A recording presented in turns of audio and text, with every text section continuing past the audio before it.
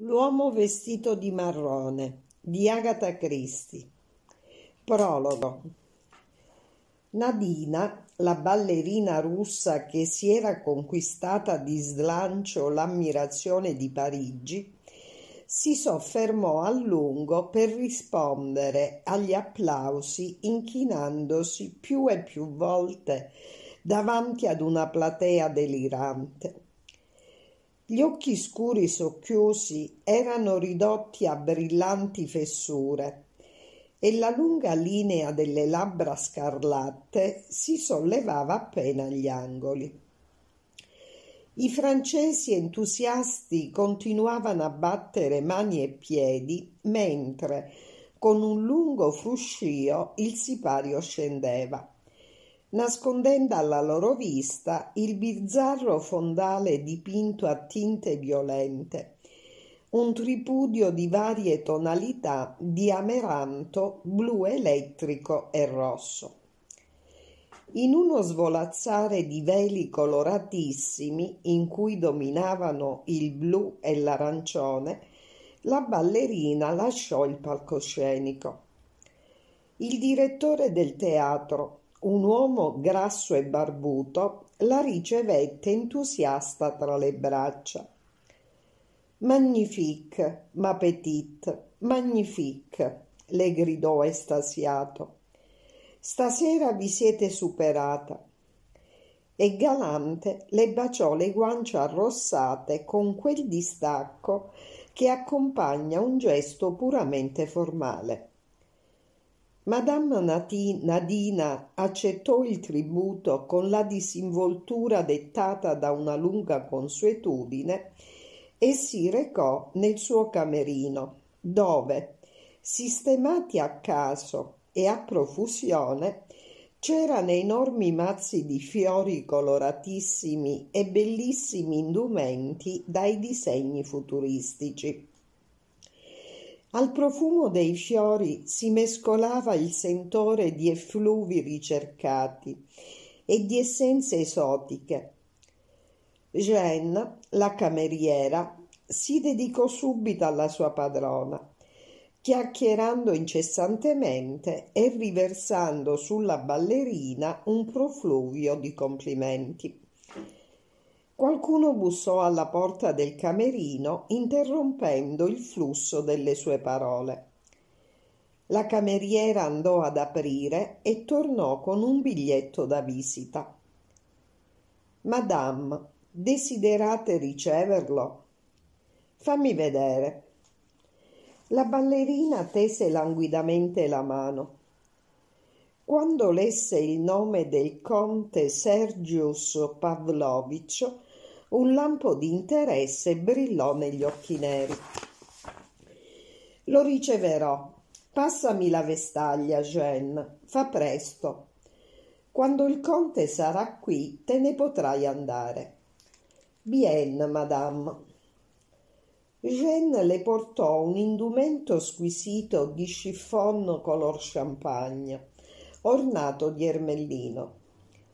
Nadina lo infilò si sedette sorridendo a se stessa mentre con una lunga mano bianca tamburellava sul cristallo del tavolino. Il conte si affrettò ad approfittare del privilegio che gli era stato accordato. Era un uomo di altezza media, molto magro, molto elegante, molto pallido, con un'aria straordinariamente apatica. I suoi lineamenti non avevano nulla di particolare ed erano tali da passare inosservati, tanto che sarebbe stato difficile riconoscerlo se non per quel suo esagerato manierismo. Si chinò con una cortesia fin troppo enfatica davanti alla mano tesa della ballerina. Madame, è un vero piacere. Fu tutto ciò che Jeanne udì da lui prima di chiudere la porta del camerino alle sue spalle. Rimasta sola con il suo ospite, un sottile cambiamento modificò il sorriso con cui Nadina lo aveva accolto. Siamo compatrioti, ma non parleremo in russo, penso, disse la donna. Sarà meglio, visto che nessuno di noi due conosce una sola parola in quella lingua, confermò il suo ospite. Di comune accordo passarono alla lingua inglese e nessuno avrebbe potuto dubitare, quando il conte abbandonò i suoi modi affettati, che quella fosse la sua lingua madre. Il conte aveva infatti cominciato la sua carriera nei locali notturni di Londra come trasformista e artista di varietà. Avete avuto un successo strepitoso stasera, mia cara, disse. Congratulazioni. Eppure non mi sento tranquilla, disse la donna. Sono preoccupata. La mia reputazione non è più quella di un tempo. I sospetti nati intorno alla mia persona durante la guerra non si sono mai completamente dissipati. Mi tengono sempre sotto controllo. Ho continuamente l'impressione di essere sorvegliata. Non siete mai stata accusata di spionaggio, vero? Il nostro capo è un pianificatore troppo brillante perché sia mai stato possibile cogliermi in flagrante. Lunga vita al nostro colonnello, disse devotamente il conte sorridendo. Stupefacente la notizia che intende ritirarsi, vero? Ritirarsi, inverosimile, come un macellaio, come un idraulico, o come un qualunque altro professionista, terminò Nadina. Non ci dovrebbe sorprendere. È ciò che il colonnello è sempre stato, un eccezionale uomo di affari. Ha organizzato il crimine come un altro avrebbe organizzato un calzaturificio senza mai compromettersi, ha progettato e diretto una serie eccezionale di colpi nell'ambito di quella che potremmo chiamare la sua professione. Furto di gioielli, falsificazioni, spionaggio. Quest'ultimo lavoro si è dimostrato molto redditizio in tempo di guerra. Sabotaggio, eliminazioni condotte in modo eccezionalmente discreto. Non c'è un campo in cui non si sia cimentato con successo. Il colonnello è sempre stato un uomo intelligente e prudente. Credo che ora si dimostri particolarmente saggio scegliendo di mettere fine al suo lavoro. Forse il gioco si sta facendo troppo pericoloso e lui allora si ritira graziosamente dopo aver accumulato un'enorme fortuna. Mm, si limitò a borbottare il conte dubbioso. Questa sua decisione non ci conviene affatto e ci lascia in un vicolo cieco e senza sostentamento ma siamo stati liquidati molto generosamente, direi. Qualcosa nel tono della sua voce, una larvata ironia, attirarono l'attenzione dell'uomo che la fissò con uno sguardo acuto. La ballerina stava sorridendo e la qualità di quel sorriso destò la sua curiosità. Proseguì diplomaticamente. Sì, lo ammetto, il colonnello è sempre stato un datore di lavoro molto generoso. Attribuisco a questa sua qualità buona parte del suo successo e naturalmente all'abilità che ha sempre mostrato nel sapere trovare un capo espiatorio. Una mente straordinaria, non c'è dubbio, un'intelligenza fuori del comune e aggiungerei che si è sempre dimostrato un fervente e devoto apostolo della massima. Se vuoi operare in perfetta sicurezza, non agire di persona. Eccoci qui, tutti noi, sospettati da tutti e interamente nelle sue mani, mentre noi non abbiamo uno straccio di prova che possa incriminarlo. Si interruppe, come se volesse che lei intervenisse per sostenere quanto andava dicendo. Ma la ballerina rimase in silenzio, continuando a sorridere a se stessa come poco prima. Nessuno di noi, ripeté per sottolineare ciò che aveva già detto, a proposito, lo sapete che il colonnello è molto superstizioso? Mi hanno detto che anni fa è andata a consultare una veggente che gli ha predetto una lunga vita di successo, ma gli ha anche profetizzato che una donna sarebbe stata lo strumento della sua rovina. Il conte era finalmente riuscita ad interessare la ballerina. Lei lo guardò attenta e incuriosita. Davvero? Una veggente gli ha predetto che una donna sarebbe stata la sua rovina? Il conte sorrise e alzò le spalle. Così pare. Ora che ha deciso di ritirarsi, finirà per cadere nella trappola del matrimonio sceglierà una di quelle giovani bellezze del bel mondo che sperpererà i suoi soldi in un tempo molto inferiore a quello che gli ci è voluto per accumularli. Nadina scosse la testa. No, no, non sarà così. Ascoltatemi, amico mio, domani mi recherò a Londra. E il vostro contratto qui a Parigi? Starò via solo una notte. Ci andrò in incognito, come fanno i reali. Nessuno saprà mai che ho lasciato la Francia. E perché credete che mi rechi a Londra? Non certo per divertimento a quest'epoca dell'anno. Gennaio è un mese maledettamente nebbioso e triste. Ci andate per lavoro, vero? Azzeccato.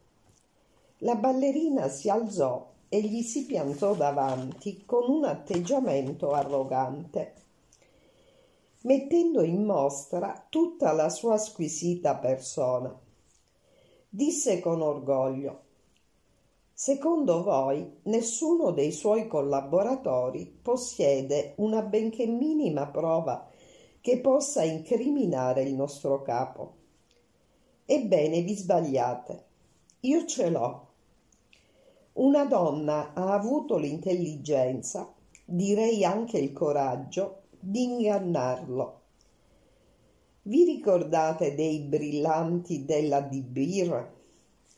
Sì, certo, me li ricordo. A Kimberley, proprio, proprio prima che scoppiasse la guerra. Non ho partecipato al colpo e non ne conosco i dettagli. È stato un successo, vero? Pietre preziose per un valore di centomila sterline. Abbiamo lavorato in due, sotto gli ordini del colonnello, naturalmente. È stato allora che ho saputo cogliere l'occasione che mi si presentava il progetto consisteva nel sostituire ai diamanti della De Beer alcune pietre campione portate dall'America del Sud da due giovani cercatori che si erano recati a Kimberley per farle esaminare. Era evidente che i sospetti sarebbero caduti su quei due. Un colpo brillante e astuto la interruppe il conte per esprimere la sua ammirazione. Il colonnello è sempre stato un uomo molto abile. Io ho naturalmente seguito alla lettera i suoi ordini, ma ho anche fatto qualcosa che il colonnello non aveva previsto. Ho trattenuto un po' di quelle pietre sudamericane dal taglio particolare e riconoscibile. non sarà difficile dimostrare che quei diamanti non sono mai appartenuti alla De Beer. Con questi diamanti in mio possesso ho in mano un'arma contro il nostro stimatissimo capo. Se i due giovani venissero scagionati, i sospetti cadrebbero sicuramente su di lui. Non ho detto niente in tutti questi anni. Mi sono accontentata di sapere che avevo in mano quest'arma contro di lui. Ma ora la situazione è cambiata e io voglio essere pagata e non mi accontenterò di una liquidazione. Posso affermarvi che il mio prezzo sarà esorbitante. Eccezionale, esclamò il conte. E sicuramente voi vi portate sempre appresso quei diamanti. I suoi occhi fecero il giro del camerino tutto in disordine. Nadina sorrise dolcemente. Non lo crederete davvero? Non sono così sciocca. Le pietre si trovano in un nascondiglio dove nessuno penserà mai di andare a cercarle. Non vi ho mai considerato una sciocca, mia cara signora. Permettetemi comunque di ricordarvi che state rischiando grosso. Il colonnello non ha certo la tempra di un uomo che accetti facilmente di essere ricattato. Lo sapete, vero? Non mi fa paura, ribatté lei ridendo. C'è stato un solo uomo nella mia vita di cui ho avuto veramente paura. Per fortuna è morto. L'uomo la fissò incuriosito.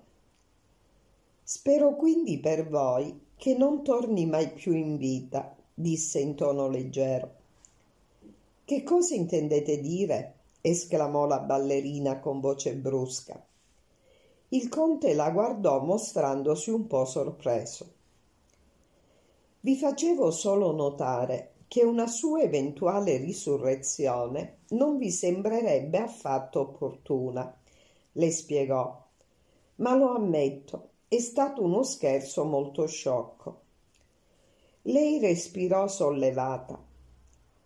Oh no, è morto, proprio morto. È stato ucciso in guerra un tempo quell'uomo mi amava. In Sudafrica? chiese il conte con tono indifferente. Sì, se proprio lo volete sapere, in Sudafrica. Siete nata lì, vero? La donna annui. Il suo ospite si alzò e allungò la mano verso il cappello. Beh, penso che sappiate ciò che state rischiando ma se fossi in voi avrei molta più paura del colonnello che di un vecchio innamorato deluso. È un uomo che non è il caso di sottovalutare. Lei sorrise ironicamente, come, se dopo tutti questi anni non lo conoscessi. Mi chiedo se lo conoscete veramente, continuò lui con voce carezzevole. Me lo chiedo proprio. Oh, non sono sciocca e non sono sola. Il postale dal Sudafrica attraccherà domani al porto di Southampton. A bordo c'è un uomo che viene espressamente dall'Africa e che ho mandato a chiamare.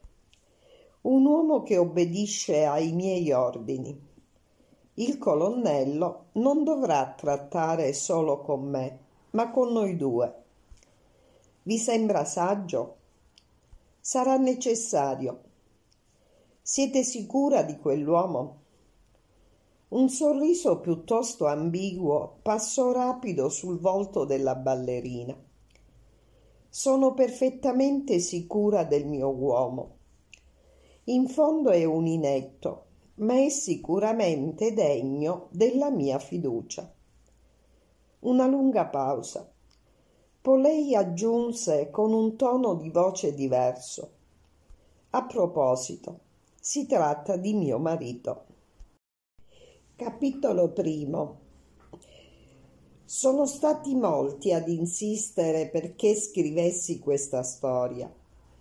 Lo hanno fatto persone autorevoli, come per esempio Lord Nasby, ma lo hanno fatto anche le persone più comuni, come la nostra ultima piccola cameriera tuttofare, Emily, che abbiamo assunto ultimamente quando siamo tornati in Inghilterra.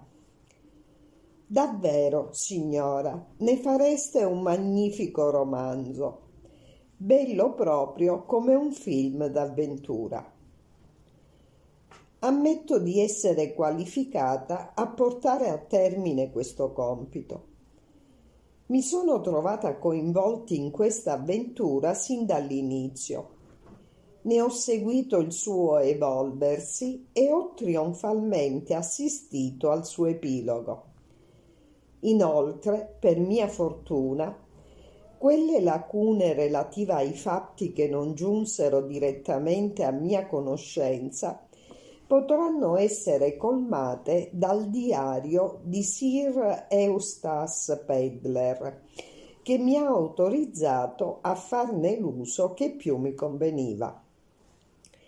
E allora eccomi qui, io, Anne Bedingfield, pronta a cominciare la mia fatica e a narrare la mia avventura. Ho sempre desiderato una vita avventurosa diversa da quella noiosa e monotona che mi era toccata in sorte. Mio padre, il professor Charles Bedfield, era uno degli scienziati inglesi più autorevoli che si fosse occupato delle ricerche sull'uomo primitivo. Era un uomo geniale, questo nessuno avrebbe mai potuto metterlo in dubbio un uomo intelligente e colto, un ricercatore appassionato che si era sempre occupato esclusivamente di antropologia, dedicandosi in special modo al Paleolitico.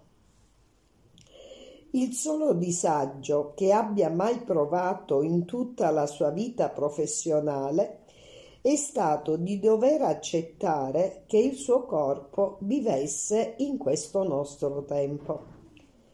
A mio padre l'uomo moderno non interessava affatto. Persino l'uomo del Neolitico lo lasciava indifferente e forse addirittura lo disprezzava in quanto, secondo lui, aveva solo saputo allevare bestiame si entusiasmava solo quando la sua mente vagava alla ricerca di informazioni sul periodo cosiddetto musteriano. Sfortunatamente è difficile evitare di avere a che fare con l'uomo moderno. Bisogna in tutti i modi raggiungere una sorta di accordo con persone come il macellaio, il lattaio, il panettiere, l'ortolano. Siccome mio padre viveva immerso nel nostro lontano passato e siccome mia madre era morta quando ero piccola, era toccata a me gestire il, lato pratico della nostra vita. Per dirla con estrema franchezza, detesto l'uomo del Paleolitico chiunque egli sia. Aurignaziano o Acheuleano o Musteriano o Maddaleniano o altro. E sebbene io abbia battuto a macchina e corretto le bozze di quasi tutto il libro pubblicato da mio padre, l'uomo di Nedertal e i suoi antenati, questo stesso uomo di Nedertal mi riempie di odio e non posso fare a meno di pensare che è una ben fortunata circostanza che sia esistinto in epoche remotissime.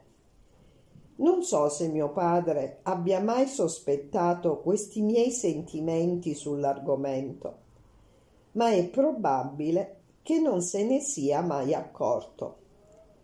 D'altra parte, se anche se ne fosse reso conto, dubito che se ne sarebbe curato. In genere l'opinione degli altri non lo ha mai realmente interessato. Credo che questo sia stato uno dei segni della sua grandezza. Con questo suo supremo distacco è sempre vissuto senza mai occuparsi delle solite e banali necessità della vita quotidiana. Mangiava tutto ciò che gli veniva messo davanti con indifferenza esemplare, ma si irritava se gli si poneva il problema di pagarne il prezzo venale. Il suo malumore durava poco in quanto aveva raramente tempo da sprecare in simili quisquiglie. Non avevamo mai soldi a sufficienza. La sua celebrità non era di quelle che ottengono come premio il denaro. Per quanto fosse membro eminente di una quantità di fondazioni scientifiche e ci fosse dopo il suo nome una sfilza di lettere che segnalavano come d'uso nel mondo scientifico anglosassone, tutti i titoli accademici che si era conquistato in anni di studi, ricerche e pubblicazioni, la gente comune non sapeva nemmeno della sua esistenza e dei molti volumi di profonda erudizione da lui scritti.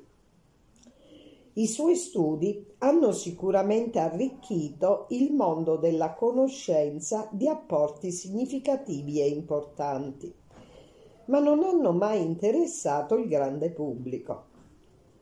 Una sola volta ebbe l'occasione di attirare l'attenzione di un vasto numero di lettori. Durante un congresso aveva letto una sua comunicazione che riferiva l'esito delle sue ricerche sui giovani scimpanzé. I piccoli della razza umana mostrano evidenti aspetti antropoidi, mentre i piccoli degli scimpanzé si avvicinano di più agli umani di quanto non lo facciano gli scimpanzé adulti. Questa constatazione sembra mostrare che mentre i nostri antenati sono stati molto più scimmieschi di quanto non lo siamo noi, gli, gli scimpanzé invece erano una razza più progredita di quanto non lo siano le specie attuali. In altre parole, lo scimpanzé attuale potrebbe rappresentare una forma di degenerazione della specie. Un quotidiano particolarmente intraprendente, il Daily Budget, sempre alla ricerca di notizie scabrose o eccezionali, si affrettò a scrivere un articolo sull'argomento intitolando a lettere cubitali. Noi non discendiamo dalle scimmie, ma forse sono le scimmie che discendono da noi e aggiungendo come sottotitolo un eminente professore afferma che gli scimpanzé sono umani degenerati. Poco tempo dopo un giornalista venne a trovare mio padre cercando di convincerlo a scrivere una serie di articoli divulgativi su questa sua teoria. Ho raramente visto mio padre così infuriato senza troppi complimenti, ha sbattuto fuori di casa il malcapitato giornalista, con mio grande dispiacere, poiché in quel momento avevamo proprio bisogno di soldi. Ho persino pensato per un attimo di correre dietro al giovanotto per dirgli che mio padre aveva cambiato idea e che accettava di scrivere gli articoli richiesti mi sarebbe stata abbastanza facile scriverli io stessa ed era poco probabile che mio padre venisse a sapere di questo mio accordo poiché non era certo un lettore del Daily Budget. Rinunciai a quell'idea perché mi parve troppo rischiosa e mi limitai a mettermi il cappello in testa e ad andare in paese per affrontare un droghiere giustamente irritato per un conto che non avevamo ancora pagato. Il giovane giornalista del Daily Budget è stato il solo giovanotto che fosse mai venuto in casa nostra. C'erano momenti in cui invidiavo Emily, la nostra piccola cameriera, che usciva ogni volta che le si presentava l'occasione con un giovane marinaio dalle spalle larghe con cui era fidanzata. Nel frattempo, per non perdere l'abitudine, come diceva lei, usciva anche con il commesso del droghiere o con quello della farmacia. Notavo tristemente che io non avevo nessuno con cui uscire per non perdere l'abitudine. Tutti gli amici di mio padre erano anziani professori, quasi sempre forniti di barbe fluenti. È pur vero che il professor Peterson mi aveva un giorno abbracciata affettuosamente affermando che avevo un vitino di vespa e cercando di baciarmi. Ma già solo quel complimento denunciava l'epoca ormai remota in cui quell'uomo era forse stato interessante. Chi mai si sognerebbe ai giorni nostri di dire ad una giovane che ha un vitino di vespa, un complimento che risuonava già obsoleto ai tempi in cui ero ancora nella culla. Avevo una voglia folle di avventura, di amore, di passione ed ero invece apparentemente condannata ad un'esistenza scialba dedicata a risolvere i problemi pratici dell'esistenza quotidiana. In paese c'era una biblioteca comunale dove si potevano prendere i libri in prestito vi avevo naturalmente trovato moltissimi romanzi che avevo letteralmente divorato immedesimandomi nelle disavventure, nei pericoli e negli amori delle varie eroine, vivendo così di seconda mano un'esistenza un po' meno squallida della mia. La sera andavo a dormire e sognavo di austeri e silenziosi giovani rodesiani di uomini forti che riescono ad atterrare il loro avversario con un sol colpo. Non c'era nessuno in paese che assomigliasse anche lontanamente al giovane atleta dei miei sogni, capace di atterrare un avversario con la sola forza del suo pugno. In paese avevamo naturalmente anche il cinema dove andavo immancabilmente ad assistere all'episodio settimanale della famosa serie intitolata I pericoli di Pamela. Pamela, l'eroina, era una bella ragazza audace e coraggiosa. Niente le faceva paura. Si buttava da aeroplani in volo, s'arrampicava sui grattacieli frequentava i bassifondi più malfamati senza che nemmeno un ricciolo della sua acconciatura elaborata le andasse fuori posto.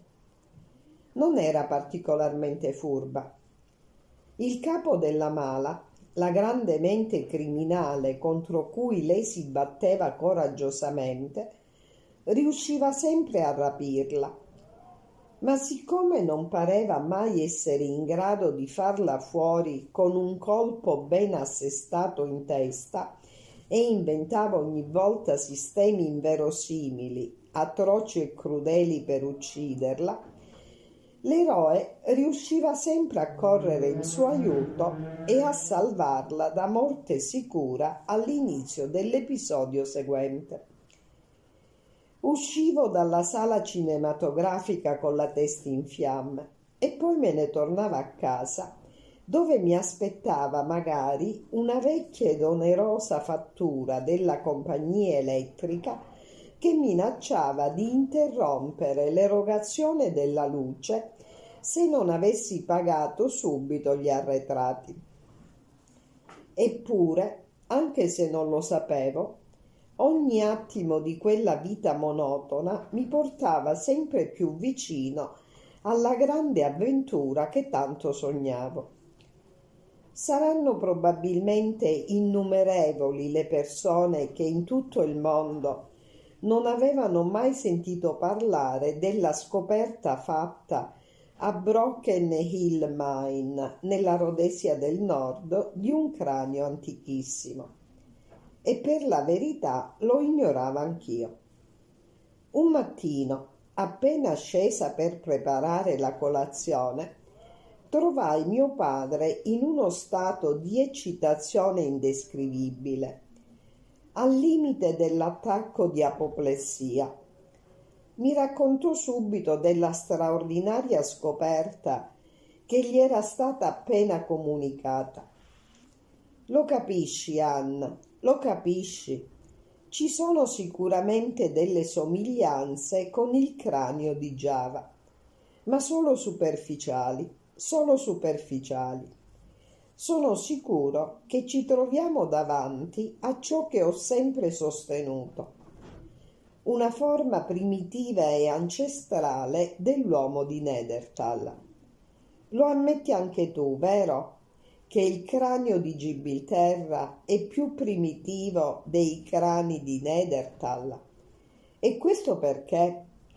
Perché la culla dell'umanità è stata sicuramente l'Africa. Poi l'uomo primitivo ha attraversato lo stretto e si è diffuso in tutta Europa. Papà, non mettere la marmellata sulla ringa affumicata mi affrettai a dirgli, fermando la mano del mio distratto genitore. Sì, che cosa stavi dicendo? L'uomo primitivo si è diffuso in tutta Europa. Questa volta fu lui ad interrompersi, rischiando di strozzarsi con il boccone che gli era andato di traverso. Dobbiamo partire subito, dichiarò con voce ferma, quando si alzò dopo aver finito di far colazione. Non c'è tempo da perdere. Dobbiamo trovarci sul posto. Ci sarà sicuramente un numero incalcolabile di reperti da trovare nei dintorni. Sarà interessante constatare se gli utensili avranno i caratteri peculiari del periodo musteriano si troveranno di certo resti di ossa di un bovide primitivo, direi, ma non quelli di un eventuale rinoceronte peloso. Sì, sono convinto che tutta una squadra di scienziati si recherà sul posto per avviare le ricerche. Dobbiamo arrivare prima di loro. Scriverai alla Cook, la solita nostra agenzia di viaggio, vero Anna? E i soldi, papà? gli chiesi con quanta discrezione e garbo mi riuscì di mettere nel tono della mia voce. Mi fissò con uno sguardo di rimprovero. Figliola mia, riesci sempre a deprimermi. Non è permesso essere così meschini. No, no. Quando è in gioco la scienza non si può essere gretti. Temo che la Cook si comporterà in modo gretto e meschino, come dici tu. Papà assunse un'espressione addolorata. Mia cara Anna, non ti capisco. Basterà pagare in contanti. Non abbiamo contanti, papà. Papà assunse un'espressione profondamente esasperata. Mia cara ragazza, non posso assolutamente preoccuparmi di questi sordidi dettagli economici. La banca, ho ricevuto una lettera dal direttore. ho 27 sterline sul mio conto corrente. Temo che si tratti del tuo scoperto, papà. Ah, ho capito. Allora scrivi al mio editore. Annui con aria dubbiosa. I libri che scriveva mio padre gli fruttavano molta fama, ma assai poco denaro. Mi piaceva immensamente l'idea di partire per la Rhodesia. Un giovane austero e silenzioso, mormorai a me stessa estasiata. Poi qualcosa di strano nell'aspetto esteriore di mio padre mi colpì improvvisamente. Papà, ha indossato le scarpe spaiate. Togliti quella marrone e metti la nera per completare il paio. Non dimenticare la sciarpa, oggi fa molto freddo. Pochi minuti dopo mio padre usciva con ai piedi le due scarpe nere e una sciarpa intorno al collo. Tornò tardi quella sera e mi accorsi disperata che non aveva più né la sciarpa né il soprabito. Mia cara, hai proprio ragione. Me li sono tolti per entrare nella caverna. Ci si sporca sempre là dentro. Annui vigorosamente ricordando l'occasione in cui papà era tornato ricoperto dalla testa ai piedi di fango del Pleistocene. La principale ragione che aveva spinto mio padre ad abitare a Little Ampsley era la vicinanza di una caverna ricca di depositi della cultura aurignaziana.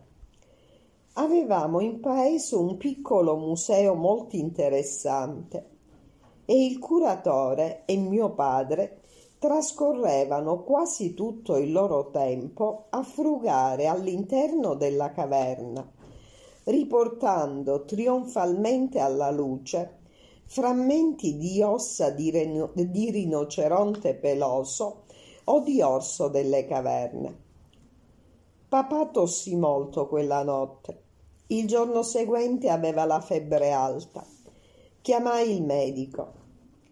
Il mio povero papà non ha mai avuto fortuna. Si era preso una polmonite doppia. Morì quattro giorni dopo. Capitolo secondo. Tutti furono molto gentili.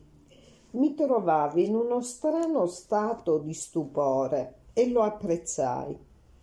Non provavo un grande dolore. Papà non mi aveva mai voluto bene, lo sapevo. Se avesse provato affetto per me, avrei potuto controcambiarlo. Tra noi purtroppo non c'era mai stato amore Eppure avevamo vissuto insieme, eravamo appartenuti l'uno all'altro. Io mi ero occupato del suo benessere e lo avevo segretamente ammirato per la sua profonda cultura e la sua incondizionata devozione per la scienza. Mi era molto dispiaciuto che fosse morto proprio quando era giunto il momento più entusiasmante di tutta la sua vita sarei stata contenta se avessi potuto farlo seppellire in un paleosuolo o in una caverna piena di depositi, di depositi del Pleistocene, decorata di pitture rupestri o di graffiti. Ma la consuetudine e la pubblica opinione mi costrinsero a fargli preparare una tomba con tanto di pietra tombale in marmo nel modesto piccolo cimitero del paese. Le frasi consolatorie del vicario, per quanto piene di buone intenzioni, non mi consolarono affatto mi ci volle un po' di tempo per rendermi conto che avevo finalmente ottenuto ciò a cui aspiravo da tanto. La libertà. Ero orfana, praticamente senza un soldo, ma finalmente libera. mi resi anche conto dell'estrema gentilezza di tutta quella brava gente. Il vicario fece del suo meglio per persuadermi che sua moglie aveva bisogno di qualcuno che l'aiutasse e le facesse compagnia. La nostra modesta biblioteca circolante sentì all'improvviso la necessità di un aiuto bibliotecaria. Il medico venne a trovarmi e dopo essersi scusato a proposito della sua parcella e aver tergiversata a lungo, si decise a farmi una proposta ufficiale di matrimonio. Ne fui molto sorpresa il medico era più vicino ai 40 che ai 30 anni. Era piccolo di statura, tozzo e grassoccio. Non assomigliava nemmeno lontanamente all'eroe dei pericoli di Pamela e ancor meno al giovane rodesiano austero e silenzioso capace di disfarsi di un avversario con un sol pugno. Ci pensai per un buon momento e poi gli chiesi perché mi voleva sposare. La domanda sembrò imbarazzarlo molto. Mormorò che per un professionista una moglie è importante. La sua proposta diventava sempre meno romantica e allettante. Eppure qualcosa mi costrinse a non respingerla subito mi offriva sicurezza. Sicurezza e una casa confortevole. Ripensandoci credo di averlo giudicato male quel pover'uomo. Probabilmente mi voleva bene, ma per una malriposta discrezione non ebbe il coraggio di dirmelo. Comunque sia, il mio desiderio di avventura, di amore e di passione ebbe il sopravvento vi ringrazio per la vostra gentilezza, gli dissi, ma non posso accettare. Non potrei mai sposare un uomo senza amarlo alla follia. Non credete che. No. Lui sospirò. Mia cara ragazza, che cosa farete? Andrò incontro all'avventura e visiterò il mondo gli risposi senza un attimo di esitazione. Signorina Anna, siete ancora tanto giovane. Non sapete ancora niente. Delle difficoltà della vita? Oh, dottore, le conosco, le conosco. Non sono una scolaretta sentimentale, sono un'astuta mercenaria. Ve ne accorgereste presto se accettassi di sposarvi. Vorrei tanto che ripensaste alla mia proposta. Non posso. Lui sospirò di nuovo. Avrei un'altra proposta da farvi. Una mia zia che abita nel Galles ha bisogno di una dama di compagnia. Vi piacerebbe andarci? No, dottore, io voglio andare a Londra Solo lì mi potrebbe forse capitare una buona occasione. Mi recherò nella capitale e terrò gli occhi bene aperti. Qualcosa succederà, ne sono certa. E voi sentirete dire che sono partita per la Cina o per Timbuktu. Dopo quella del dottore ricevetti la visita dell'avvocato Fleming il legale londinese di mio padre. Venne apposta dalla capitale per vedermi. Ero un appassionato antropologo dilettante e fervente ammiratore di mio padre. Alto, snello, faccia magra, capelli grigi.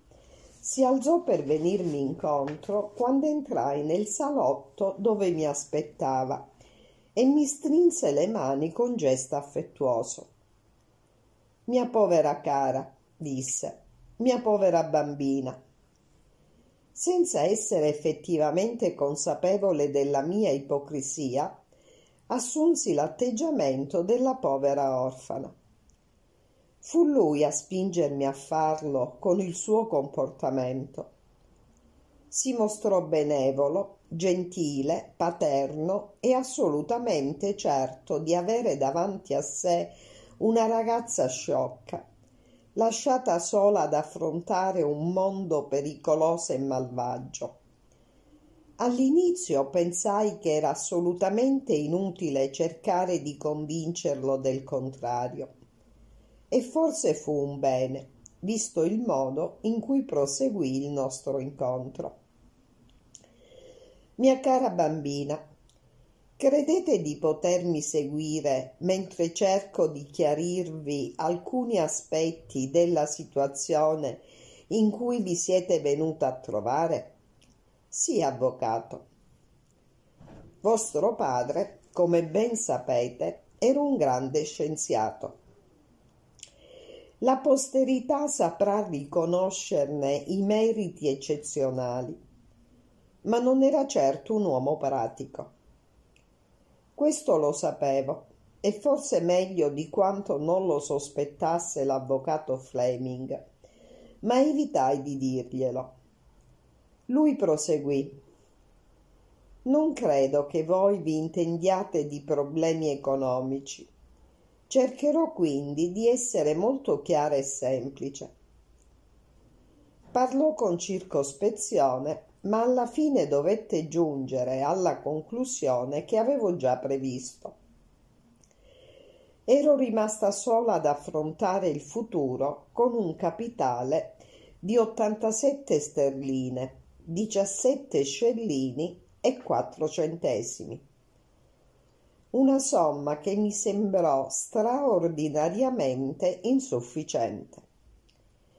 Aspettai con trepidazione ciò che aveva ancora da dirmi. Temevo che anche l'avvocato Fleming avesse una qualche zia in Scozia bisognosa di una giovane brillante e allegra dama di compagnia non l'aveva. Si tratta ora, mia cara, di pensare al vostro avvenire. Non avete parenti, vero? Sono sola al mondo, dissi, e mi sorpresi di nuovo a pensare che mi stavo comportando come la giovane eroina di un film. Avete amici? Tutti sono stati molto gentili, risposi piena di riconoscenza. Chi non sarebbe gentile con una giovane così carina? disse galantemente l'avvocato Fleming. Beh, mia cara, vedremo quello che si può fare. Esitò un attimo, poi riprese. Che ne direste di venire a stare con noi per un po' di tempo? Balzai sull'occasione. Londra, là dove di certo tutto può succedere. Siete molto gentile, avvocato. Vi ringrazio, dissi. Posso davvero? Almeno per un po'. Il tempo di guardarmi in giro. Dovrò cominciare a guadagnarmi da vivere, sapete? Sì, sì, mia cara, capisco. Cercheremo di trovare qualcosa. Un lavoro che vi convenga avvertii istintivamente che l'opinione che poteva avere l'avvocato Fleming su un lavoro che mi potesse convenire era molto diversa dalla mia, ma non mi sembrò il momento di svelargli le mie idee. Allora siamo d'accordo. Perché non venite a Londra con me oggi stesso? Oh, grazie, ma la signora Fleming mia moglie sarà felice di ricevervi. Mi chiedo se i mariti conoscono le mogli come sembrano credere. Se io fossi sposata, non mi piacerebbe affatto che mio marito mi comparisse in casa insieme ad una giovane orfana senza nemmeno consultarsi con me. Le manderemo un telegramma dalla stazione proseguì l'avvocato Fleming. Non ci missi molto tempo a fare le valigie. Prima di mettermelo in testa, contemplai con malinconia il mio cappello. Era stata in origine una sorta di maggiostrina, uno di quei cappelli che dovrebbero portare le cameriere quando hanno la loro giornata libera e non lo fanno mai.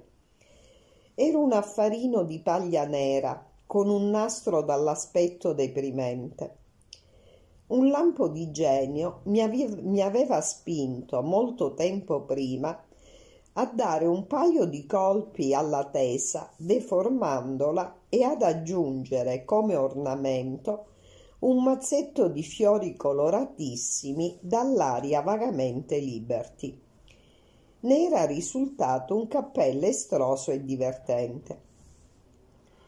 Avevo naturalmente già tolto il mazzetto di fiori e ora, prima di mettermelo in testa, mi applicai a raddrizzarne la tesa, eliminando così la mia opera e tornando a ripristinare lo squallido copricapo nella sua forma tradizionale. Non più molto nuovo, aveva ora assunto un aspetto ancor più triste e deprimente. Tanto valeva che io assomigliassi, per quanto mi fosse possibile, a quell'immagine che la gente si fa di una povera orfana provinciale. Mi sentivo un po' nervosa pensando all'accog- all'accoglienza della signora Fleming e speravo che il mio aspetto potesse disarmarla a sufficienza. Anche l'avvocato Fleming era nervoso. Me ne resi conto mentre salivamo le scale di una bella casa che si affacciava su Kensington Square. La signora Fleming mi accolse abbastanza gentilmente. Era una donna robusta e bonacciona, il classico esemplare di buona moglie e buona madre. Mi accompagnò in una graziosa camera da letto. Si augurò che io avessi lì tutto ciò che mi serviva mi informò che il tè sarebbe stato pronto un quarto d'ora dopo e mi abbandonò ai miei pensieri. Mi giunse la sua voce un po' stridula quando raggiunse suo marito nel soggiorno di casa al piano di sotto. Davvero, Henry, che cosa ti è venuto in mente? Persi il resto della frase, ma l'irritazione del tono non mi era sfuggita. Pochi minuti dopo mi raggiunse un'altra frase, detta con un tono ancora più acido. Sì, certo, sono d'accordo, è sicuramente molto carina. La vita è dura. Gli uomini non sono gentili se non sei almeno un po' carina. E le donne non ti daranno mai una mano se lo sei davvero. Con un sospiro cercai di domare i miei capelli. Sono belli, lo so. Sono neri, veramente neri, non bruni. Mi lasciano scoperta la fronte e cadono armoniosamente a caschetto coprendo le orecchie. Con mano inesorabile li raccolsi dietro la nuca, scoprendo le mie orecchie che sono orrende. Quando ebbi finito, assomigliavo incredibilmente all'orfana brutta e insignificante di popolare memoria. Notai subito, quando la raggiunsi in salotto, che la signora Fleming osservava con uno sguardo gentile le mie brutte orecchie esposte. Il signor Fleming sembrò un po' sorpreso. Sono sicura che stava pensando tra sé. Che cosa diamine ha fatto questa ragazza per ridursi a questo modo? Quella sera, quando mi preparai per andare a letto, mi osservai a lungo allo specchio. Ero veramente carina. Onestamente non avrei saputo dirlo. Non avevo il classico bel naso greco, né una boccuccia di rose, né tutti quei lineamenti armoniosi di cui è dotata un'eroina da romanzo. Avrei tanto voluto avere gli occhi azzurri e invece li avevo verdi con riflessi dorati. Mi consolai pensando che il verde è il colore giusto per gli occhi di un'avventuriera. Mi avvolsi con un indumento nero, lasciando scoperte le spalle e le braccia. Spazzolai vigorosamente i capelli, lasciandoli ricadere sulle orecchie. Misi un velo di cipria sul viso per avere una pelle ancor più bianca e luminescente. Non economizzai sul rossetto. Con un tappo di sughero annerito sottolineai la linea delle ciglia. Sistemai una penna rossa nei capelli. Infilai in bocca un lungo bocchino. Mi osservai a lungo. In linea generale non mi dispiacque affatto quello che vidi riflesso nello specchio. Anna l'avventuriera, dissi a voce alta guardandomi compiaciuta. Anna l'avventuriera. Primo episodio. La casa a Kensington. Le ragazze sono a volta molto sciocche. Capitolo terzo. Mi annoiai moltissimo durante le settimane che seguirono. La signora Fleming e le sue amiche non erano persone molto interessanti. Parlavano per ore di se stesse, dei loro bambini, delle difficoltà di trovare del buon latte per quelle loro creature, di quello che avevano detto al lattaio. Poi passavano all'argomento servitù, alla fatica di trovare una buona cameriera all'incomprensione di quelle signore che dirigevano gli uffici di collocamento. Non leggevano mai i giornali e non si occupavano di ciò che avveniva nel mondo. Non amavano viaggiare. Tutti i paesi sono così diversi dalla vecchia Inghilterra la Costa Azzurra era bella e sopportabile perché naturalmente lì si incontravano tanti amici. Ascoltavo e contenevo a fatica la mia impazienza. Molte di quelle donne erano ricche. Tutto il vasto mondo era a loro intera disposizione, eppure si accontentavano di starsene a Londra e di chiacchierare per ore ed ore di bambini e di problemi domestici. Ripensandoci ora, mi accorgo di essermi dimostrata piuttosto intollerante. Fermo restando che si trattava di donne davvero stupide, stupide persino nello svolgere il compito che avevano deliberatamente scelto, quello di occuparsi dell'andamento della loro casa. Quasi tutte parevano inoltre assolutamente inadeguate al loro compito e non erano nemmeno in grado di tenere una contabilità corretta delle spese domestiche. La mia situazione non progrediva affatto. La casa e i, e i mobili erano stati venduti e il ricavato era bastato appena per pagare i debiti. Io non avevo ancora trovato un lavoro, non che ne volessi veramente uno. Avevo la ferma convinzione che se mi fossi messa in cerca di avventure, le avventure mi sarebbero venute incontro. La mia teoria è che prima o poi si ottiene sempre ciò che si desidera e questa mia teoria stava per dimostrarsi esatta. Eravamo giunti all'inizio di gennaio, per l'esattezza era l'otto. Stavo tornando a casa dopo un'intervista deludente con una signora che affermava di aver bisogno di una segretaria e dama di compagnia, ma che in realtà Volevo una donna di fatica, disposta a lavorare 12 ore al giorno per la modica somma di 25 sterline all'anno. Dopo averla lasciata con muta e velata scortesia, avevo percorso Eddyware Road, l'incontro si era svolto in una casa di St. John Wood, attraversato Hyde Park ed ero passata davanti all'ospedale St. Giorgio.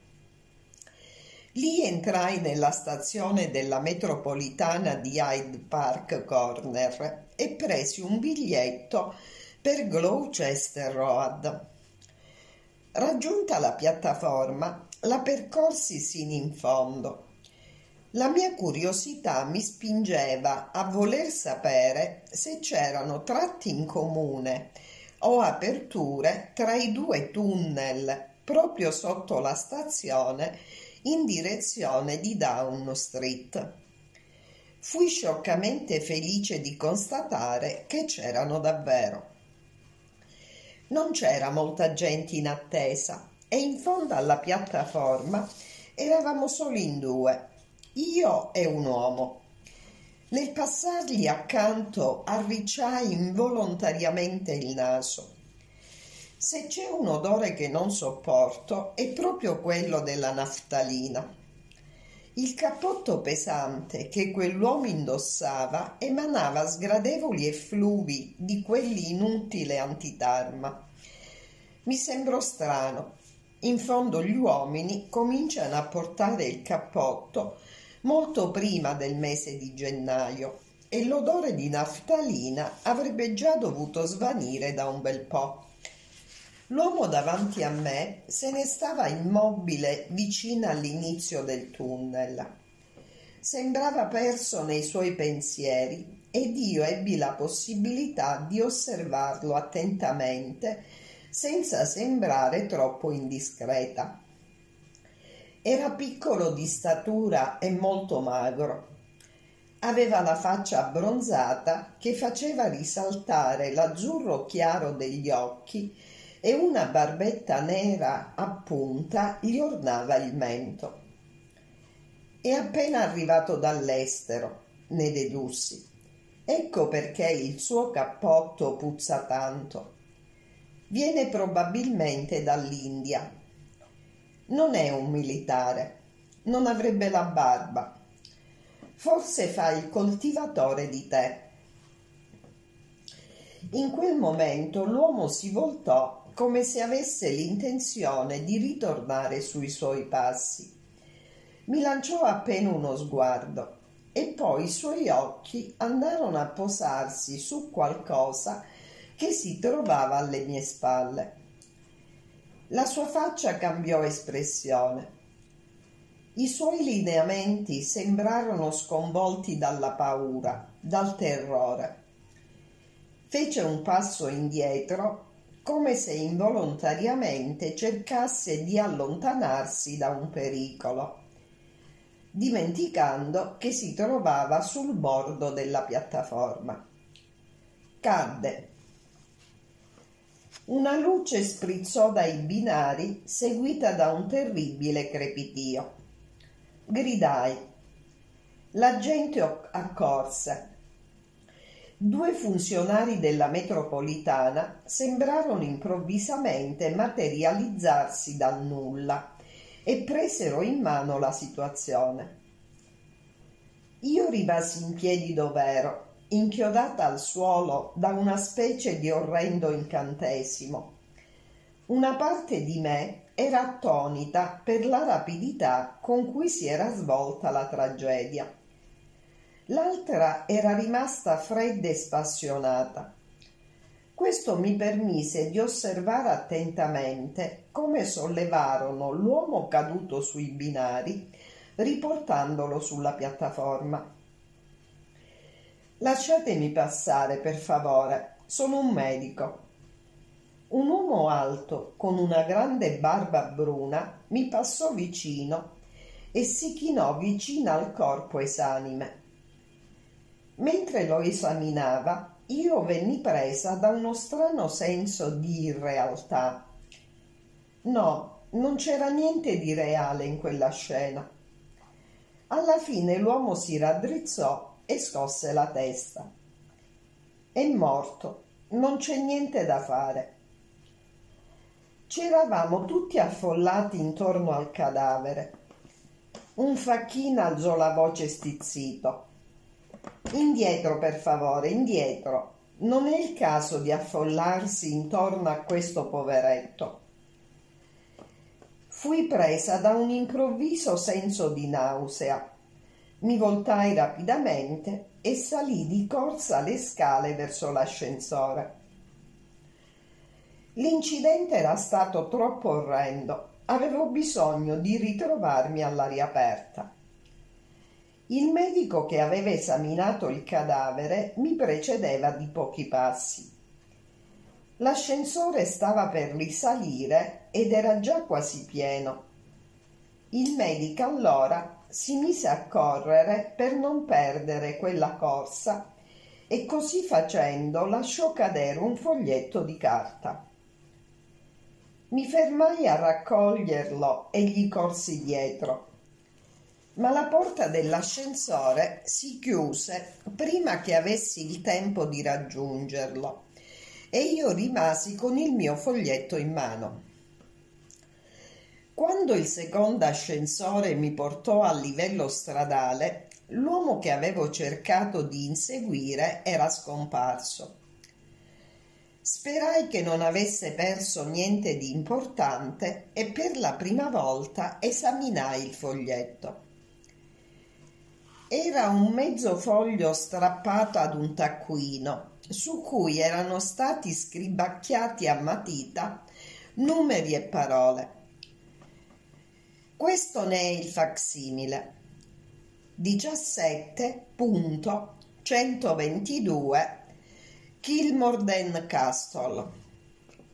Non mi sembrò importante, eppure esitai a buttarlo via. E mentre ero ferma con quel biglietto in mano, arricciai di nuovo involontariamente il naso con disgusto.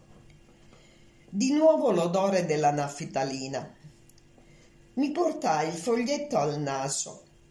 Sì, ne era impregnato, ma allora lo ripiegai con molta cura e lo misi nella borsetta. Tornai a casa camminando lentamente e seguitando a riflettere. Spiegai alla signora Fleming che avevo assistito ad un'orribile disgrazia nella stazione della sotterranea e che sentendomi ancora sconvolta desideravo salire nella mia stanza per riposare. La buona donna insistette perché bevessi una tazza di tè, poi mi lasciò sola io misi in opera il progetto che avevo formulato durante il ritorno a piedi. Volevo scoprire la causa di quella curiosa sensazione di irrealtà che mi aveva colto mentre osservavo il medico che esaminava il cadavere. Mi distesi a terra nella stessa posizione del morto poi misi al mio posto un cuscino e ripetei, per quanto mi fu possibile, tutti i gesti del medico. Quando ebbi finito, avevo ottenuto ciò che volevo. Mi sedetti sui tacchi e aggrottai le sopracciglia fissando il muro di fronte.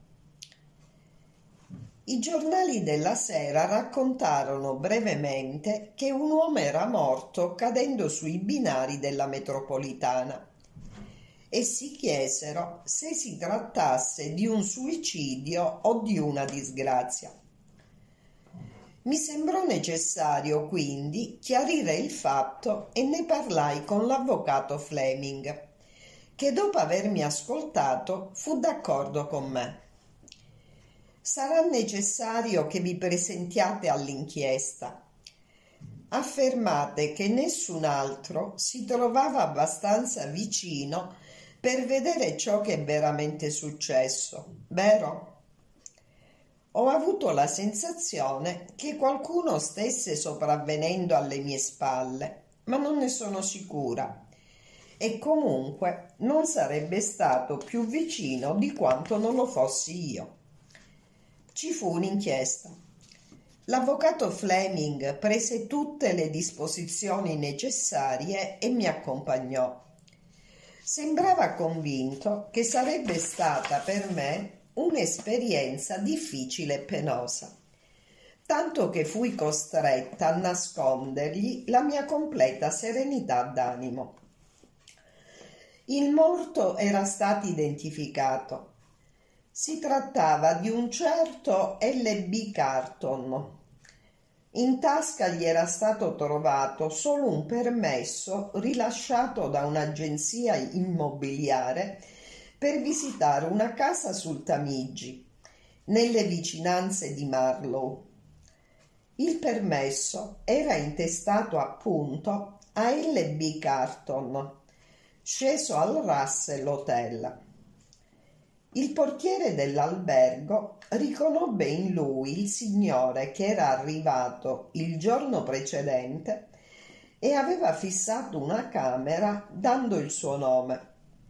L.B. Carton, Kimberley, Sudafrica. L'uomo si era evidentemente recato in albergo subito dopo essere sbarcato dalla nave. Ero la sola persona che avesse visto come si erano svolti i fatti. Pensate che si sia trattato di una disgrazia? mi chiese il coroner. Ne sono certa. Qualcosa lo deve aver spaventato e lui ha involontariamente fatto un passo indietro senza accorgersi del pericolo che stava correndo. Che cosa può averlo spaventato? Non lo so, ma qualcosa deve essere stato. Sembrava terrorizzato. Un giurato dalla faccia non troppo intelligente suggerì che alcuni uomini sono terrorizzati dai gatti. L'idea non mi parve molto brillante, ma gli altri giurati furono disposti ad accoglierla senza metterla in dubbio. Avevano tutti probabilmente voglia di tornarsene a casa ed erano contenti di poter emettere subito un verdetto di morte accidentale accantonando l'ipotesi del suicidio. Sono sorpreso che il medico che ha esaminato per primo il cadavere non si sia sentito in dovere di venire qui a deporre. Qualcuno avrebbe dovuto prendere il suo nome e indirizzo. Un'omissione molto grave e un comportamento irregolare delle autorità preposte. Io sorrisi tra me. Avevo un'idea ben precisa su quello strano medico e avevo già deciso di recarmi quanto prima a Scotland Yard. I giornali del mattino seguente avevano in serbo un'altra sorpresa. I Fleming comperavano il Daily Budget e il Daily Budget, come al solito, aveva un asso nella manica. Straordinario seguito all'incidente mortale della metropolitana. Una donna strangolata in una casa vuota. Lessi l'articolo con ansia. Una scoperta sensazionale è stata fatta ieri a Mill House, una villa disabitata che si trova a Marlow, di proprietà di Sir Eustace Pegler, membro del Parlamento. In una stanza del primo piano è stata trovata strangolata una bellissima donna non ancora identificata, ma che è probabilmente una straniera. La villa, non arredata, è stata affidata ad un'agenzia immobiliare che ha il compito di affittarla. La polizia aveva in effetti trovato nella tasca dell'uomo, che in un primo tempo pareva essersi suicidato, gettandosi sui binari della metropolitana nella stazione di Hyde Park Corner, un permesso per visitare la villa. Si dice che la polizia abbia già in mano un indizio. Sir Eustace Blendler proprietario di Mill House, sta trascorrendo l'inverno sulla Costa Azzurra. Capitolo IV Nessuno si presentò per identificare la donna morta e dall'inchiesta emersero i fatti seguenti. Poco dopo l'una, l'8 gennaio, una donna elegante che parlava con un leggero accento straniero era entrata negli uffici dell'agenzia immobiliare Butler and Park a Knightsbridge. Aveva detto di voler affittare o acquistare una casa sul Tamigi nelle vicinanze di Londra. L'impiegato che si era occupato di lei gliene aveva descritte diverse e fra queste la villa di Marlow. La signora aveva detto di chiamarsi De Castina e aveva dato come indirizzo il Ritz, ma in seguito era stato accertato che nessuno che portava quel nome era sceso in quell'albergo e il personale non era stato in grado di identificare il cadavere. La signora James, moglie del giardiniere di Sir Eustace Pedler, che abitava nella piccola portineria della villa, costruita proprio vicino al cancello sul ciglio della strada principale, con l'incarico di sorvegliare la villa padronale, si era recata a deporre. Aveva affermato che verso le tre del pomeriggio di quel fatidico giorno una signora era venuta a visitare la casa Aveva con sé il permesso dell'agenzia e come al solito la signora James le aveva consegnato le chiavi della villa. La casa era situata ad una certa distanza dalla portineria e la custode non aveva l'abitudine di accompagnare le persone che venivano a visitarla. Pochi minuti dopo era giunto un giovanotto la signora James lo aveva descritto. Era un uomo alto, spalle larghe, faccia abbronzata e occhi grigi. Era sbarbato e indossava un abito marrone. Spiegò alla signora James che era un amico della signora che stava visitando la casa e che era in ritardo perché si era fermato all'ufficio postale per mandare un telegramma. La donna gli aveva indicato la strada per andare alla villa e non ci aveva più pensato. Cinque minuti dopo il giovane era riapparso, le aveva consegnato le chiavi e le aveva detto che era dispiaciuto ma che la casa non conveniva loro. La signora James non aveva visto la donna, ma aveva pensato che si fosse già allontanata. Aveva però notato che il giovane sembrava piuttosto turbato. Pareva un uomo che avesse visto un fantasma. Ho persino pensato che si sentisse male. Il giorno seguente un'altra coppia era venuta a visitare la villa ed erano stati loro a scoprire il cadavere che giaceva per terra in una stanza del primo piano. La signora James aveva subito riconosciuto la donna del giorno prima. Anche gli impiegati dell'agenzia immobiliare confermavano che si trattava della signora De Castina. Il medico legale dichiarò che la donna era morta da non meno di 24 ore. Il Daily Budget era subito arrivata alla conclusione che l'uomo della metropolitana aveva ucciso la donna e poi si era suicidato. Tuttavia, siccome l'uomo della metropolitana era morto verso le due e la donna era ancora viva alle tre, la sola logica conclusione era che si trattasse di due casi che non avevano niente in comune e che il permesso di visitare la villa di Marlow, trovati in tasca al morto, fosse solo una di quelle coincidenze che a volte si riscontrano nella vita. I giurati avevano emesso un verdetto di omicidio volontario commesso da ignoto o da ignoti e alla polizia e al Daily Budget rimase il compito di cercare l'uomo vestito di marrone. La signora James era stata perce- perentoria.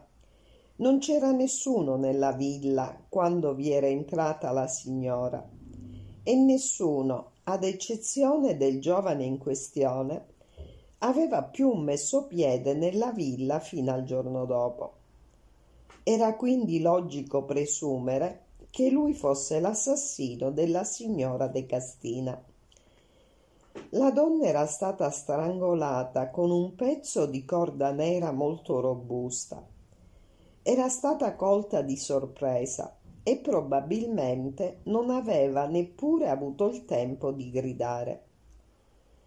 La borsetta di seta nera che aveva con sé conteneva un portafogli pieno di biglietti di grosso taglio e un po' di spiccioli un bel fazzoletto di pizzo nero senza iniziali e il biglietto di ritorno in prima classe per Londra.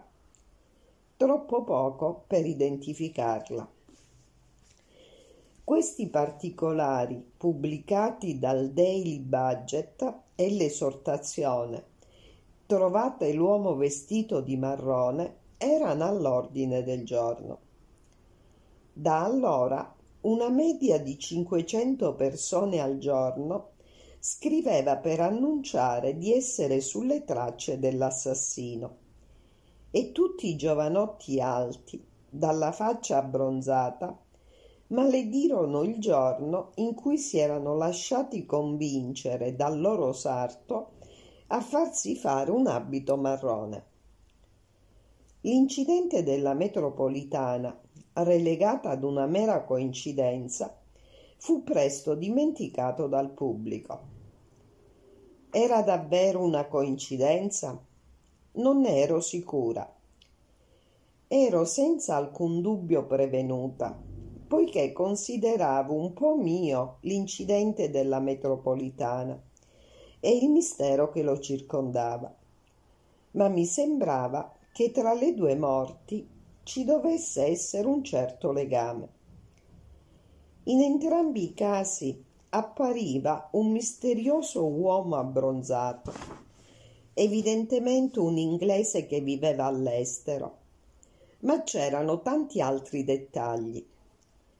Fu proprio riflettendo su questi ulteriori indizi che mi sentii costretta a fare un passo che io stessa considerai piuttosto ardito mi presentai a Scotland Yard e chiesi di vedere il funzionario che era incaricato delle indagini sul caso di Mill House.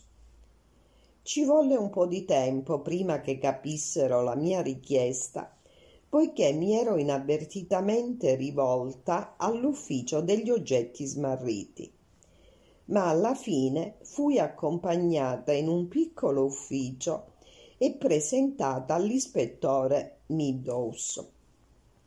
L'ispettore Meadows era un uomo di bassa statura, con un'inverosimile testa di capelli rossi e modi che trovai subito notevolmente irritanti. Seduta modestamente in un angolo della stanza, vestita in borghese, c'era un'altra persona. Buongiorno, dissi nervosamente.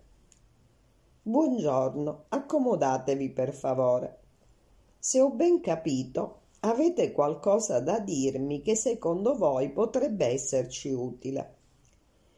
Il tono sembrava sottintendere che questo fatto fosse assai poco probabile.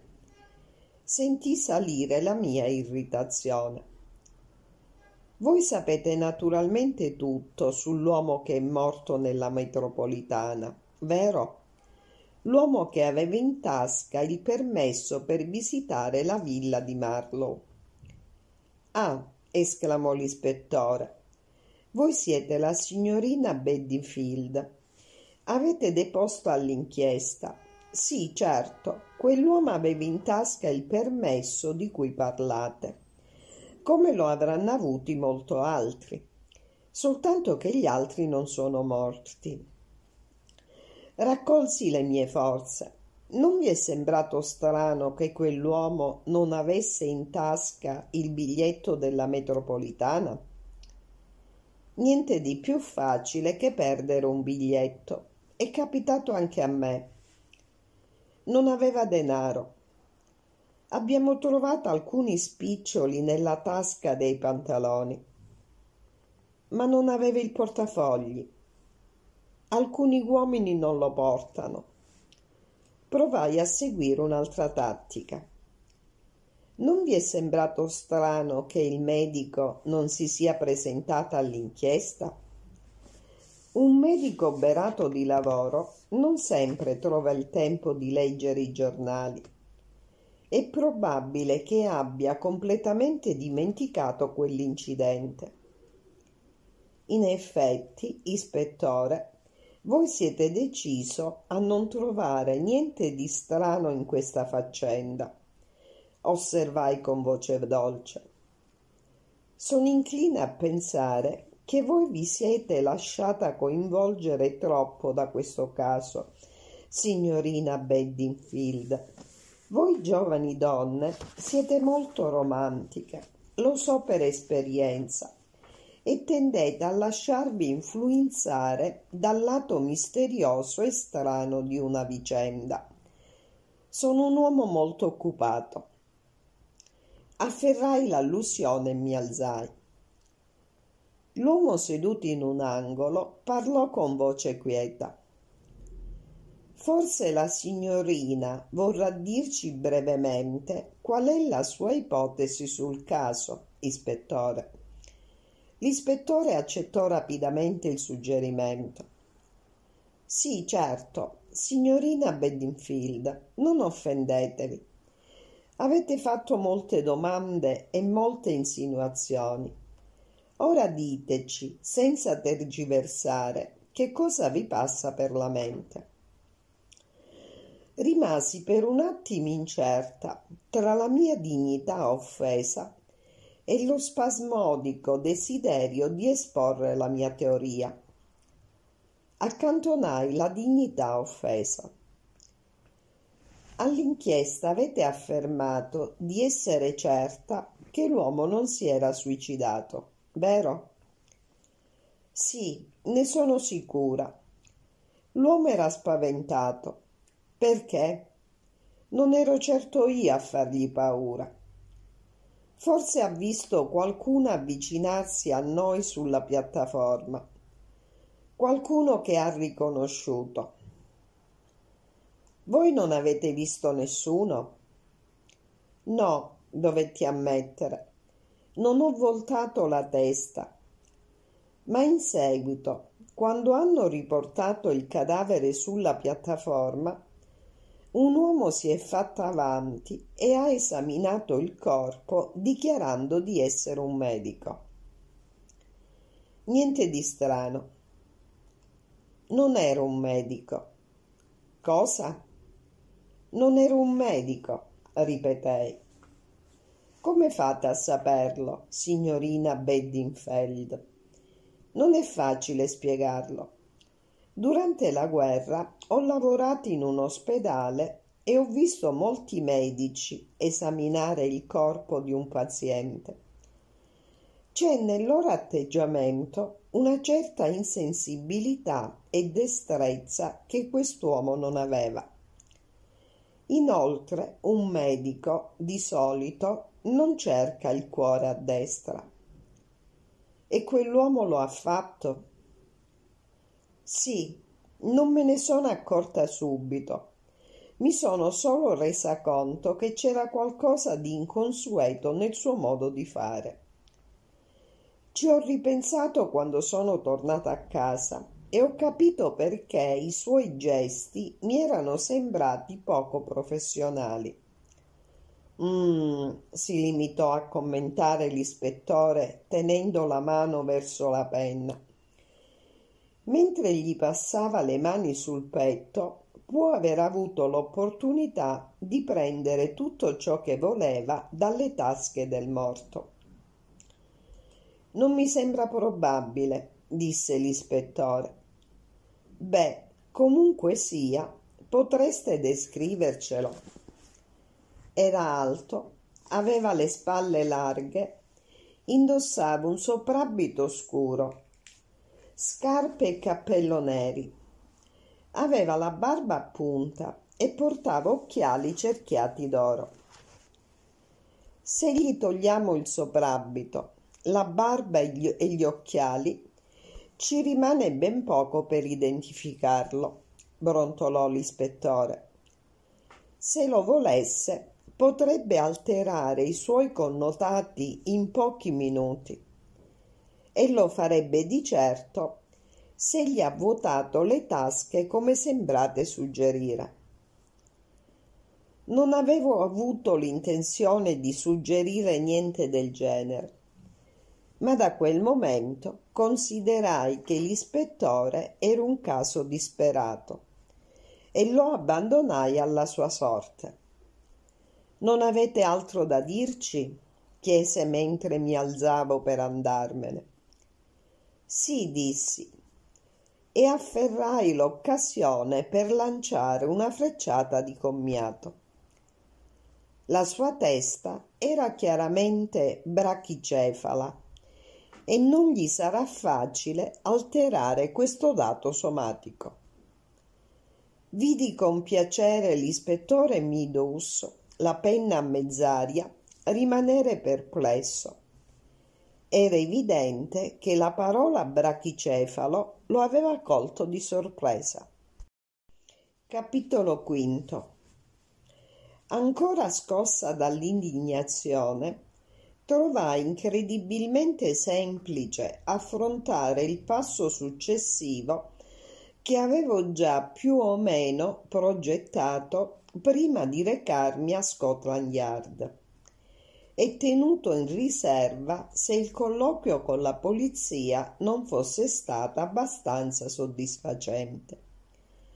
Siccome in realtà non avevo dubbi che quello incontro fosse stata addirittura un vero e proprio fallimento, mi ci buttai senza esitazione. Quando avevo concepito quel piano, mi ero chiesta se avrei avuto il coraggio di metterlo in esecuzione. Ma spesso, sotto l'impulso della collera, si affrontano situazioni incredibili che si eviterebbero accuratamente se ci si trovasse in condizioni normali. Lord Nasby era il miliardario proprietario del Daily Budget. Possedeva anche altri giornali, ma il Daily Budget era certo quello che preferiva e in quanto suo proprietario era famoso in tutte le famiglie del Regno Unito.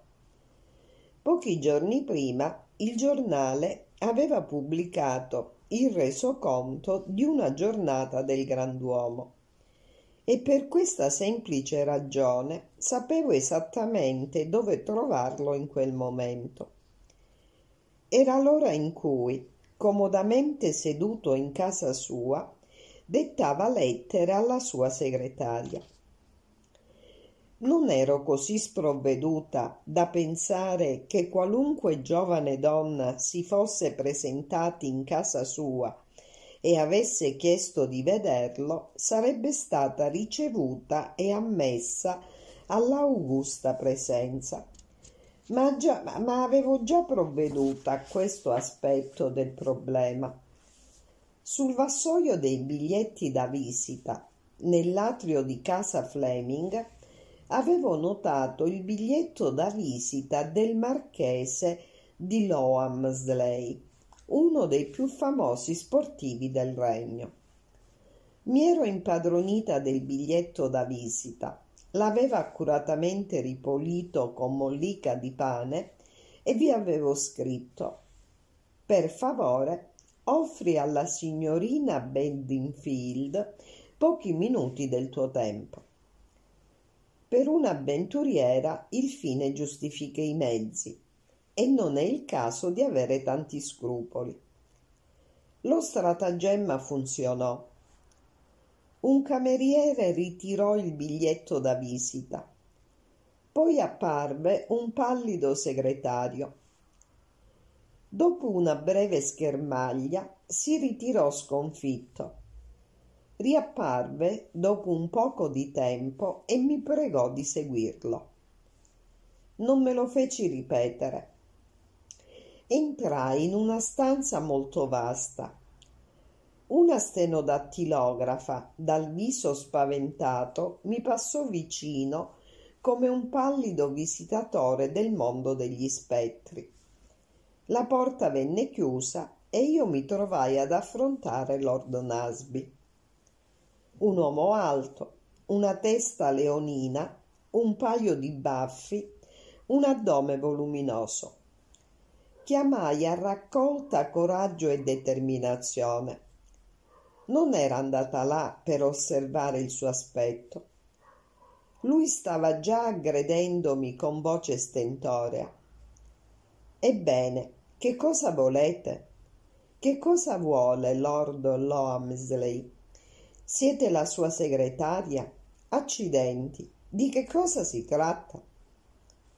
Prima di tutto, cominciai con tutta la calma e sicurezza di cui ero capace Permettetemi di dirvi che non conosco Lord Loamsley e lui non conosce me. Ho trovato il suo biglietto da visita nella casa di una famiglia che mi ospita e sono stata io stessa a scrivere quelle poche parole. Era importante che riuscissi a vedervi. Per un lungo momento non fu chiaro se Lord Nasby avrebbe o non avrebbe avuto un attacco di apoplessia. Alla fine inghiottì la saliva un paio di volte e parve riprendersi. Ammiro il vostro sangue freddo, ragazza mia. Ebbene, siete riuscita a vedermi e continuerete a vedermi per un altro paio di minuti, non di più. Mi basterà, gli risposi, e sono certa che sarete interessato. Si tratta del mistero di Mill House. Se avete trovato l'uomo vestito di marrone, scrivete al direttore del giornale, si affrettò ad interrompere Lord Nasby. Se continuerete ad interrompermi, mi ci vorranno più di due minuti gli ricordai severamente. Non ho trovato l'uomo vestito di marrone, ma è probabile che ci riesca. In poche parole gli raccontai l'incidente della metropolitana e le conclusioni a cui ero giunta. Quando ebbi finito, mi chiesi inaspettatamente che cosa ne sapete voi di teste brachicefale? gli parlai di mio padre. Ah, l'uomo delle scimmie, capisco. Ebbene, dimostrate di avere la testa sulle spalle, ragazza mia. Ma c'è ben poco di consistente, sapete? Niente in pratica su cui indagare. Niente che ci possa servire per ora. Lo so. E allora che cosa volete? un posto nel vostro giornale per proseguire le mie indagini. Impossibile. Abbiamo già un inviato speciale che ci lavora. Ma io ho la mia speciale conoscenza del caso. Quello che mi avete detto? Oh no, Lord Nasby, ho naturalmente un asso nella manica. Ah sì, mi sembrate una ragazza intelligente. Di che cosa si tratta? Quel cosiddetto medico si allontanò quasi insieme a me ed entrò nell'ascensore lasciando cadere un foglietto di carta. Lo raccolsi. Odorava di naftalina, come l'uomo morto. Il medico non emanava lo stesso sentore. Questo mi ha fatto subito capire che lo aveva sottratto al cadavere. Ci sono scritte alcune parole e delle cifre Fatemelo vedere. Lord Nasby tese la mano con simulata indifferenza. Preferisco di no, ribattei sorridendo. La scoperta è mia, mi capite, vero? Ho avuto ragione a dire che siete una ragazza intelligente. Fate bene a non lasciarvi privare del vostro indizio. Non vi sentite in colpa per non averlo fatto vedere alla polizia? Sono andata stamane a Scotland Yard con l'intenzione di consegnarlo, ma si sono mostrati così insistentemente sicuri che l'incidente non avesse niente a che fare con il delitto di Marlowe che, viste le circostanze, mi ritengo ampiamente giustificata per non aver mostrato il foglietto. Inoltre, l'ispettore Meadows mi ha praticamente congedata facendomi capire che era meglio dimenticassi tutto quello che sapevo del caso. Piuttosto corto di mente, lo ammetto. Ebbene, ragazza mia, ecco ciò che posso fare per voi. Continuate a seguire la vostra pista. Se riuscirete a trovare qualcosa, qualunque cosa che possa essere pubblicata, mandatemela e vi offrirò un'opportunità, statene certa. C'è sempre posto al daily budget per chi ha talento. Ma prima dovete darvi da fare, capito? Lo ringraziai e gli chiesi scusa per lo stratagemma che avevo usato per arrivare sino a lui. Non ne parliamo più. Mi fa piacere che una bella ragazza sappia, sappia mostrarsi intraprendente. A proposito, mi avete chiesto due minuti e ne avete usati tre, comprese le mie interruzioni. Niente male per una donna. Lo dovete sicuramente alla vostra istruzione scientifica. Capitolo sesto. Tornai a casa esultante. Il mio stratagemma aveva avuto un successo che andava al di là delle mie più rosee aspettative. Lord Nasby mi aveva trattata con molta gentilezza e ora stava solo a me di dar prova della mia intelligenza. Per usare la sua stessa espressione dovevo darmi da fare. Non appena mi ritrovai chiusa in camera, presi in mano il prezioso foglietto e lo esaminai attentamente era la chiave del mistero. Che cosa rappresentavano quelle cifre? Erano cinque e c'era un punto che separava le prime due dalle altre. 17 122 mormorai. Non mi ispirava niente. Poi feci la somma delle cifre L'ho letto nei romanzi. A volte porta a deduzioni sorprendenti. 1 più 7 fa 8, più 1 fa 9, più 2 fa 11, più 2 fa 13, 13, 13. Si trattava forse solo di un avvertimento che ricevevo di non occuparmi più della faccenda? Comunque fosse, tranne che come avvertimento il risultato appariva assolutamente inutile.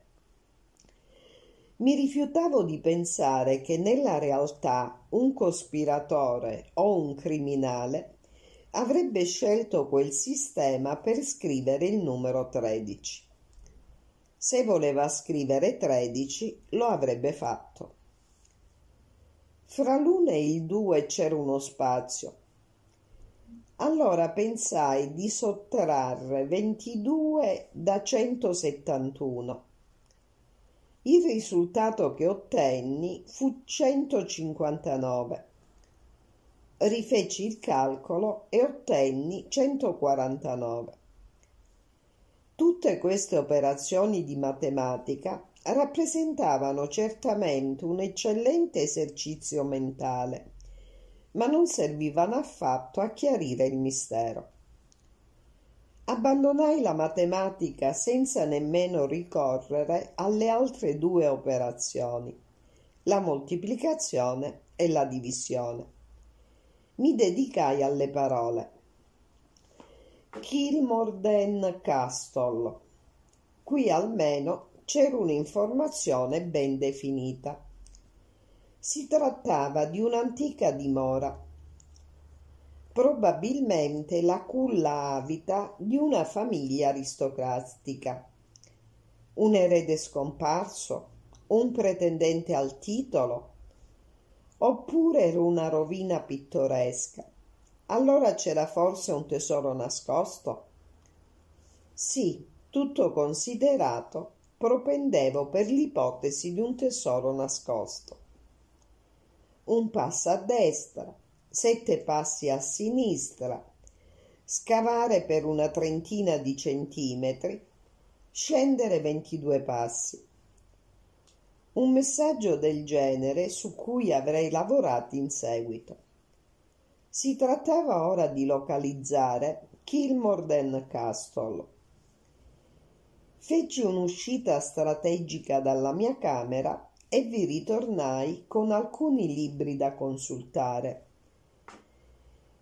Il Whitaker, il Gazetteer e l'annuario dei castelli di Scozia. Il tempo passò veloce. Compii una ricerca a tappeto con tutta la diligenza di cui ero capace. Ma sentendo via via salire in me una sorda irritazione. Alla fine delusa, chiusi con un tonfo l'ultimo libro. Kilmorden Castle non sembrava esistere. Mi trovavo di fronte ad un ostacolo inatteso Eppure doveva esserci un posto che portava quel nome. Perché mai qualcuno doveva inventarlo e poi scriverlo su un foglietto? Assurdo. Mi venne un'idea. Forse Kilmorden Castle era il nome pretenzioso inventato da un proprietario pieno di boria e appioppato a una qualche orrenda villa dei sobborghi. Se così fosse, non mi sarebbe stato molto facile individuarla. Mi accovacciai sui talloni. Mi siedo sempre per terra quando mi devo concentrare su un problema importante e riflettei a lungo su come procedere. C'era forse un'altra via da seguire? meditai a lungo e poi balzai in piedi tutta felice. Naturalmente, dovevo recarmi sulla scena del delitto. Così fanno tutti i bravi investigatori. E anche se ci vanno con molto ritardo, riescono sempre a trovare qualche indizio sfuggita alla polizia. Era chiaro, doveva andare a Marlow Come entrare in quella villa? Scartai tutta una serie di sistemi avventurosi e preferii ricorrere alla più noiosa praticità. Mill House era da affittare e molto probabilmente era ancora vuota. Bastava che mi presentassi come un'eventuale inquilina. Mi rivolsi ad un'agenzia di secondaria importanza sperando che non avesse molte case da offrire. Qui ebbi a che fare con un impiegato pieno di buona volontà che mi illustrò una mezza dozzina di abitazioni gradevoli e mi ci volle tutta la mia fervida fantasia per trovare difetti e inconvenienti a tutte le sue offerte. Giunta alla fine delle mie argomentazioni, pensai di aver fallito nell'impresa. Tentai ancora una volta. Non avrete proprio nient'altro? chiesi fissando con sguardo patetico il povero impiegato. Una casa sul Tamigi, con un grande giardino e una piccola portineria, aggiunsi, riassumendo tutto ciò che avevo letto sui giornali a proposito di Millhouse. Beh, ci sarebbe la casa di Sir Eustace Pedler, disse il poveretto con tono dubbioso. Si tratta di Millhouse. Non, non dove, dissi quasi balbettando. Balbettare stava diventando una delle mie specialità. Sì, proprio quella dove è stata assassinata una donna. Forse non vi piacerà. Non credo che mi importerebbe, dissi, fingendo di radunare tutto il mio coraggio. Pensai di dover sottolineare in qualche modo la mia buona fede quindi aggiunsi esitante. Forse mi sarà possibile averla per meno, date le circostanze. Un tocco da maestro, pensai. Può darsi, è inutile pretendere che sia facile affittarla ora. Lo capite. C'è oltre a tutto anche il problema della servitù. Se dopo averla vista vi interesserà, vi consiglio, signorina, di fare voi stesso un'offerta. Volete che vi rilasci un permesso di visita? Sì, grazie. Mezz'ora dopo ero davanti alla portineria di Mill House. In risposta al colpo leggero sul pannello di legno, la porta si spalancò e una donna alta, di mezza età, ne uscì come un bolide. Nessuno può entrare in casa. Lo volete capire? Sono stufa di voi giornalisti. Sir Eustasa ha dato ordine. Mi sembrava di aver capito che la casa era da affittare, risposi freddamente, mostrando il mio permesso. Naturalmente, se l'avete già data via. Mi scusi tanto, signorina, ma sono stata talmente assillata dai giornalisti. Non un minuto di pace. No, la casa non è stata ancora affittata ed è, proprio pro- ed è poco probabile che lo sia ormai. Perché? L'impianto idrico non è in buono stato, forse? chiesi in un sussurro allarmato. Oh no, signorina. L'impianto idraulico è in perfette condizioni.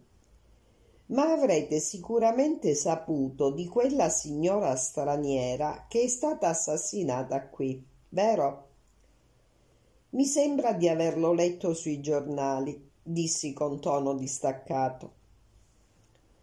La mia indifferenza urtò la brava donna.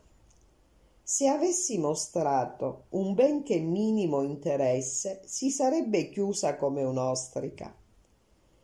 La mia aria noncurante diede invece la stura alle sue confidenze.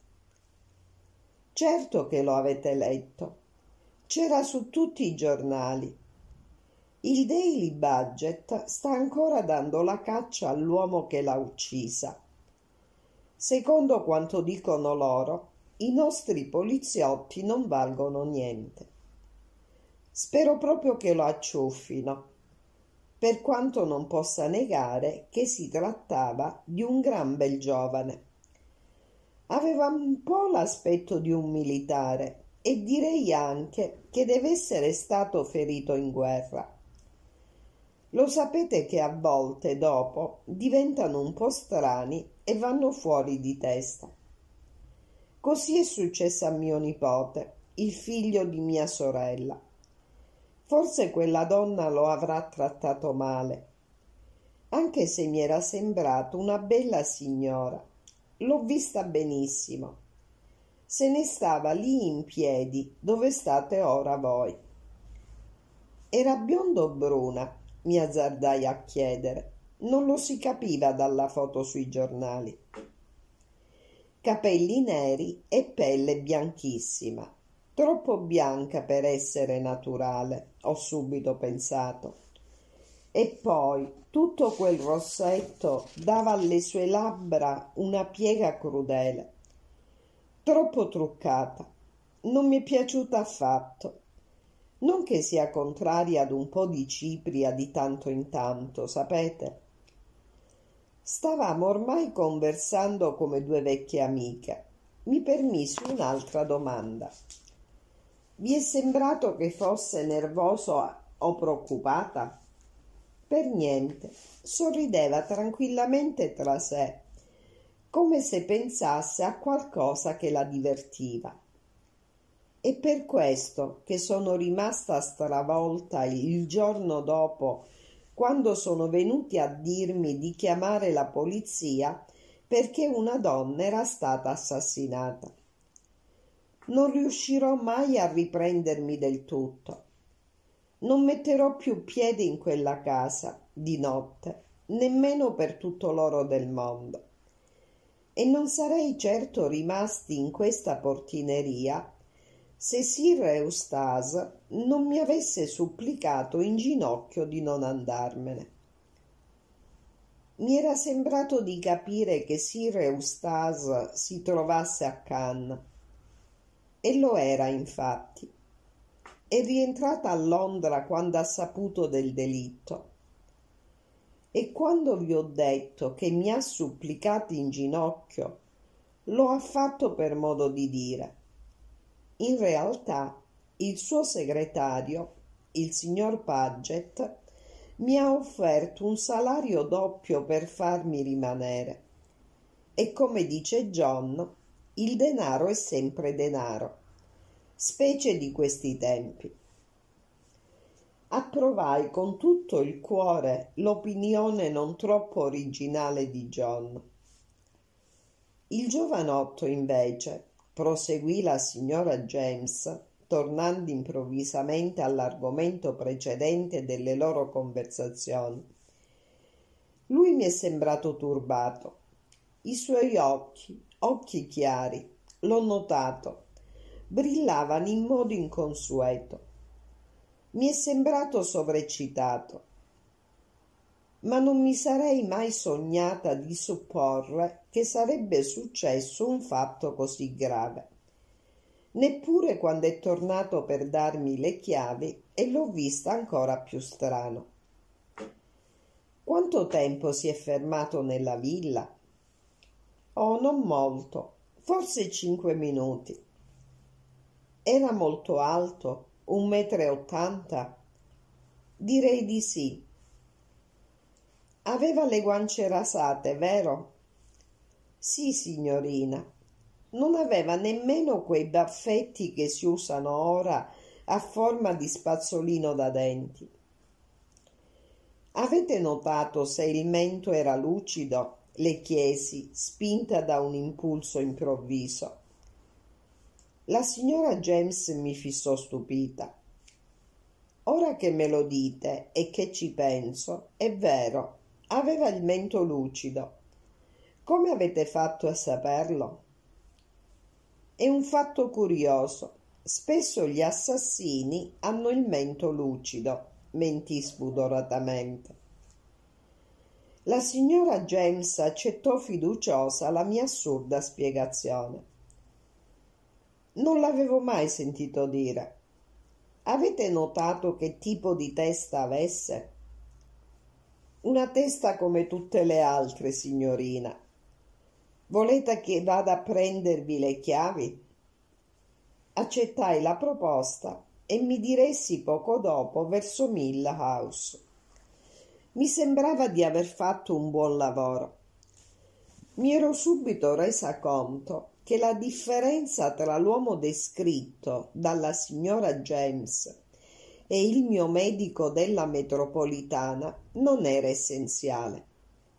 Un soprabito, una barba, un paio di occhiali cerchiati d'oro. Il medico mi era sembrato un uomo di mezza età, ma avevo anche ricordato che quando si era inginocchiato vicino al cadavere, i suoi movimenti agili, che denunciavano giunture piuttosto giovani, mi avevano dato l'impressione che non fosse poi così anziano. La vittima dell'incidente, l'uomo della naftalina, come avevo preso l'abitudine di chiamarlo, e la donna straniera che si faceva chiamare signora De Castina avevano probabilmente un appuntamento a Mill House. Così almeno collegavo i due delitti. Forse perché temevano di essere sorvegliati forse per un'altra ragione che non mi riusciva di intuire, avevano scelto il metodo piuttosto ingegnoso di farsi dare tutti e due un permesso per visitare Mill House. Il loro incontro sarebbe sembrato sfortuito. Che l'uomo della naftalina avesse improvvisamente e inaspettatamente visto il medico e che si fosse spaventata a morte era un altro fatto di cui ero sicura. Che cosa era successo in seguito? Il medico si era tolto il suo travestimento e aveva seguito la donna sino a Marlow. Ma era possibile che qualche traccia di colla gli fosse rimasta sul mento. Questo era il sospetto che mi aveva spinto a fare quella domanda alla signora James. Immersa in questi pensieri, raggiunsi la vecchia porta d'ingresso di Mill House. L'aprì con la chiave che mi era stata consegnata ed entrai. L'ingresso buio aveva il soffitto basso. C'era un odore di muffa e di abbandono rabbrividì. Mi chiesi se la donna che era entrata lì, là dentro, sorridendo a se stessa, pochi giorni prima, avesse provato un senso di premonizione. Chissà se quel sorriso si era raggelato sulle sue labbra truccate e un terrore senza nome aveva stretto il suo cuore in una morsa. Forse invece era salita al primo piano continuando a sorridere, ignara del terribile destino che là l'aspettava. Il mio cuore si mise a battere disordinatamente. La casa era vuota. Stavo andando anch'io verso un destino fatale. Per la prima volta compresi il significato di una parola troppo sfruttata. Atmosfera.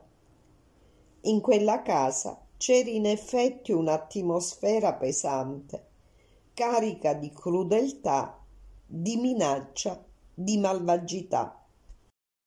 Capitolo settimo.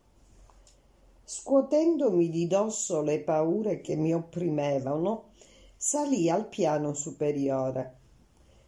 Non mi fu difficile trovare la stanza dove si era verificata la tragedia. Il giorno in cui era stato scoperto il cadavere aveva piovuto abbondantemente e un numero imprecisato di scarponi infangati aveva percorso in lungo e in largo il pavimento nudo della stanza. Mi chiesi se il giorno precedente anche l'assassino avesse lasciato delle impronte. Se così era stato, mi resi anche conto che la polizia si sarebbe mostrata reticente nell'ammetterlo. Però ripensandoci decisi che era poco probabile. Quel giorno il tempo era stato particolarmente secco e gradevole. Non c'era niente di interessante nella stanza quasi quadrata. Due grandi finestre si aprivano sulla parete che dava sul giardino. Le altre pareti erano bianche e il pavimento nudo mostrava ancora il segno che vi aveva lasciato un grande tappeto. Compii un accurato sopralluogo, ma non trovai assolutamente niente, nemmeno uno spillo. La giovane e intelligente detective non pareva avere alcuna possibilità di scoprire un indizio rimasto negletto. Avevo portato con me un taccuino e una matita. Non c'era praticamente niente da annotare eppure schizzai accuratamente una pianta della stanza tanto per mascherare la mia delusione e il totale fallimento della mia iniziativa. Mentre stavo tentando di rimetterla nella borsetta, la matita mi cadde di mano e rotolò sul pavimento. Mill House era una casa molto vecchia e i pavimenti non erano perfettamente piani. La matita continuò a rotolare quasi aumentando di velocità e si fermò ai piedi di una delle finestre sotto la quale c'era una specie di armadietto. L'armadietto era chiuso, ma mi balenò d'improvviso il pensiero che se fosse stata aperto la mia matita sarebbe rotolata all'interno. Aprì l'anta e infatti la mia matita ruzzolò nel ripostiglio e andò a fermarsi nell'angolo più recondito. Mi chinai per raccoglierla, notando che, sia per mancanza di luce, sia per la forma peculiare dell'armadietto, nessuno avrebbe potuto vederla e per recuperarla potevo solo procedere a tentoni. Dentro l'armadietto vi era solo la mia matita. Ma essendo molto meticolosa per natura, pensai di esaminare anche l'armadietto sotto l'altra finestra. A un primo esame mi sembrò che fosse completamente vuoto, ma preferì perseverare nella mia ricerca e fui ricompensata quando avvertii sotto la mano un rotolino rigido che giaceva in una sorta di depressione nell'angolo più lontano dell'armadietto. Non appena lo ebbi in mano, capì subito di cosa si trattava era una pellicola fotografica Kodak. Naturalmente poteva essere una vecchia pellicola che era appartenuta a Sir Eustace Pedler ed era rimasta in fondo al ripostiglio quando la casa era stata svuotata per darla in affitto. Ma non mi sembrava probabile. La carta rossa che avvolgeva il rotolo pareva troppo nuova ed era appena coperta da un leggero strato di polvere, come se fosse lì solo da due o tre giorni, cioè da quando era avvenuto il delitto. Se fosse stata là dentro da molto tempo, sarebbe apparsa molto più sudicia. Chi l'aveva lasciata cadere? La donna oppure l'uomo? ricordai che il contenuto della borsetta della vittima non sembrava essere stato toccato. Se la borsetta si fosse aperta durante la lotta della donna contro il suo aggressore, anche altri oggetti e sicuramente alcuni spiccioli si sarebbero sparpagliati per terra. No, non era stata la donna a perdere la pellicola. Annusai l'aria e mi venne un sospetto. Possibile che l'odore della naftalina fosse diventato per me un'ossessione? Avrei giurato che anche la pellicola fotografica ne fosse impegna- impregnata. L'avvicinai cautamente alle, alle narici. La pellicola aveva naturalmente un suo particolare odore un po' acre, oltre al quale però riuscì ad avvertire distintamente anche quell'altro sentore che non mi piaceva affatto. Scoprì presto la causa. Un sottile filo di stoffa di lana era rimasto impigliato nella carta e odorava di naftalina. La pellicola era quindi rimasta per un certo lasso di tempo nella tasca del cappotto dell'uomo che era morto nella metropolitana. Era stato lui a perderla in quella stanza? Improbabile. La polizia aveva scrupolosamente ricostruito tutti i suoi movimenti. No, a perderla era stato l'altro uomo, il medico. Aveva preso la pellicola come si era impadronito del foglietto che avevo ritrovato. Era lui che l'aveva persa mentre lottava con la donna uccisa. Avevo trovato un indizio. Avrei fatto sviluppare la pellicola e avrei avuto ulteriori indizi su cui lavorare. Trionfante lasciai la casa restituì le chiavi alla signora James e mi diressi in fretta verso la stazione. Durante il tragitto che mi riportava in città, tirai fuori il mio foglietto e lo ristudiai con molta attenzione. All'improvviso le cifre presero ai miei occhi un ben altro significato. E se si fosse trattato di una data? 17-1-22 il 17 gennaio del, 2000, del 1922. Ecco cos'era. Che sciocca non averci pensato prima. In tal caso doveva assolutamente trovare dov'era Kilmorden Castle e dovevo anche affrettarmi poiché eravamo già al 14 gennaio. Mancavano solo tre giorni. Troppo pochi. Provai un certo senso d'apprensione. Che speranze potevo nutrire, specie considerando il fatto che non sapevo dove indirizzare le mie ricerche? Era troppo tardi ormai per andare a fare sviluppare la pellicola fotografica mi affrettai a tornare a casa per non giungere in ritardo per la cena. Mi venne in mente che non sarebbe stato difficile controllare almeno in parte le mie deduzioni e domandai all'avvocato Fleming se tra gli oggetti lasciati dal morto non avessero trovato una macchina fotografica. Sapevo che si stava interessando al caso e che era al corrente di tutti i particolari. Fui sorpresa e delusa quando affermò con sicurezza che non si era mai parlato di una macchina fotografica.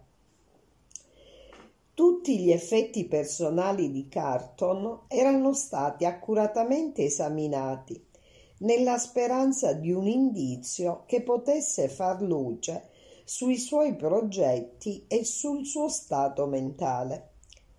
L'avvocato Fleming ne era sicuro. nel bagaglio del morto non era stata trovata una macchina fotografica. Questa affermazione assestava un duro colpo alla mia teoria. Se non avevo una macchina fotografica, perché mai avrebbe dovuto avere in tasca una pellicola?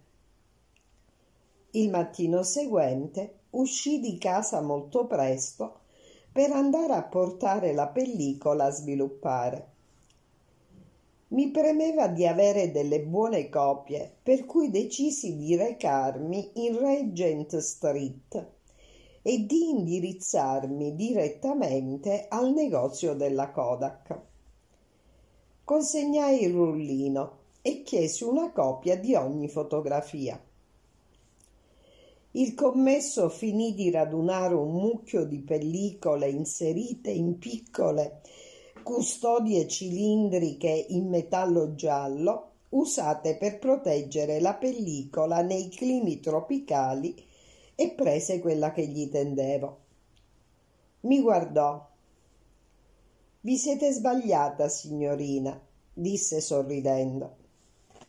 Oh no, dissi, sono sicura di non aver fatto alcun errore. Mi avete portato la pellicola sbagliata insistette. Questa non è stata adoperata.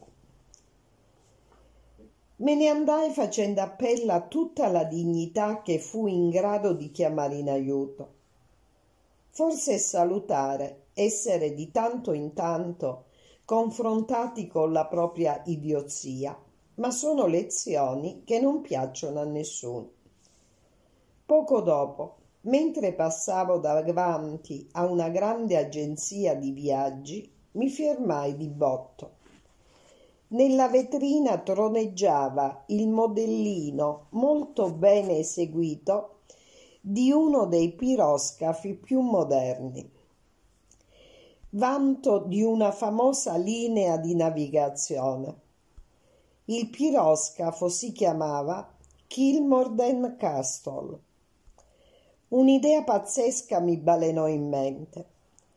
Entrai senza esitare un attimo, mi avvicinai al, al banco e con voce balbettante, e questa volta non dovetti fingere, mormorai.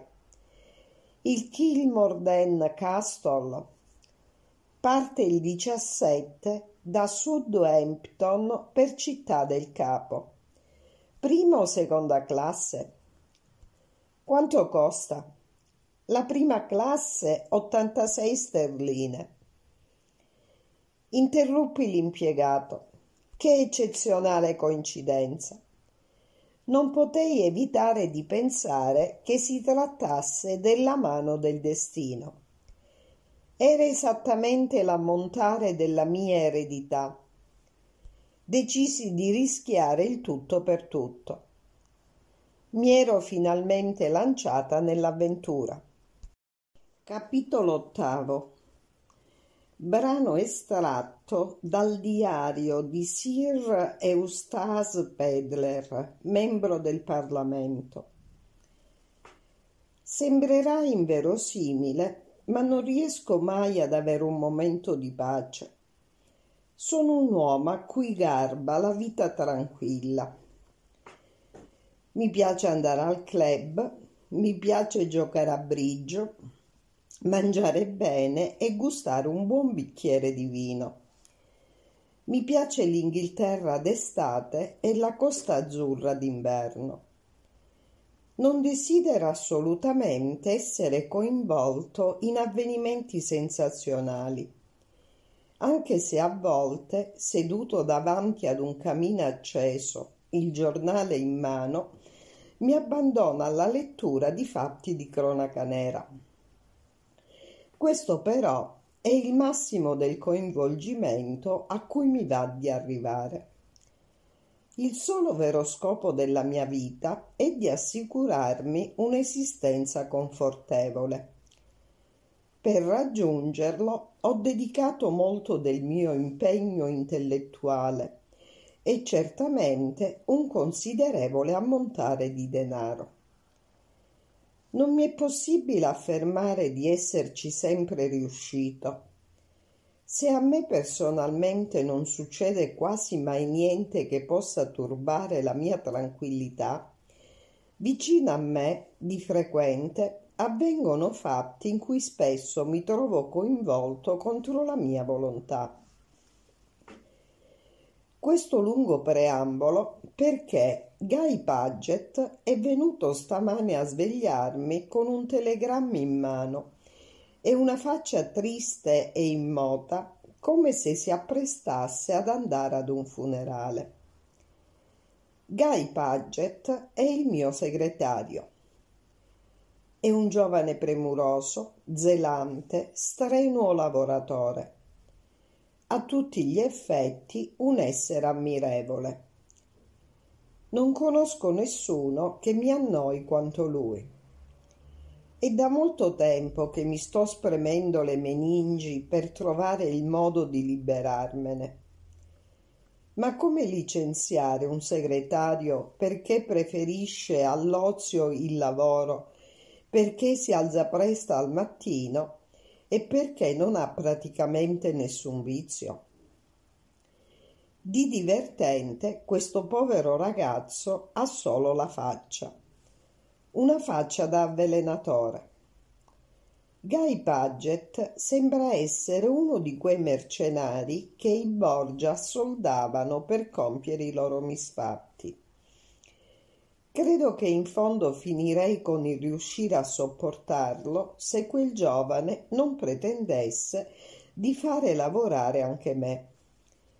Secondo me il lavoro dovrebbe essere affrontato con una buona dose di allegria e di spensieratezza.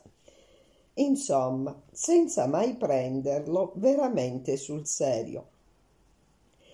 Dubito che Guy Paget abbia mai affrontato niente in tutta la sua vita con questo particolare atteggiamento scherzoso. Prende tutto terribilmente sul serio ed è per questo che non è facile vivere vicino a lui. La settimana scorsa ebbi la brillante idea di mandarlo a Firenze. Parlava sempre di Firenze e di quanto gli sarebbe piaciuto visitarla.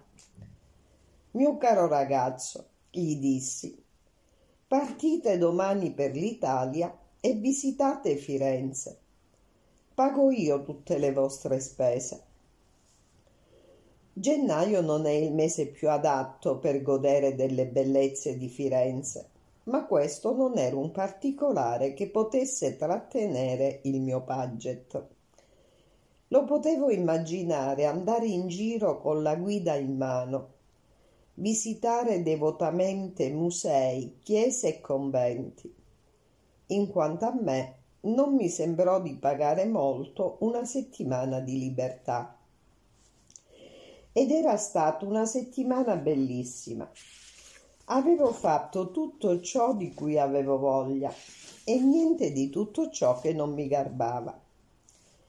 Tutto finì purtroppo quel mattino, quando socchiudendo appena gli occhi avevo intravisto Paget in piedi tra me e la luce che filtrava dalla finestra ancora chiusa.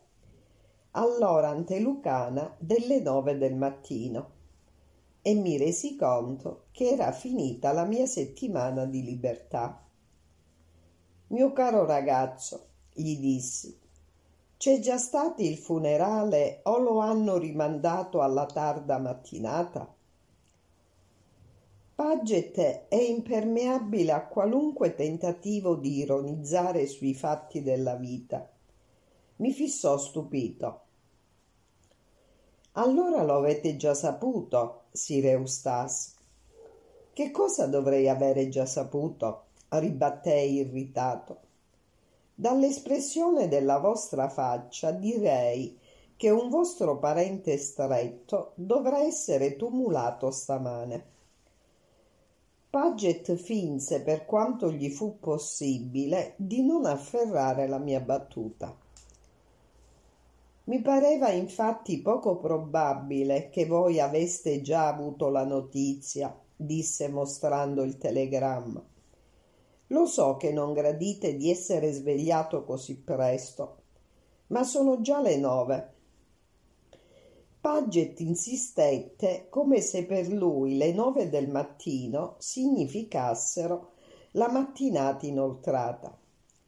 E ho pensato che, date le circostanze, e di nuovo mostrò il telegramma. Che cosa avete lì? gli chiesi. È un telegramma spedito dalla polizia di Marlow. Una donna è stata assassinata nella vostra casa. La notizia mi irritò profondamente. Che insolenza! esclamai. Nella mia casa? E chi l'ha uccisa? Non lo dicono. Immagino che partiremo subito per l'Inghilterra, Sir Eustace. Non è proprio il caso. Perché diamine dovrei tornare in Inghilterra? La polizia. Cosa c'entro io con la polizia? Beh, il delitto è avvenuto nella vostra casa. Mi pare che questo dettaglio rappresenti per me un inconveniente, ma non una mia colpa. Guy Paget scosse la testa tristemente. Avrà un effetto disastroso in Parlamento, commentò in tono lugubre. Non capivo per quale ragione dovesse avere quell'effetto disastroso che sembrava paventare. Eppure intuivo che in questioni del genere l'istinto di Paget vedeva sempre giusto. Esaminando attentamente la situazione, non c'è ragione di credere che un membro del Parlamento non sia in grado di fare il suo dovere perché una donna va a farsi uccidere in una delle sue case sfitte. Ma non si può mai sapere che atteggiamento assumerà il pubblico inglese in circostanze del genere.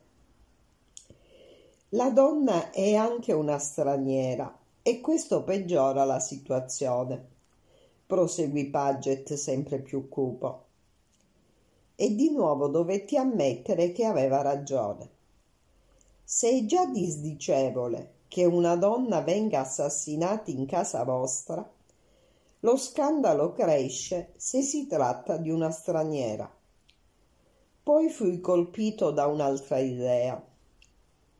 Santo cielo, esclamai, non vorrei che Caroline ne fosse rimasta sconvolta.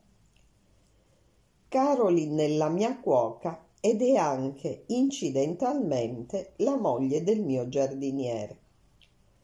Che tipo di moglie sia non lo so proprio, ma posso affermare che è una cuoca straordinaria.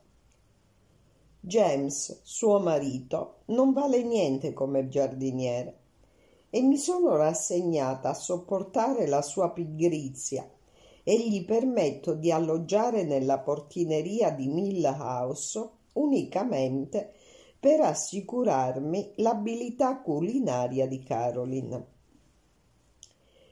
Non credo che vorrà rimanere dopo ciò che è successo, disse Paget. Siete sempre il solito ottimista, Paget, ribattei esasperato.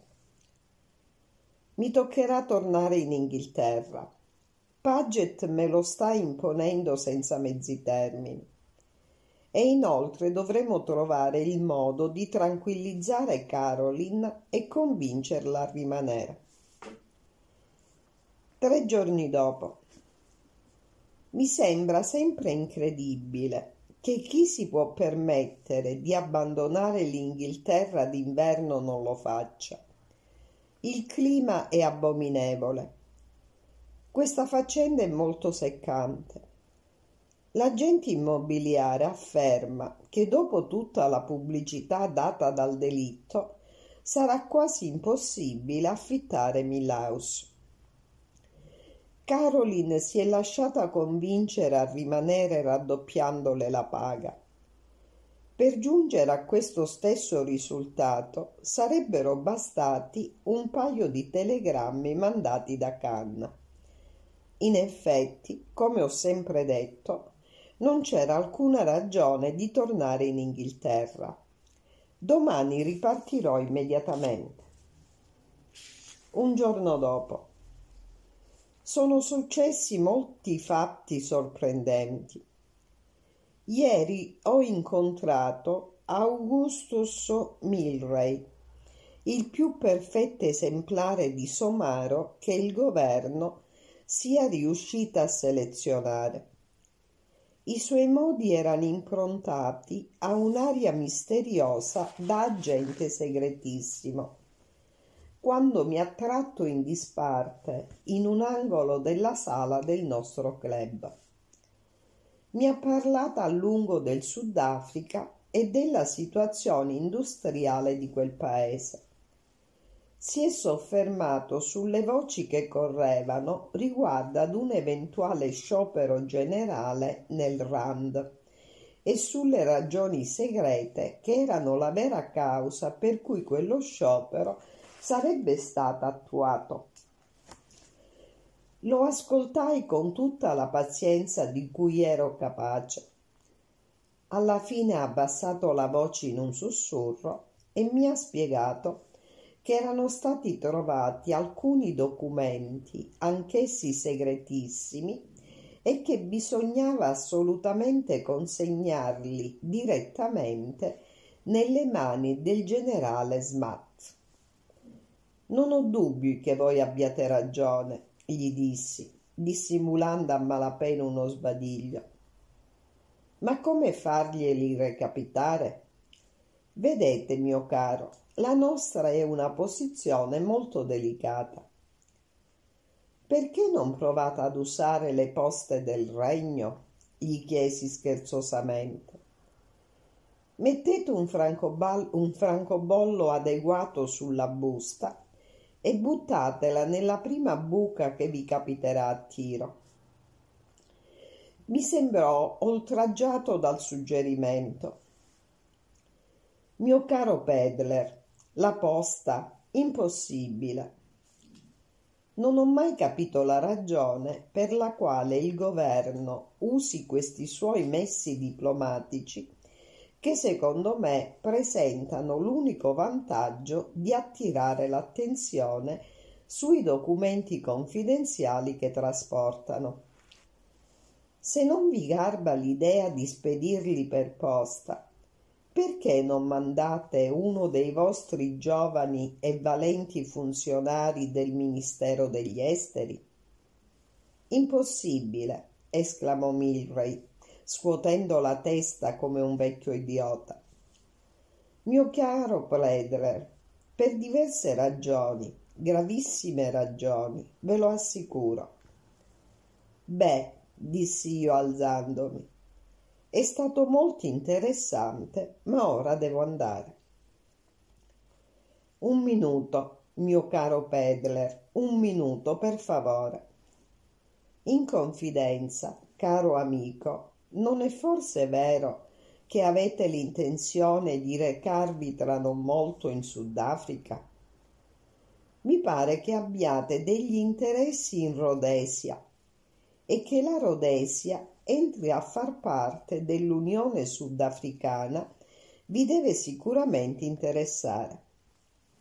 Sì, è vero, avevo infatti l'intenzione di partire tra un mese. Non potreste andarci prima, questo mese, anzi, questa settimana? Potrei, certo, dissi guardandolo incuriosito ma non credo di averne veramente voglia. Rendereste un servizio al governo, ve lo assicuro, e noi ve ne saremmo grati. Questo significa che dovrei fare il postino? Precisamente. La vostra non è una posizione ufficiale. Il vostro viaggio era già stato programmato tutto si combina quindi in modo soddisfacente. E va bene, ribattei con voce ancora esitante. Dopotutto, ciò che mi preme ora è di lasciare al più presto l'Inghilterra. Troverete in Sudafrica un clima gradevole. Caro amico, so tutto sul clima sudafricano. Vi ci sono recato poco prima della guerra. Vi sono molto grato, Pedler. Vi manderò il pacco mediante un corriere. Lo dovrete consegnare proprio nelle mani del generale Smat. Mi capite, vero? Il Kilmorden Castle parte sabato, un ottimo piroscafo. Lo accompagnai per un buon tratto di Pall Mall prima di lasciarlo mi strinse cortesemente la mano e mi ringraziò. Tornai a casa a piedi, riflettendo sui sistemi misteriosi usati dai nostri uomini politici. La sera del giorno seguente, Jarvis, il maggiordomo, mi informò che un signore desiderava parlarmi di una faccenda privata ma si rifiutava di dire il suo nome. Poiché vivo sempre nell'apprensione di essere preso di mira da uno di quegli insopportabili agenti assicurativi, dissi a Jarvis che non aveva alcuna intenzione di riceverlo. Disgraziatamente Guy Paget, che in questa occasione avrebbe finalmente potuto essermi di aiuto, era a letto in preda ad una crisi di fegato. Questi giovani e strenui lavoratori sono portati ad avere problemi di fegato. Jarvis tornò a riferire. Sir Eustace, quel signore mi ha pregato di dirvi che viene da parte del signor Milray Ovviamente dovetti cambiare atteggiamento. Pochi minuti dopo ricevetti il mio ospite in biblioteca. Mi trovai davanti un giovane di bell'aspetto dalla faccia abbronzata. Una cicatrice che partiva dall'angolo esterno dell'occhio e gli attraversava la guancia gli sfiguravi i lineamenti piuttosto belli e incisivi. Che cosa volete, giovanotto? Mi manda il signor Milray. Ho l'incarico di accompagnarvi in Sudafrica in qualità di segretario, Sir Eustace. Mio caro ragazzo, ribattei, ho già un segretario, non me ne serve un altro. Credo proprio che ne abbiate bisogno. Dove si trova il vostro segretario ora? a letto in preda ad una crisi di fegato. Siete certo che si tratti di una crisi di fegato? Naturalmente ne va soggetto. Il mio ospite sorrise. Può darsi che si tratti di una crisi di fegato, il, il tempo ce lo confermerà.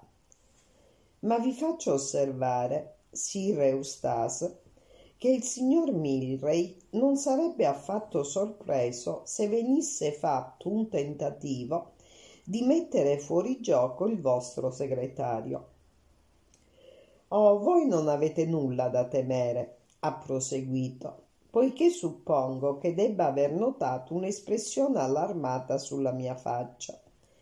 Non siete direttamente minacciato una volta tolto di mezzo il vostro segretario, sarà sicuramente più facile avvicinarvi. Comunque sia, il signor Milray desidera che vi accompagni. Le spese di viaggio saranno naturalmente a nostro carico, ma voi dovrete pensare al passaporto e a tutti gli altri dettagli del viaggio proprio come se vi foste accorto della necessità di avere un altro segretario. Sembrava un giovane molto risoluto. Ci siamo fissati a lungo e sono stato io ad abbassare gli occhi. D'accordo, ho mormorato debolmente. Non dovrete dire a nessuno che vi accompagno. D'accordo, ripetei Dopotutto, forse era meglio avere con me quell'individuo, ma avevo la premonizione che stavo andando ad invischiarmi in una brutta faccenda e proprio quando invece avevo creduto di aver raggiunto la sospirata pace. Fermai il mio ospite mentre se ne stava già andando Sarebbe bene che conoscessi almeno il nome del mio nuovo segretario, dissi sarcastico. Dopo un lungo momento di riflessione disse Henry Rayburn mi sembra un nome adatto. Un modo alquanto bizzarro di rispondere. D'accordo, mi limitai a dire per la terza volta. Capitolo nono riprende il racconto di Anna.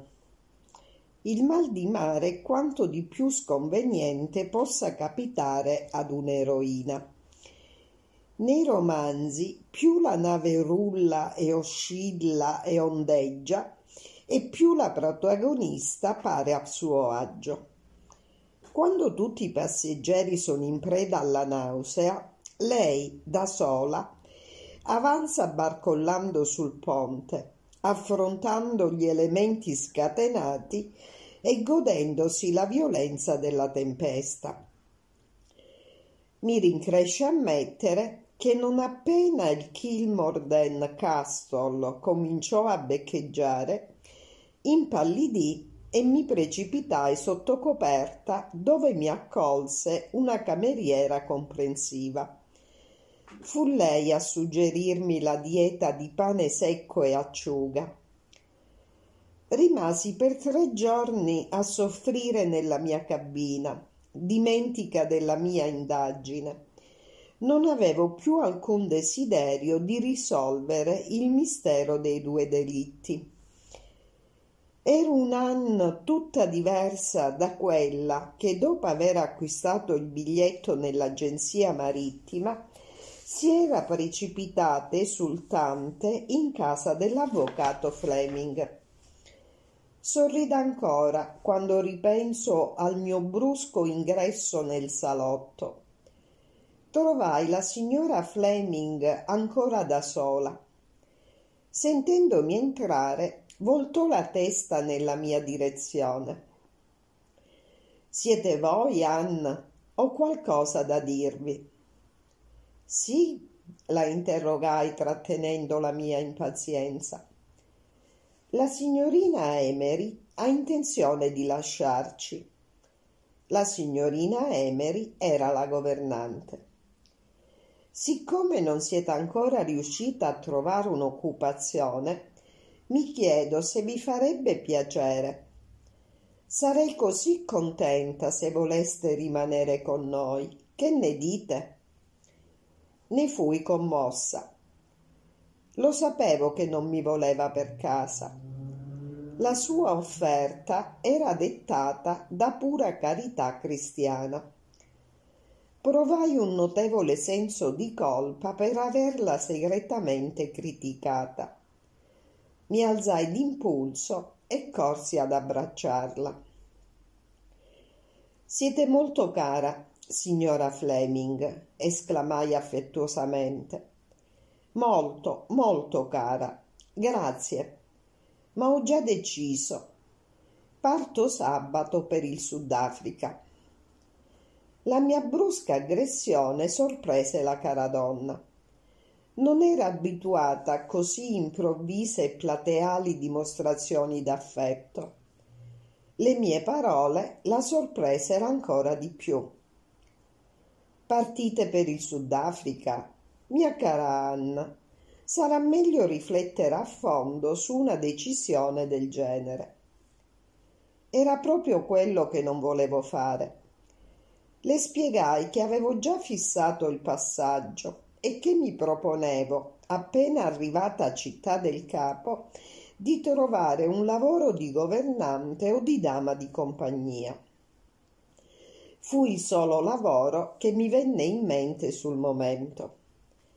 affermai con una falsa sicurezza che c'era una grande richiesta di governanti nella colonia inglese sudafricana. La rassicurai sul fatto che ero perfettamente in grado di badare a me stessa e alla fine, con un sospiro di sollievo per essersi tolta di torno una presenza imbarazzante, la signora Fleming accettò il mio progetto senza più cercare di discuterlo. Al momento dell'addio mi fece scivolare in mano una busta. Ci trovai cinque banconote nuove da cinque sterline l'una e un biglietto su cui aveva vergato queste poche parole. Spero che non vi offenderete e accetterete questa somma modesta e tutto il mio affetto. Mi ritrovavo dunque con 25 sterline in tasca, pronta ad affrontare il mondo e a seguire il mio spirito d'avventura. Il quarto giorno di viaggio, la cameriera di bordo mi convinse a salire sul ponte. Sino a quel momento, convinta che sarei morta più rapidamente nella mia cuccetta, non mi ero mossa dalla cabina.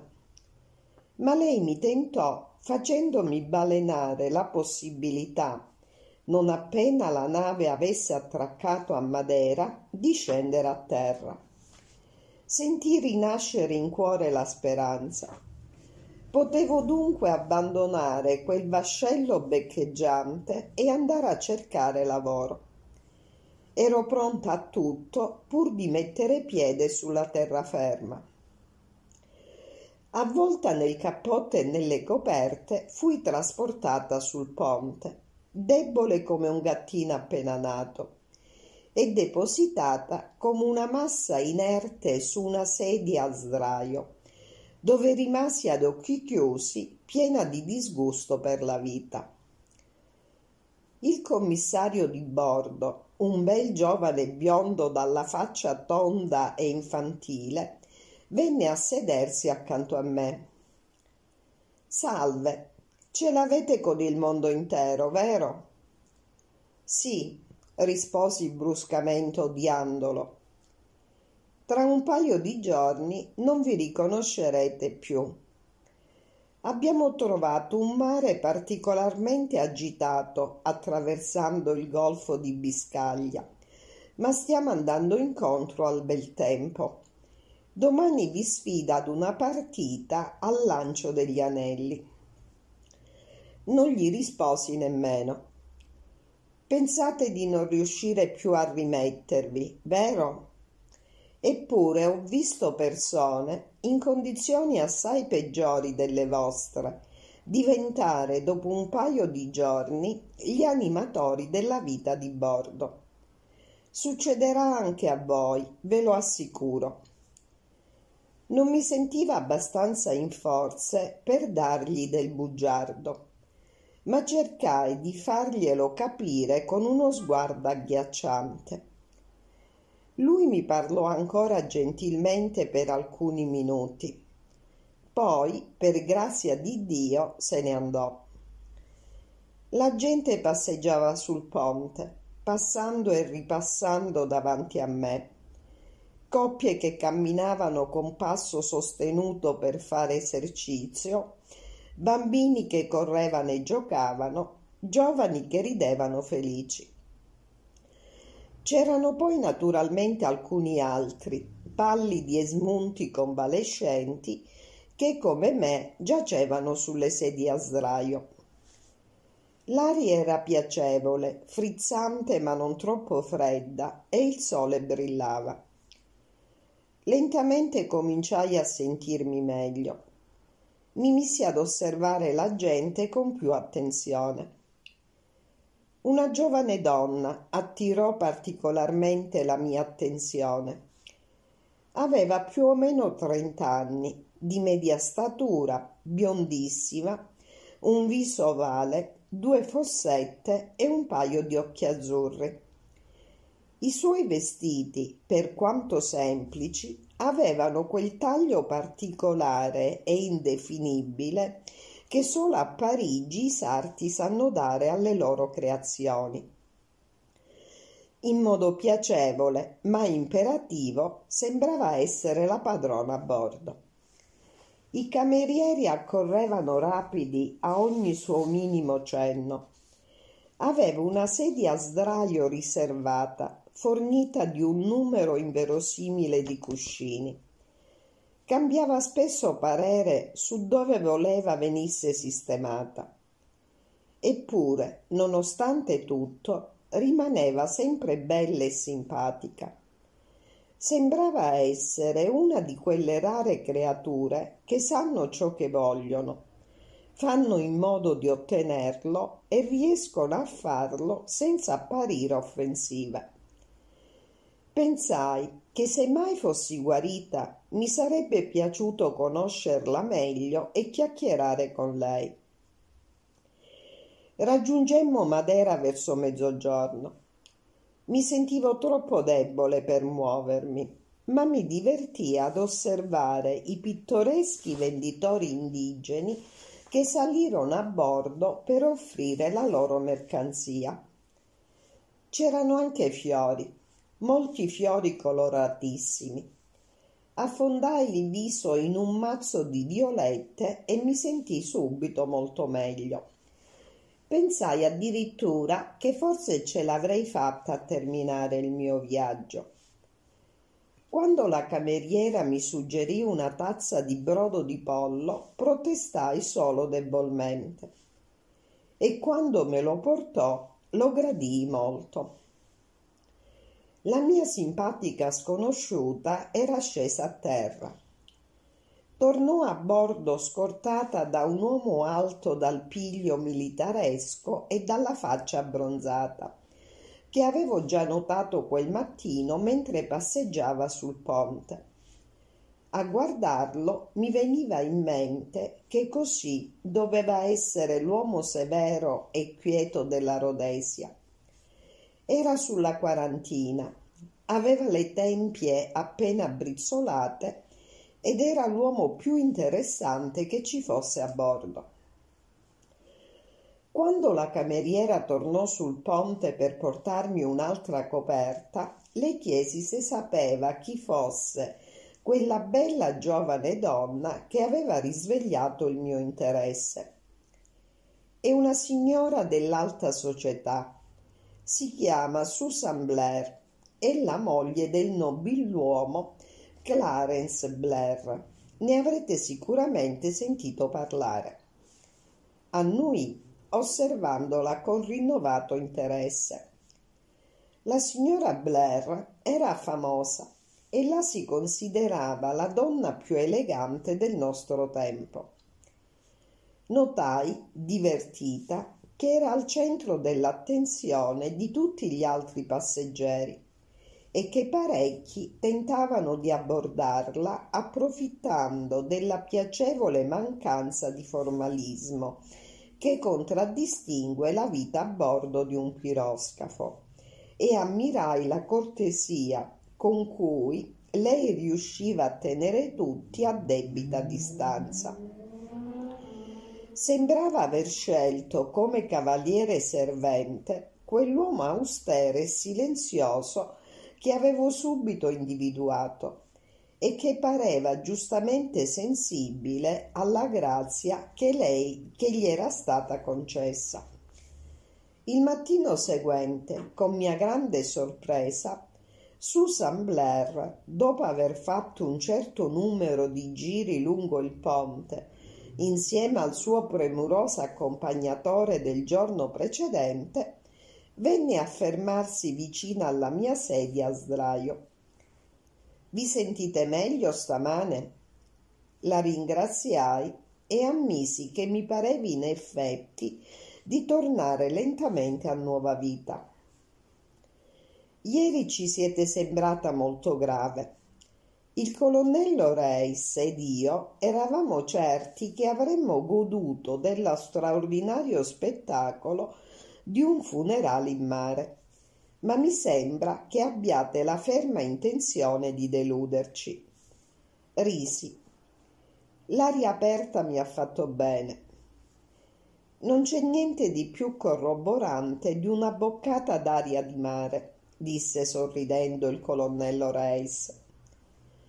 Rimanere chiusi in cabina ucciderebbe chiunque, dichiarò la signora Blair, lasciandosi cadere sulla sdraio vicina alla mia e congedando il suo accompagnatore con un semplice gesto della testa. Spero che vi abbiano almeno dato una cabina esterna. Scossi la testa.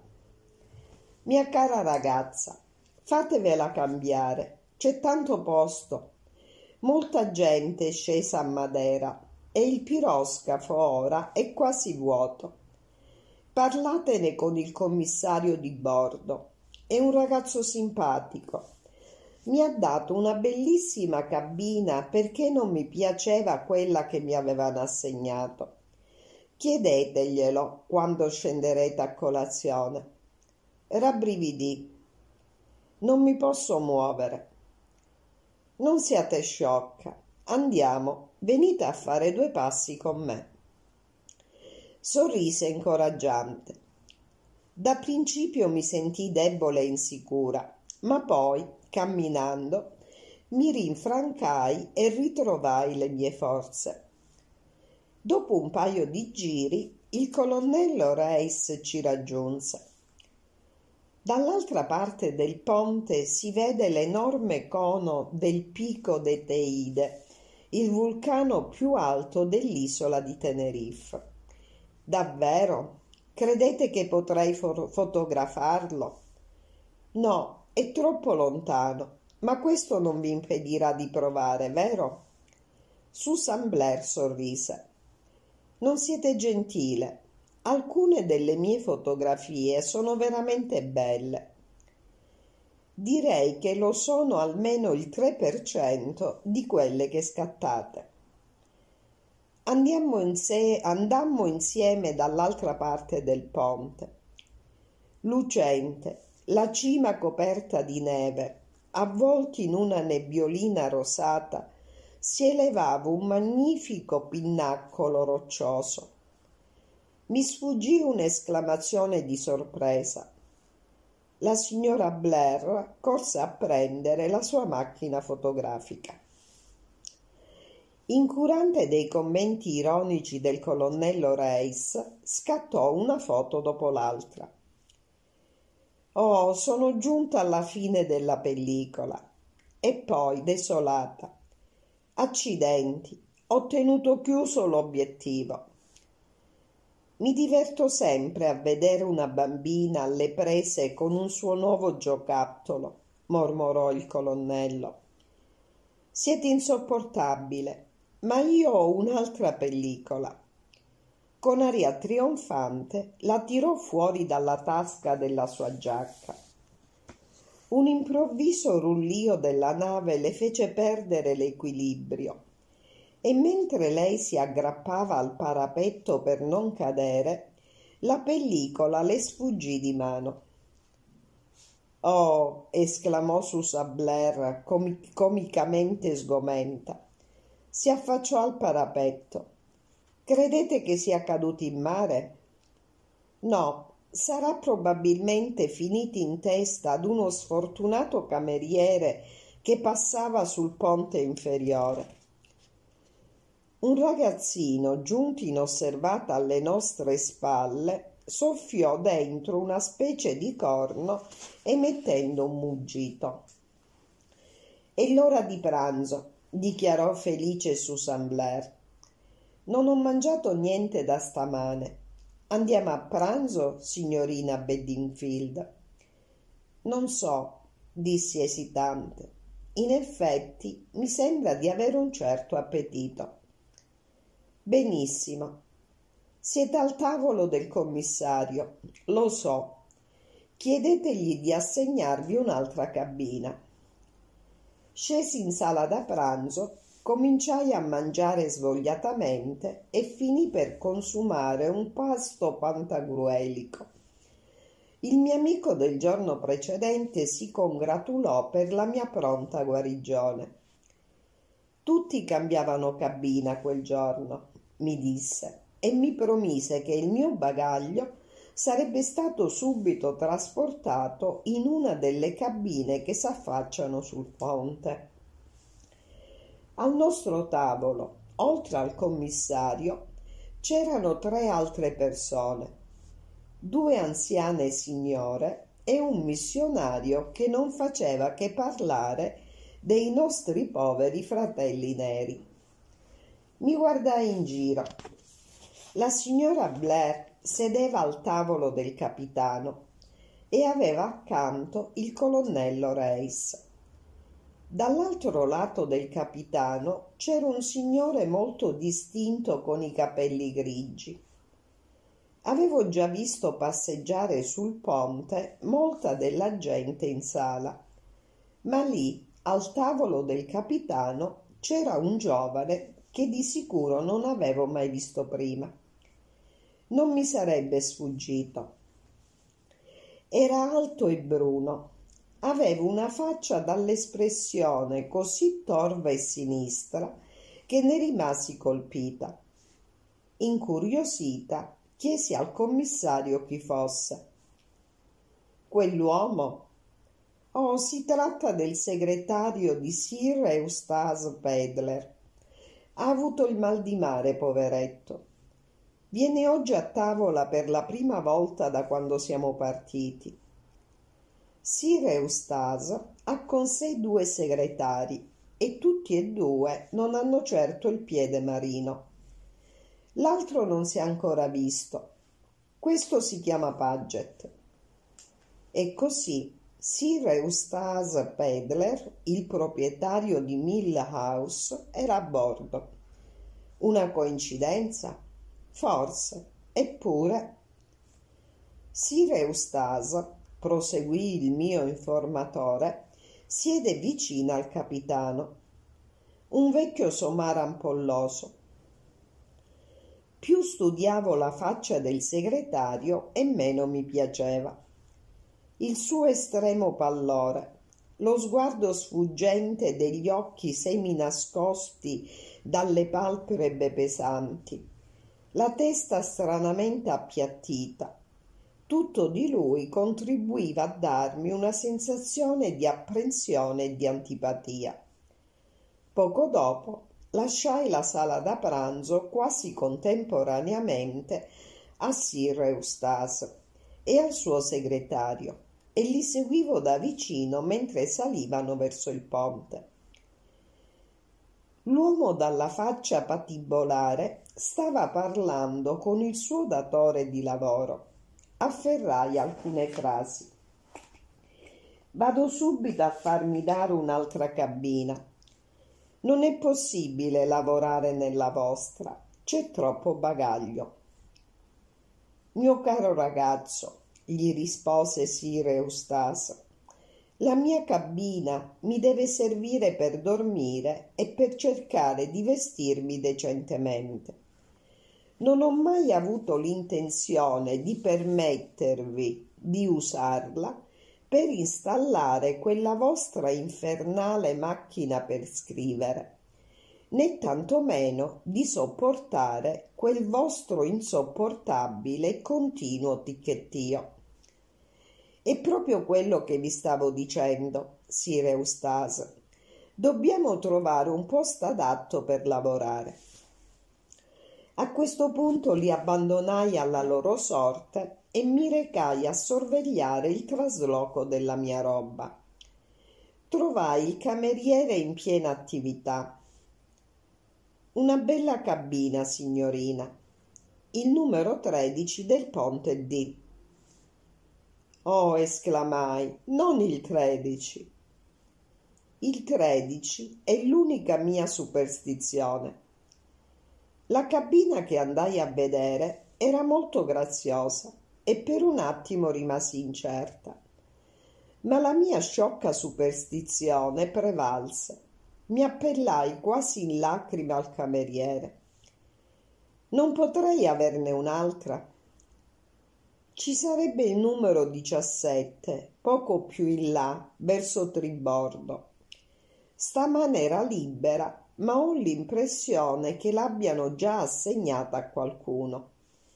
Non hanno ancora portato il bagaglio del signore che ce l'ha richiesta e siccome gli uomini non sono superstiziosi come le donne, non credo che farà il difficile e si opporrà al cambio. Accolsi la sua proposta con un sospiro di sollievo e il cameriere si allontanò per andare a chiedere il nulla osta del commissario.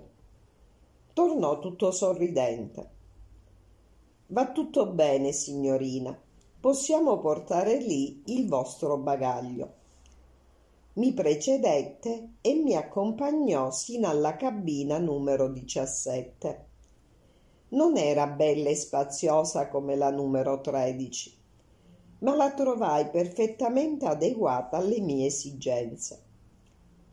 Vado a prendere il vostro bagaglio, signorina. In quel momento l'uomo dalla faccia patibolare, così lo avevo ormai soprannominato, apparve sulla soglia. Scusatemi, disse, ma questa cabina è stata prenotata per Sir Eustace Pedler. Non vi preoccupate, signore, abbiamo già provveduto, gli spiegò il cameriere. Vi stiamo preparando la cabina numero 13. Mi era stata assegnata la numero 17. La 13 è una cabina molto più bella e spaziosa, signore. Ho scelto la numero 17 e il commissario me l'aveva già promessa.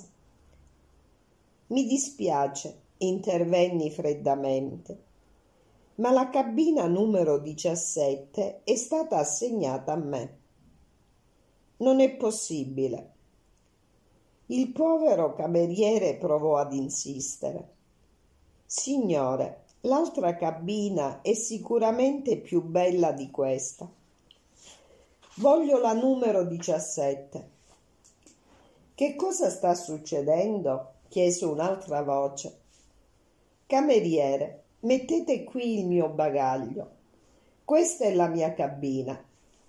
Chi aveva parlato era il missionario mio vicino di tavola, il reverendo Edward Chichester. Vi chiedo scusa, intervenni, è la mia cabina.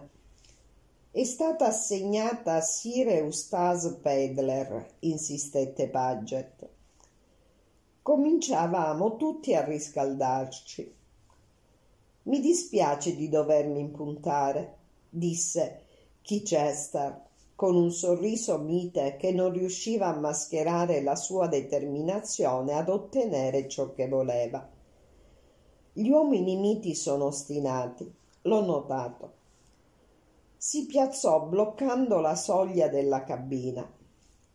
Vi è stata assegnata la cabina numero 28, gli disse il cameriere. Una bellissima cabina, signore. Mi dispiace, ma devo insistere.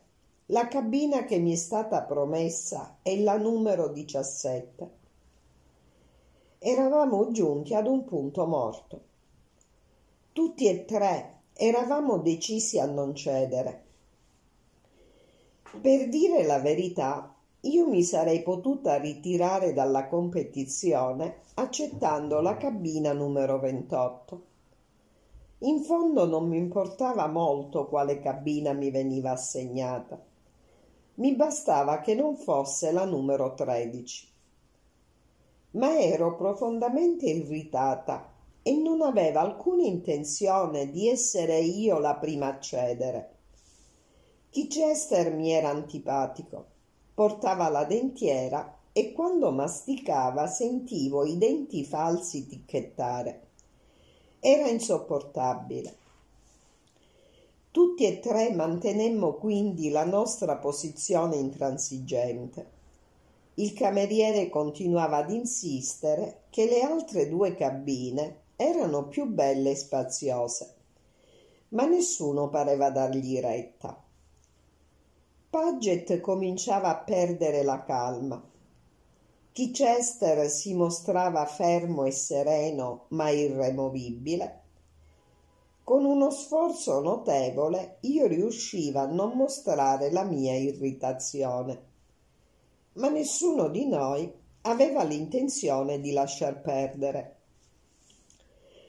Una strizzatina d'occhio e alcune parole sussurrate dal cameriere mi misero sulla buona strada scomparvi furtivamente dalla scena e andai alla ricerca del commissario di bordo. Fui fortunata e lo incontrai subito. Per favore, gli dissi, mi avevate promesso che poteva avere la cabina numero 17. Ma gli altri due, il reverendo Chichester e il signor Paget, insistono per averla loro. Me la farete avere, vero? Ho sempre sostenuto che i marinai sono gli uomini più galanti. Il mio giovane commissario si comportò in modo eccezionale. Accorse sul luogo del dissidio e informò i contendenti che la cabina 17 era stata assegnata a me e che loro due potevano scegliere tra la cabina 13 e la 28, oppure rimanere dove si trovavano già.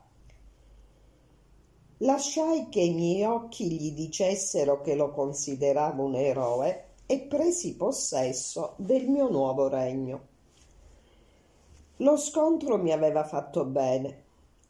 Il mare era calmo il tempo tiepido diventava di ora in ora più clemente. Il mal di mare era ormai solo un lontano ricordo.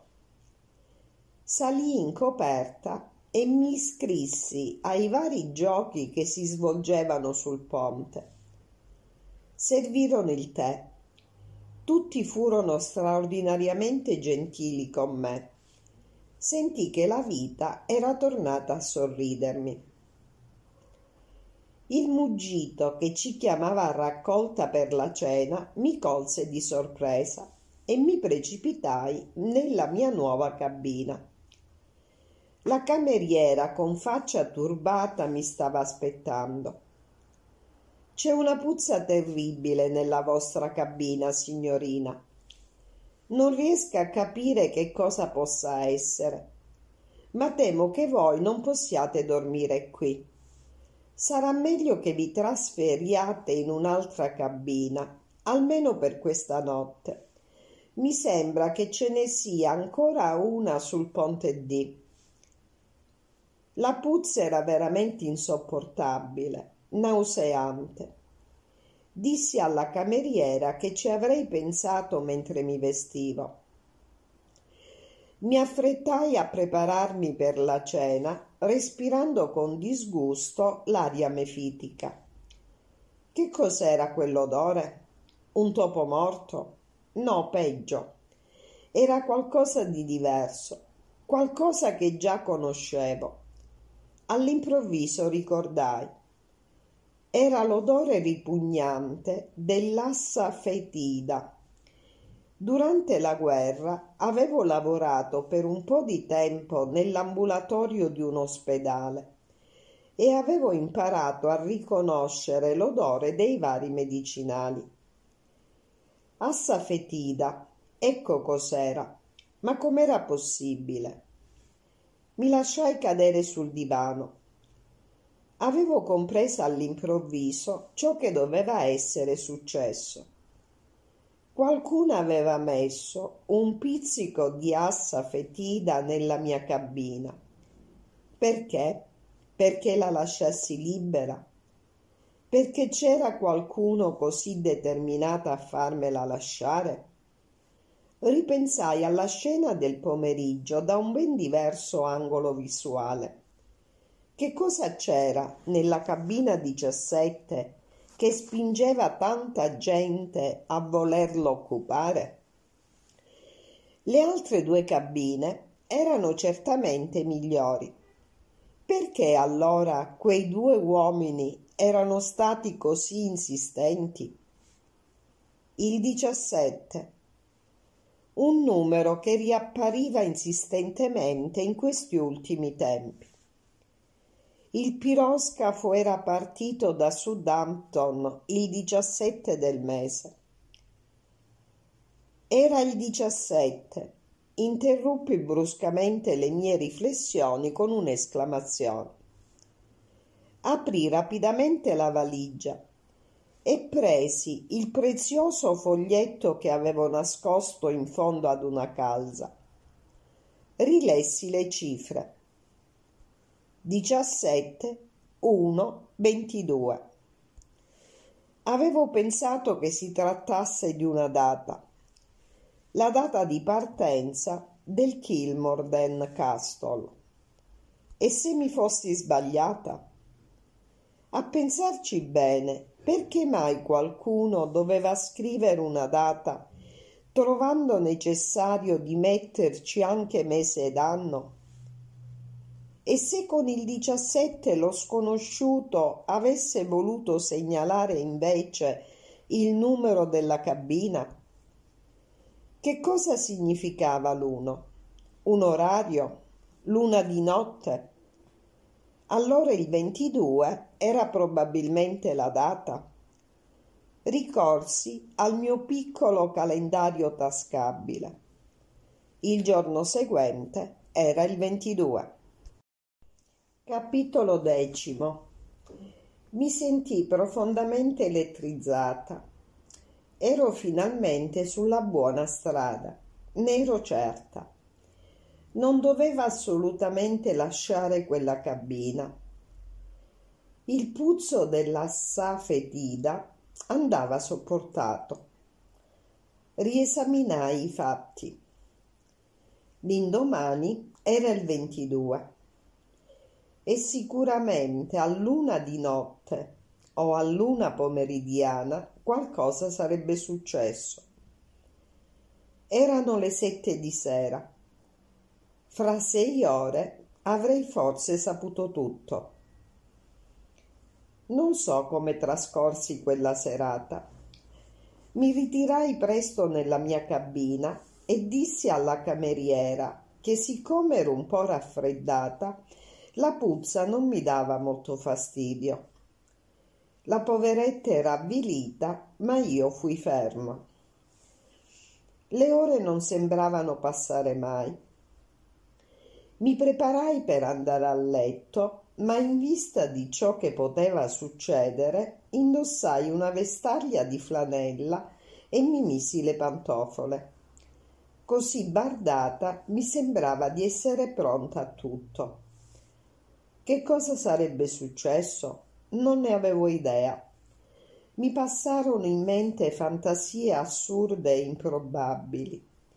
Di una cosa ero certa a Luna qualcosa sarebbe sicuramente successo. Udii i passeggeri raggiungere le cabine vicine. Frammenti di conversazione, allegri commiati, mi giunsero attraverso le pareti sottili. Poi il silenzio. Quasi tutte le luci si spensero. Nel corridoio rimase accesa una lampadina che illuminava appena la mia cabina. Sentì battere la mezzanotte. L'ora che seguì fu la più lunga di tutta la mia vita. Ogni tanto consultavo l'orologio da polso per essere certa di non lasciarmi sfuggire il momento fatidico. Se le mie deduzioni fossero state errate, se niente fosse successo Luna, voleva dire che mi ero comportata come una sciocca e che avevo rischiato alla roulette tutto il mio capitale sul numero sbagliato. L'angoscia mi faceva battere il cuore. L'orologio di bordo batté l'una. Non successe niente. Un momento. Cosa poteva essere? Un lieve scalpiccio. Qualcuno correva nel corridoio. Poi all'improvviso la porta si spalancò bruscamente e un uomo entrò barcollando nella cabina. Salvatemi, disse con voce rauca. Mi stanno seguendo. Non era il momento di chiedere spiegazioni. Udivo già il rumore di altri passi. Avevo po- pochi secondi per agire. Ero già balzata in piedi e mi trovavo in mezzo al mio alloggio di fronte allo sconosciuto. Mi affrettai a chiudere la porta. Una cabina di piroscafo non abbonda di nascondigli per un uomo alto più di un metro e ottanta. Con un braccio spostai in avanti il baule. Lui si infilò dietro lo spazio lasciato libero. Sollevai il coperchio del baule e contemporaneamente con l'altra mano calai il lavabo incassato nella parete. In un secondo sollevai i capelli e li fissai in cima alla testa. Da un punto di vista estetico non mi stavo mostrando nella mia forma migliore, ma una signora con i capelli trattenuti in un ciuffo poco elegante, sorpresa nell'atto di prendere una saponetta dal suo baule per lavarsi il collo, non avrebbe potuto certo essere sospettata di dare asilo ad un fuggiasco. Bussarono alla porta e senza aspettare che io rispondessi qualcuno l'aprì. Non so che cosa mi aspettassi. Mi ero vagamente immaginata di vedere apparire Paget armato di rivoltella o il mio amico missionario con un sacchetto di sabbia o qualche altra arma letale. Ma non mi aspettavo certo di vedere la cameriera di notte, la faccia preoccupata e un inequivocabile aspetto di grande rispettabilità. Scusatemi, signorina, mi è sembrato che avesse chiamato. No, risposi, non vi ho chiamato. Mi dispiace di avervi disturbata. Non preoccupatevi, le dissi freddamente. Non riusciva a dormire. Ho pensato che rinfrescarmi viso e collo mi avrebbe fatto bene. Lo dissi come se si trattasse di una mia abitudine. Mi dispiace, signorina, proseguì la cameriera. C'è in giro un signore che è piuttosto ubriaco e temiamo che gli venga in mente di entrare nella cabina di una donna sola e la spaventi. Tremendo, esclamai fingendomi allarmata. Non verrà qui, spero. Oh, non credo, signorina. Suonate il campanello se dovesse farlo. Buonanotte. Buonanotte. L'accompagnai alla porta e ne approfittai per dare un'occhiata al corridoio. Non c'era nessuno. Ubriaco. Tutto il mio talento istrionico sprecato inutilmente. Scostai il baule e con voce acida dissi Potete uscire ora. Non mi rispose. Guardai con più attenzione e vidi il mio ospite accovacciato e immobile. Sembrava dormire. Gli scossi la spalla, non reagì. Ubriaco fradicio, pensai offesa. Che cosa ne faccio? Poi vidi qualcosa che mi fece rimanere senza fiato.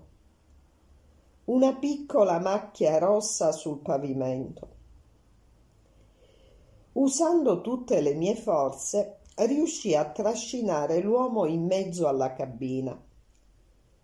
La faccia mortalmente pallida mi fece capire che era svenuto e mi fu facile individuare la causa dello svenimento. Era stato colpito sotto la scapola, una brutta ferita profonda. Gli tolsi il soprabito e mi preparai a medicare la ferita. L'acqua fredda lo rianimò, si mise a sedere. Non muovetevi per favore, dissi. Lo sconosciuto era una di quelle persone che riacquistano rapidamente le loro facoltà mentali. Raccolse le sue forze e riuscì a rialzarsi rimanendo in piedi davanti a me, anche se un po' vacillante. Grazie, non ho bisogno di niente. Aveva modi bruschi e aggressivi, non mostrava alcuna gratitudine. La ferita è abbastanza grave, lasciate che ve la medichi. Non è proprio il caso. Mi buttò quelle parole in faccia come se io gli stessi chiedendo un favore. Il mio carattere è tutt'altro che calmo. Quel suo tono mi fece infuriare. Posso solo congratularmi per le vostre buone maniere, gli dissi freddamente. Ma posso liberarvi della mia presenza. E così dicendo si avviò verso la porta e barcollò. Con un gesto brusco lo sospinsi verso il divano. Non fate lo sciocco, gli dissi senza tanti complimenti. Non vorrete andarvene in giro perdendo sangue per tutto il piroscafo, vero? Sembrò accettare il consiglio e rimase seduto quietamente mentre gli medicavo la ferita e la fasciavo come mi era possibile. Ecco fatto, dissi dando un colpetto al mio operato. Questo potrà bastare per ora. Com'è il vostro umore? Siete disposto a raccontarmi ciò che vi è successo? Mi dispiace, ma non posso assolutamente soddisfare la vostra naturale curiosità. E perché? ribattei mortificata. Mi sorrise villanamente. Se si vuole che un fatto venga risaputo, basta dirlo ad una donna. Se invece lo si vuole mantenere segreto, è meglio tenere la bocca chiusa. Non mi credete capace di tenere un segreto? Non lo credo, lo so. Si alzò in piedi. Comunque sia, ribattei dispettosa, Posso sempre raccontare a destra e a manca ciò che è successo stasera. Non ne dubito che lo farete, rispose indifferente. Come osate? gli gridai rabbiosa. Eravamo l'uno di fronte all'altra e ci fissavamo con occhi furenti come se fossimo nemici. Per la prima volta potei esaminare attentamente lo sconosciuto. Vidi la testa bruna e i capelli folti, la linea forte della mascella, la cicatrice che gli attraversava la guancia abbronzata, gli strani occhi grigi che mi fissavano con ironia e distacco, difficili da descrivere. Era un uomo pericoloso. Non mi avete nemmeno ringraziato per avervi salvato la vita, dissi con finta dolcezza. La mia frase parve colpirlo, lo vidi chiaramente sussultare.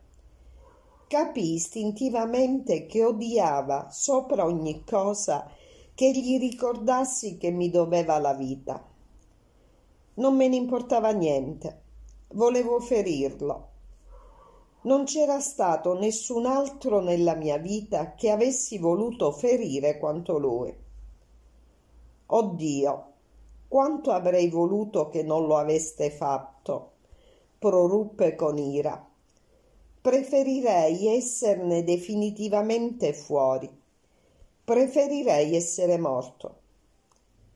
Sono lieta di sentirvi ammettere il vostro debito ora potrete sicuramente venirne fuori.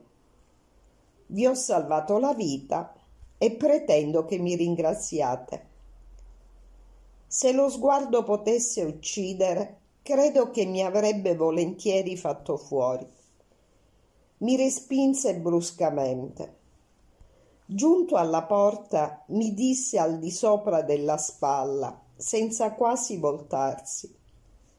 Non vi ringrazierò né ora né mai, ma riconosco il mio debito.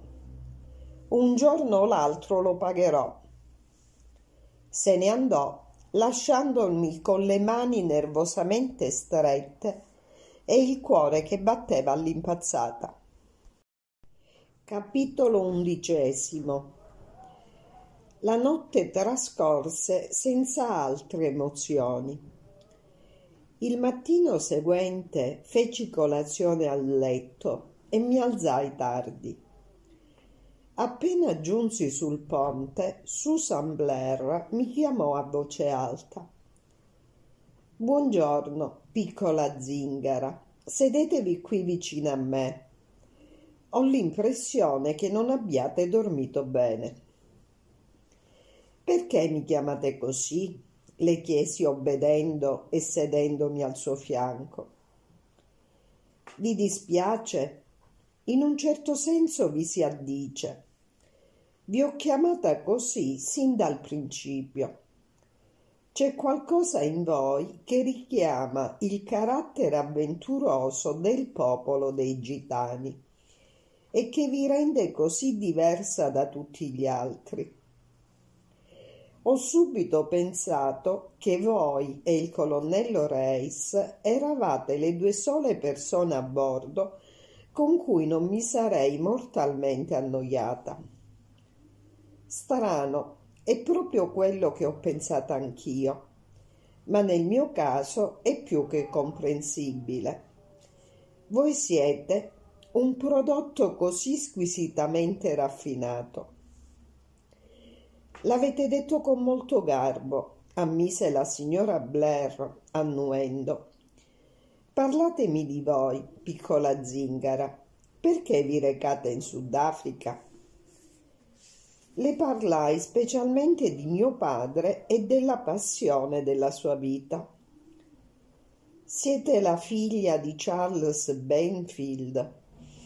Lo avevo capito, che non eravate una qualunque ragazza di provincia. Andate a Broken Hill per scovare altri crani.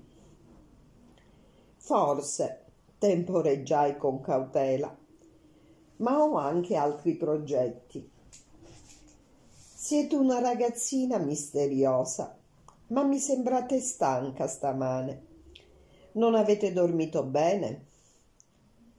Io invece non riesco a tenere gli occhi aperti quando sono su una nave. Dicono che solo un pazzo dorme dieci ore per notte. Io potrei dormire venti. Sbadigliò come un gattino assonnato. Uno stupido cameriere mi ha svegliati in piena notte per riportarmi la pellicola che avevo perso ieri lo ha fatto in modo alquanto melodrammatico. Ha teso il braccio attraverso una presa d'aria e me l'ha tirata sullo stomaco. Ecco il vostro colonnello, dissi, non appena vidi spuntare l'alta figura atletica del colonnello Reis. Non è il mio colonnello, anzi Devo confessarvi che vi ammira molto, piccola zingara. Non ve ne andate. Vorrei solo tornare in cabina per prendere un foulard. Mi darà meno fastidio di un cappello. Mi eclissai rapidamente. Non so per quale ragione non mi sentivo a mio agio in presenza del colonnello. Era una delle poche persone che mi intimidivano. Entrai nella cabina e aprì un cassetto alla ricerca di una sciarpa o di un fazzoletto di seta per trattenere i capelli. Sono piuttosto ordinata. Sistemo la mia roba in un particolare modo e a quello mi attengo. Mi accorsi subito che qualcuno aveva frugato tra i miei indumenti. Guardai gli altri cassetti e il piccolo armadio a parete. Confermavano la mia prima impressione. Tutto era stato buttato all'aria e messo in disordine nell'affannosa ricerca di qualcosa. La faccia rabbuiata mi mise a sedere sulla cuccetta. Chi aveva frugato nella mia cabina e che cosa cercava? Il foglietto di carta con quelle poche parole e cifre scarabocchiate? Scossi la testa. Quell'ipotesi non mi convinceva. Il foglietto ormai non aveva più importanza. Ma chi poteva essere? Avevo bisogno di riflettere. Gli avvenimenti della sera prima, sebbene eccitanti, non erano serviti a chiarire la faccenda. Chi era il giovane che si era precipitato nella mia cabina? Non l'avevo mai vista a bordo, né sul ponte né in sala da pranzo. Chi lo aveva ferito e perché? Inoltre, che importanza rivestiva in tutto quel guazzabuglio la cabina numero 17? Il mistero si infittiva, ma non c'era dubbio che qualcosa di strano stava succedendo a bordo del Kilmorden Castle. Contai sulle dita le persone che avrei fatto bene a sorvegliare scartai il mio sconosciuto visitatore della sera prima, promettendomi di scoprire al più presto chi fosse e dove si nascondeva e selezionai le seguenti persone considerandole degne della mia attenzione. Sir Eustace Pedler era il proprietario di Mill House e la sua presenza sul Kilmorden Castle pareva una strana coincidenza. Guy Paget, il segretario dall'aspetto patibolare che si era mostrato, a mio parere, troppo ansioso di ottenere la cabina numero 17. Decisi anche di scoprire se aveva accompagnato Sir Eustace a Cannes. Il reverendo Edward Chichester non avevo niente da rimproverargli se non quella sua assurda cocciutaggine ad impadronirsi della cabina 17 che forse era interamente dovuta al suo carattere piuttosto eccentrico. L'ostinazione a volte non è buona consigliera. Decisi comunque che una breve conversazione con il reverendo Chichester mi sarebbe stata utile. Mi annodai un fazzoletto in testa per trattenere i capelli e tornai sul ponte risoluta a proseguire la mia indagine. Fui fortunata. Il mio primo obiettivo, appoggiata al parapetto, stava bevendo una tazza di brodo. Mi avvicinai. Spero che mi avrete perdonato la faccenda della cabina 17, reverendo, gli dissi con il più dolce dei miei sorrisi. Serbare rancore non è da buon cristiano, ribatté freddamente il reverendo Chichester, ma il commissario mi aveva promesso quella cabina. I commissari sono persone così indaffarate, non vi pare? gli dissi in tono un po' vago. È probabile che lo abbia dimenticato. Il reverendo Chichester non rispose. È la prima volta che vi recate in Sudafrica? gli chiesi tanto per intavolare la conversazione. In Sudafrica? Sì, è la prima volta. Durante questi ultimi due mesi ho vissuto tra le tribù cannibali che vivono all'interno dell'Africa orientale. Interessante. E ce l'avete sempre fatta? A fare cosa? A non farvi mangiare. non dovreste trattare gli argomenti religiosi con tanta leggerezza. Non sapevo che il cannibalismo fosse un argomento religioso, ribattei offesa. Mentre gli rispondevo, mi balenò in mente una domanda.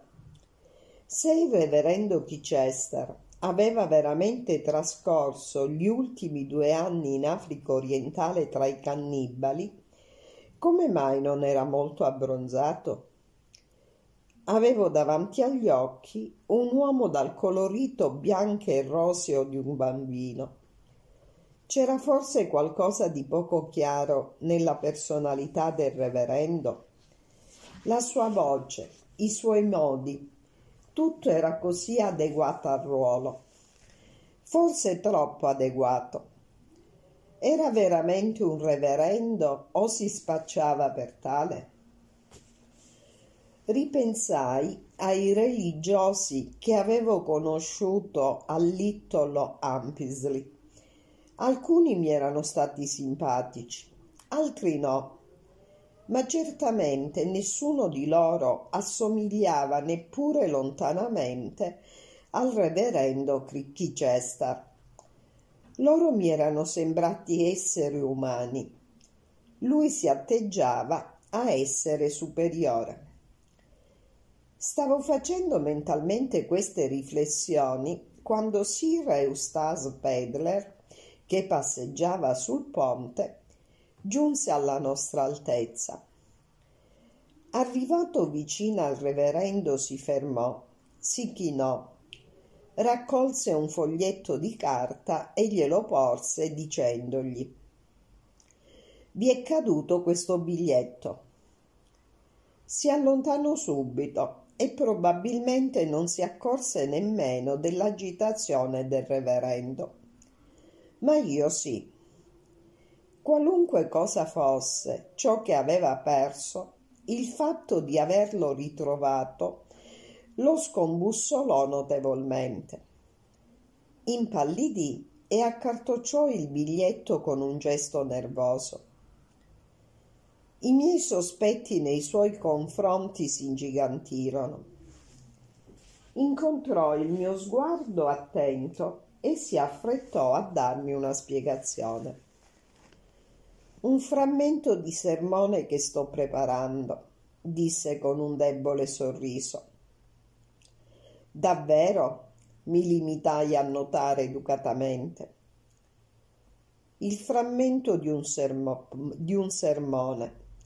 Ma per chi mi prendeva? No, caro signor Chichester, non me l'ha data a bere mi lasciò presto mormorando alcune parole di scusa.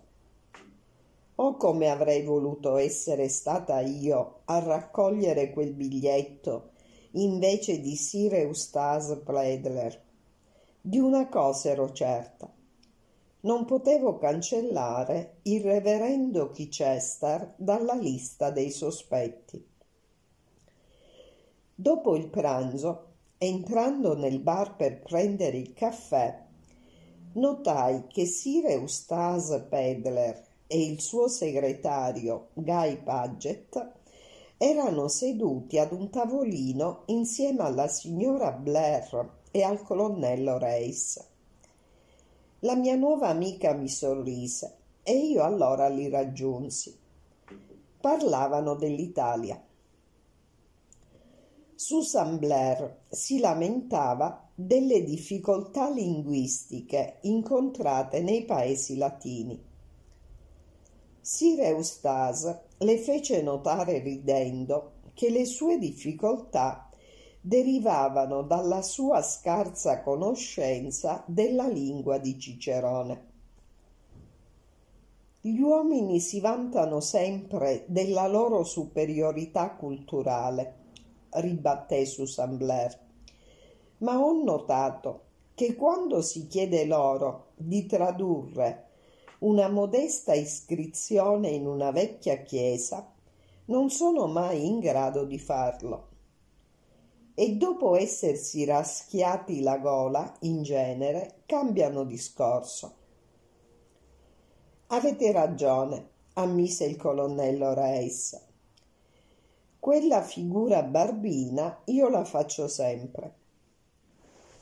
Gli italiani mi sono simpatici, proseguì Susan Blair. Sono sempre così garbati e premurosi, anche se a volte, proprio per queste loro virtù, sono spesso imbarazzanti. Se chiedete loro un'informazione, invece di limitarsi a darvi le indicazioni, insistono per accompagnarvi e se vi mostrate stupite, vi prendono gentilmente per il braccio e vi scortano per tutta la strada. Anche voi, Paget, avete avuto questo genere di esperienza quando siete andato a visitare Firenze? chiese sorridendo Sire Eustasa al suo segretario. Per chissà quale ragione la domanda sembrò sconcertare il signor Paget, che arrossì e balbettò. Oh sì, certo, proprio così. E subito dopo, mormorando una scusa, si alzò e se ne andò. Comincio a credere che Paget debba aver commesso chissà quale misfatto a Firenze. Osservò Sir Eustace, seguendo con lo sguardo il suo segretario che si stava allontanando. Tutte le volte che si nomina l'Italia o Firenze, cambia discorso e si dà alla fuga precipitosa. Forse ha ucciso qualcuno? suggerì speranzosa Susan Blair. All'aspetto. Spero di non offendervi, Sire Eustace, ma quel giovane ha proprio l'aspetto di un assassino. È vero, mia cara. Sembra giungere sino a noi dal più buio medioevo. Questo suo aspetto mi diverte a volte specialmente perché lo conosco bene e so quanto quel povero ragazzo sia rispettabile e profondamente ligio alla legge e al dovere. È molto che lavora con voi, vero? chiese il colonnello Reis. Sei anni, disse Sire Eustace con un profondo sospiro è sicuramente per voi un aiuto prezioso, osservò Susan Blair.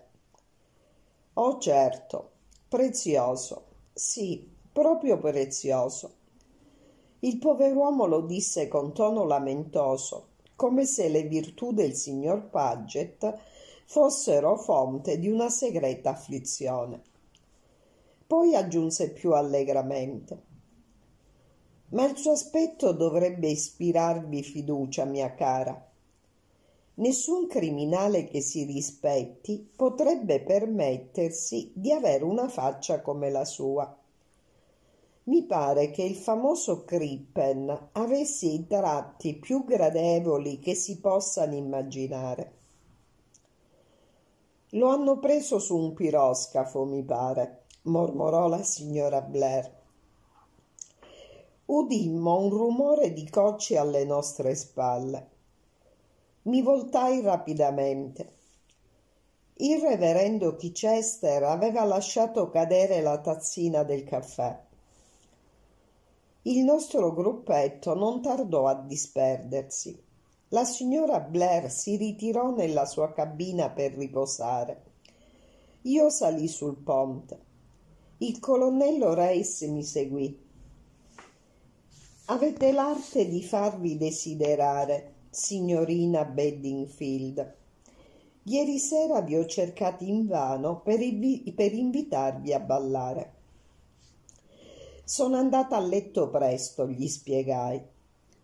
Anche stasera sparirete o accetterete di ballare con me? Mi farà molto piacere ballare con voi, mormorai timidamente ma la signora Blair non ci tiene al ballo, mentre a voi piace. Vorrei ballare con voi. Oh, mi limitai ad esclamare sempre più innervosita.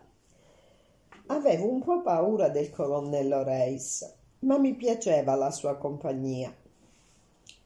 Chiacchierare con lui era certo più divertente che ascoltare vecchi scienziati discutere sulle ossa fossili risalenti alle più antiche ere della Terra.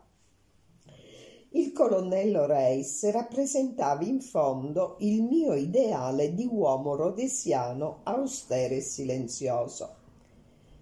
Avrei anche potuto prenderlo in considerazione come marito non me lo ero chiesto, ma ogni donna, anche se non ne ha l'intenzione, non può fare a meno di considerare ogni uomo interessante che incontra come un probabile pretendente. Quella sera ballai a lungo col colonnello Reis. Ballava molto bene. Quando finì il ballo, invece di ritirarci subito in cabina, il colonnello mi invitò a passeggiare sul ponte. Dopo aver fatto per tre volte il solito percorso intorno alla nave, ci sedemmo su due sedie a sdraio. Non c'era nessun altro in giro. Credo di aver avuto il piacere di incontrare vostro padre, signorina Bedingfield, mi disse. Un uomo molto interessante, mi ha sempre affascinato la sua ricerca sulle origini dell'uomo. Me ne sono interessata anch'io, anche se da profano. Mi è capitato di visitare uno dei paleosuoli più interessanti della Francia meridionale. La nostra conversazione divenne eminentemente tecnica. Il colonnello Reis pareva non essersi vantato. Conosceva abbastanza bene l'argomento, eppure si lasciò sfuggire due o tre strani errori che avrei potuto quasi considerare lapsus. Era stato comunque pronto a correggersi, afferrando subito il senso del mio intervento. Una volta, per esempio, parlò del periodo musteriano come se seguisse l'Aurignaziano, un errore assurdo per chiunque abbia una certa conoscenza dell'argomento. Era già mezzanotte quando scesi nella mia cabina. Quegli errori assurdi mi avevano lasciata perplessa Chissà se il colonnello non si fosse data per l'occasione un'infarinatura per far credere di aver studiato paleontologia, mentre in realtà ne sapeva ben poco. Scossi la testa, vagamente insoddisfatta di questa spiegazione. Stavo per addormentarmi quando fui colpita da un'altra idea. E se il colonnello Reis avesse tentato di farmi cadere in trappola? E se quelle inesattezze che si era lasciato sfuggire fossero state un modo per mettermi alla prova? Per sapere se conoscevo veramente l'argomento di cui stavamo parlando? In altre parole, il colonnello mi sospettava di non essere veramente Anne Bedingfield. Perché?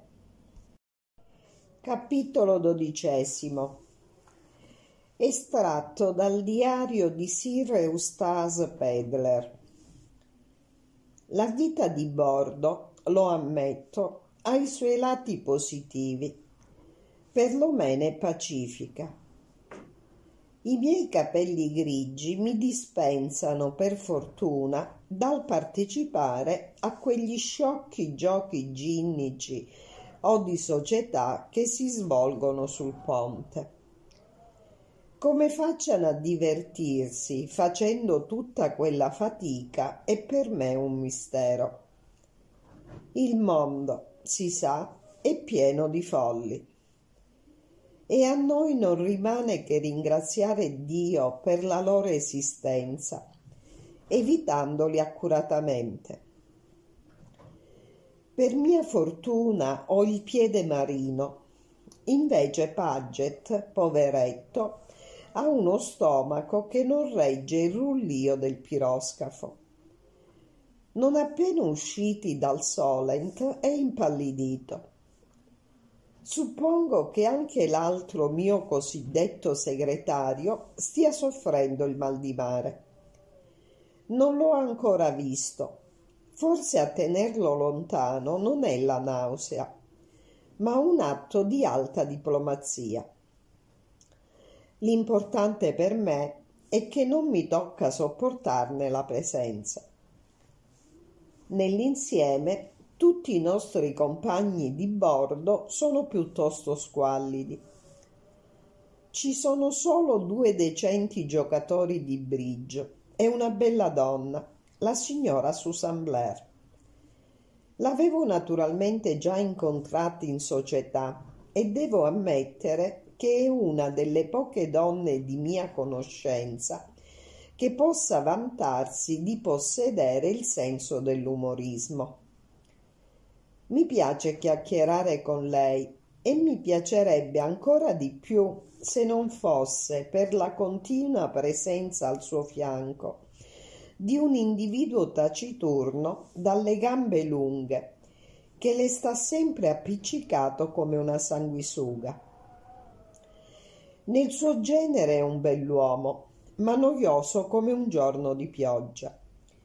È uno di quegli uomini austeri e silenziosi che piacciono tanto alle romanziere e infiammano gli animi delle ragazze. Guy Paget si è trascinato sul ponte dopo che la nave aveva lasciato Madera e ha cominciato subito a blaterare con voce cavernosa a proposito di lavoro. Chi diamine può aver voglia di lavorare a bordo di un piroscafo?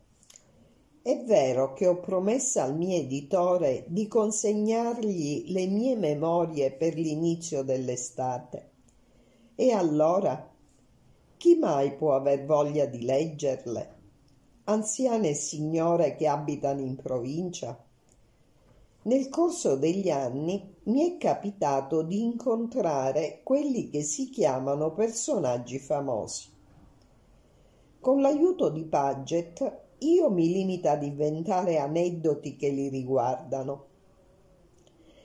Paget è un uomo troppo onesto per il mio carattere. Non mi permette nemmeno di inventare aneddoti di persone che avrei potuto incontrare ma che in realtà non ho mai visto. L'ho accolto con gentilezza. Che brutta c'era, mio caro ragazzo, gli ho detto con tono comprensivo. Quello che vi occorre è riposare su una sedia a sdraio. No, non dite niente, il lavoro può attendere. Purtroppo subito dopo ha suggerito di prendere un'altra cabina. Non c'è posto per lavorare nella vostra cabina, Sir Eustace. È troppo ingombra di bauli. Dal tono della sua voce si sarebbe creduto che i bauli fossero scarafaggi che non avevano alcun diritto di trovarsi lì.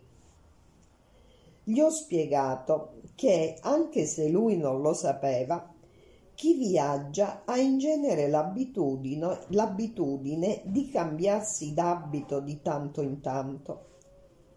Mi ha rivolto il solito debole sorriso con cui risponde ai miei reiterati tentativi di umorismo ed è tornata al problema che lo assillava. Non si può lavorare nel buco in cui alloggio. So per esperienza come sono i buchi in cui alloggia Paget, le migliori cabine di tutta la nave. Mi dispiace che questa volta il capitano non vi abbia ceduto la sua, ribattei sarcastico. Ma forse potreste trasportare una parte del vostro bagaglio nella mia cabina. Il sarcasmo è un'arma pericolosa quando c'è di mezzo il mio ineffabile segretario. La sua faccia si illuminò. Beh, potrei sbarazzarmi della macchina per scrivere e del baule che contiene la cancelleria. Il baule della cancelleria pesa in modo spaventoso e causa infinite discussioni con i facchini che lo devono trasportare. Paget sembra avere come unico scopo della sua vita quello di scaricarlo nella mia cabina. Tra noi è fonte di eterne discussioni. Secondo il mio segretario, il baule è di mia proprietà personale. Io invece insisto nell'affermare che in quanto mio segretario, il baule rientra nelle sue strette competenze. D'accordo, fatevi dare un'altra cabina, mi sono affrettata a concludere. Il problema mi sembrava semplice e di facile soluzione. Ma Paget è una persona che riesce sempre a complicare qualunque semplice avvenimento individuandone l'aspetto misterioso e occulto. Il giorno seguente è venuta a trovarmi con l'espressione di un cospiratore sulla faccia. Mi avete ordinato, Sire Eustase, di farmi assegnare la cabina numero 17. Non è vero? E allora che è successo? Il baule non entri in quella cabina? Le porte di tutte le cabine hanno la medesima larghezza, mi ha risposto con serietà Paget. Ma vi assicuro che c'è qualcosa di strano nella cabina numero 17. Se intendete dirmi che è abitata da spiriti maligni, ho ribattuto, vi assicuro che non è un problema. Non ci dobbiamo dormire e i fantasmi non danneggeranno di sicuro la macchina per scrivere. Paget ha dovuto ammettere che non si trattava di spiriti maligni e che in realtà non c'era stata assegnata la cabina numero 17. Mi ha raccontato una storia ingarbugliata. Sono riuscita a capire che il reverendo Chichester il mio segretario e una ragazza che si chiama Bedingfield si erano quasi accapigliati per farsi dare quella cabina. Inutile dire che era stata la ragazza a vincere l'attenzione. La propria disfatta aveva molto avvilito il mio povero Paget. Le altre due cabine la 13 e la 28 erano migliori, ha insistito in tono lamentoso.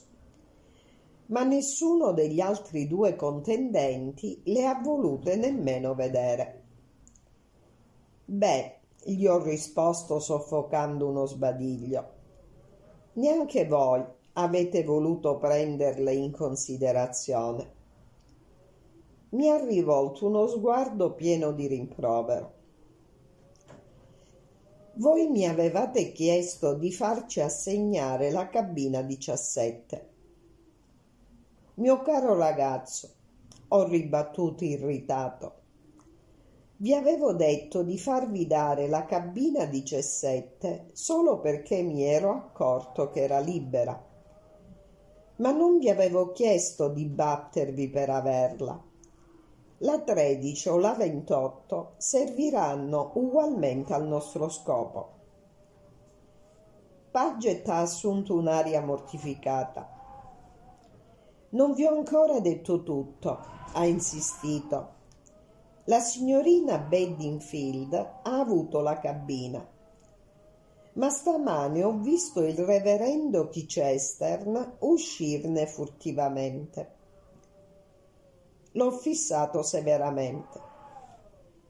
Se state cercando di farmi credere che è successo qualcosa di scandaloso tra il reverendo Chichester, che per quanto mi sia antipatico è un bravo missionario, e quella bella ragazza, Anne Bedingfield, vi avverto subito che non sono disposto a credervi.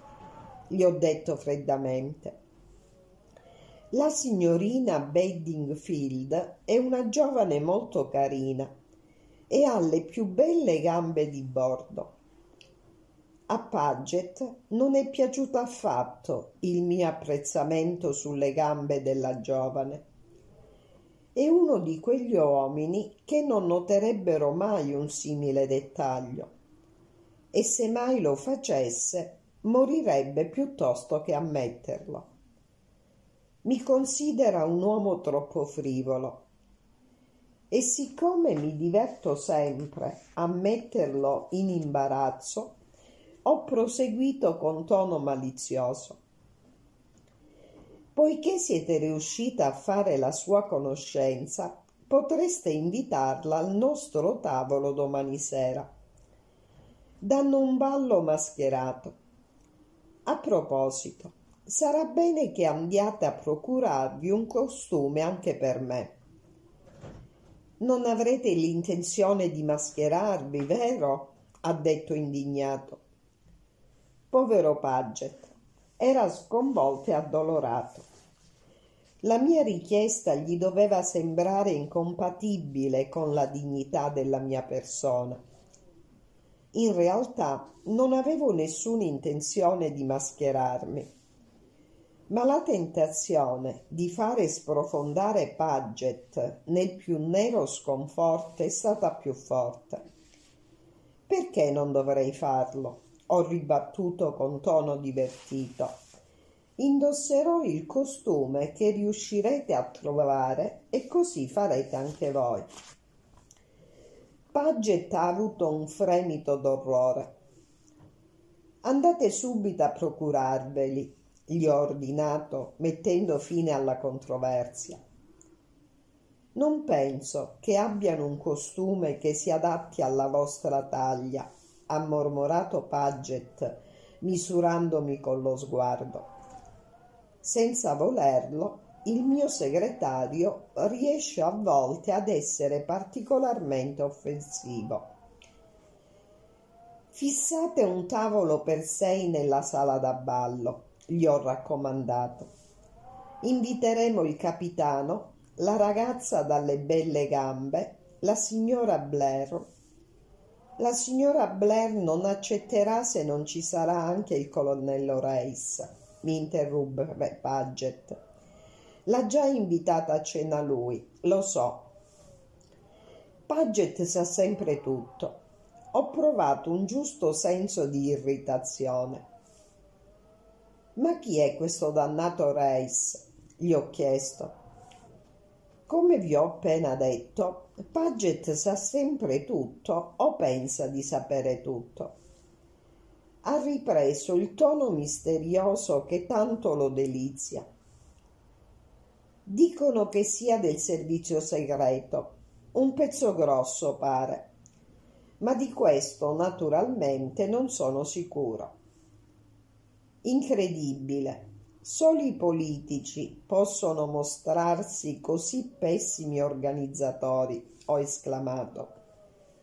C'è a bordo un uomo che per mestiere deve occuparsi di faccende segrete e che quindi dovrebbe essere scelto quale corriere di documenti riservati. E invece che cosa fanno? obbligano a farlo un povero cittadino qualunque che chiede soltanto di essere lasciati in pace. Paget ha assunto un'espressione ancora più sospettosa. Mi si è avvicinato con fare circospetto e ha abbassato la voce. A dirvi il vero, Sir Eustace, tutta questa faccenda mi sembra molto strana. Pensate al malore che mi ha colto poco prima che partissimo. Mio caro ragazzo, l'ho interrotto bruscamente. È stata una crisi di fegato. Vi capita spesso di averne. Paget è rabbrividito. Non si è trattato della solita crisi. Questa volta è stato diverso.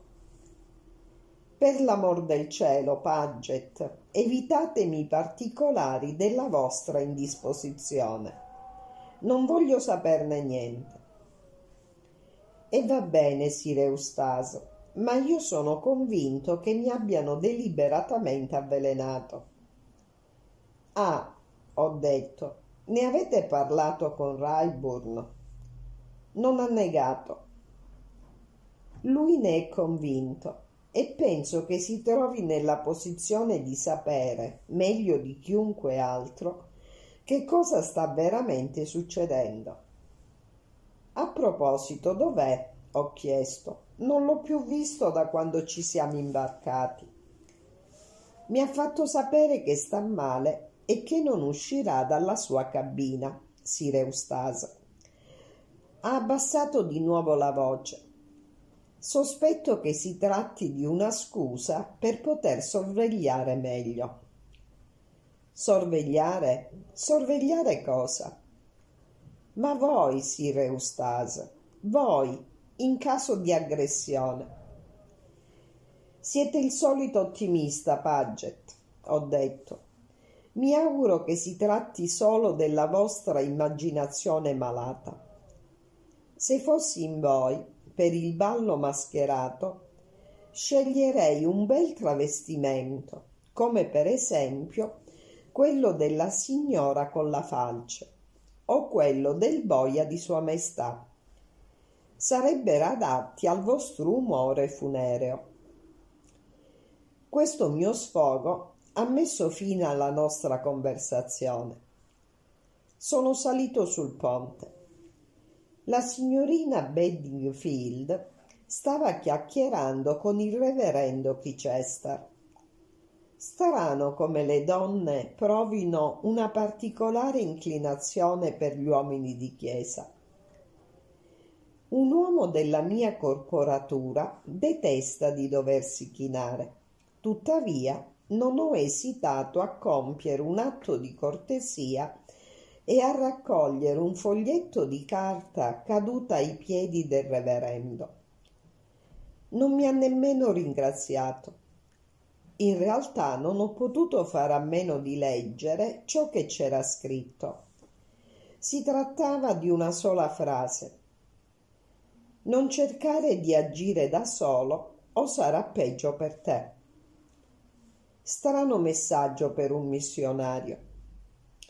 Chi è veramente questo Chichester? Ha un aspetto innocuo, ma le apparenze ingannano. Lo chiederò a Paget. Paget sa sempre tutto. Mi sono lasciato cadere con eleganza sulla sedia a sdraio di fianco a quella della signora Blair e ho interrotto il suo tête-à-tête con il colonnello Reis, facendole parte della mia sorpresa e osservando che l'atteggiamento del clero ai giorni nostri non era più quello di un tempo. Poi l'ho invitata a cena per il ballo in maschera e non so bene come il colonnello Reis è riuscita a farsi includere nell'invito. Dopo il pranzo, la giovane Anna Bedingfield ci ha raggiunto per il caffè. Avevo ragione a proposito delle sue gambe. Sono proprio le più belle che ci siano a bordo. Inviterò anche lei, questo è certo. Vorrei tanto sapere che cosa può aver combinato Paget a Firenze.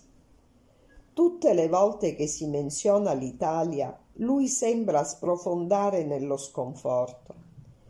Se non ne conoscessi la rispettabilità senza macchia, lo sospetterei di una storia d'amore disdicevole. In fondo, conoscendo la natura umana, persino l'uomo più corretto potrebbe. Come sarei felice se così fosse. Paget è un suo colpevole segreto, divertente.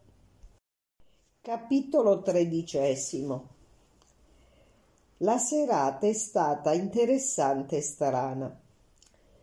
Il solo costume trovato a bordo che si adeguasse alla mia corporatura era una specie di pelle d'orso nella quale mi sono infilato. Non mi dispiace giocare a fare l'orso in Inghilterra con delle belle ragazze durante una serata invernale ma non direi che si tratti di un travestimento adatto al caldo dei tropici. Sono riusciti tuttavia a creare intorno a me un'atmosfera piena d'allegria e ho vinto anche un premio per il travestimento più originale. La signora Blair aveva rifiutato di mascherarsi mostrando di avere in proposito le stesse idee del mio segretario. Il colonnello Reis aveva seguito il suo esempio. Anne Bedingfield era riuscita a confezionarsi un costume da zingara che le stava molto bene. Paget non si è fatto vivo con la scusa dell'emicrania. Per sostituirlo ho invitato un personaggio piuttosto bizzarro. Un certo Rives. Pare che sia un importante membro del partito laburista del Sudafrica. Piuttosto antipatico, ma ho pensato che mi conveniva farne la conoscenza in quanto mi serviranno le informazioni che mi potrà dare. Mi sarà utile conoscere meglio le posizioni delle due forze avverse riguardo all'agitazione del Rand. Faceva troppo caldo per ballare, eppure ho invitato due volte la signorina Bedingfield che ha finto di apprezzarlo. Una volta la signora Blair che non si è presa nemmeno la briga di fingere ho messo alla tortura varie altre signorine che mi avevano colpito per il loro grazioso aspetto. Poi siamo andati tutti a cena. Ho ordinato champagne francese.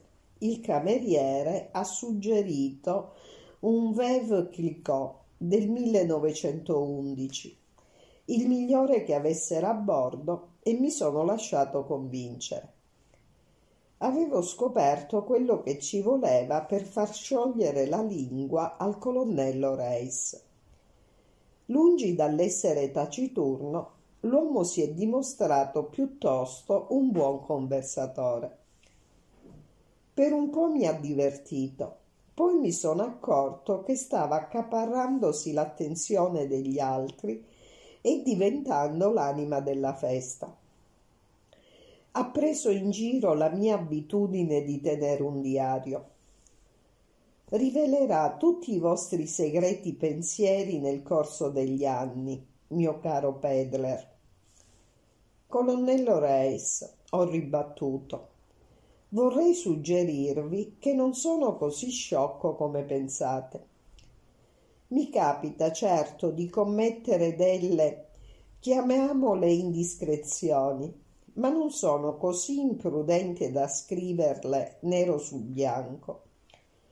Dopo la mia morte, i miei esecutori testamentari conosceranno l'opinione che avevo su molta gente, ma non credo proprio che saranno in grado di aggiungere o togliere niente che riguardi l'opinione che avevano sulla mia persona. Un diario è utile per raccontare le, idi- le idiosincrasie degli altri, non le proprie. Non è difficile individuare in un diario rivelazioni inconsce che svelano i segreti reconditi di chi lo scrive. Agli occhi dello psicanalista tutto può assumere un significato abietto, ho ribattuto in tono sentenzioso. Avete avuto una vita molto interessante, colonnello, vero? ha chiesto la signorina Bedingfield, fissandolo con i suoi begli occhi lucenti. Ecco come si comportano le ragazze. Otello incantò Desdemona raccontandole le sue meravigliose avventure. Ma non è forse vero che Desdemona conquistò Otello ascoltandolo con attenzione appassionata? La ragazza è riuscita nel suo intento e il colonnello Reis si è lanciato in una serie di racconti di caccia grossa. Un uomo che ha abbattuto una certa quantità di leoni si conquista un vantaggio sleale sugli altri uomini. Mi è sembrato che fosse giunto il momento in cui anch'io dovevo raccontare aneddoti basati sulle battute di Cacciagrossa che sembravano piacere tanto alle signore. Storie di sui leoni, certo, ma di ben altro tenore scegliendo quelle che meglio si confacevano al mio carattere. A proposito, l'ho interrotto. Questo mi ricorda una storia interessante che mi hanno raccontato. Un mio amico era andato a caccia in Africa orientale. Una notte uscì, non so per quale ragione, dalla sua tenda e fu spaventato da un ruggito sommesso si voltò bruscamente e vide un leone accovacciato, pronto ad aggredirlo. Aveva lasciato il fucile nella tenda.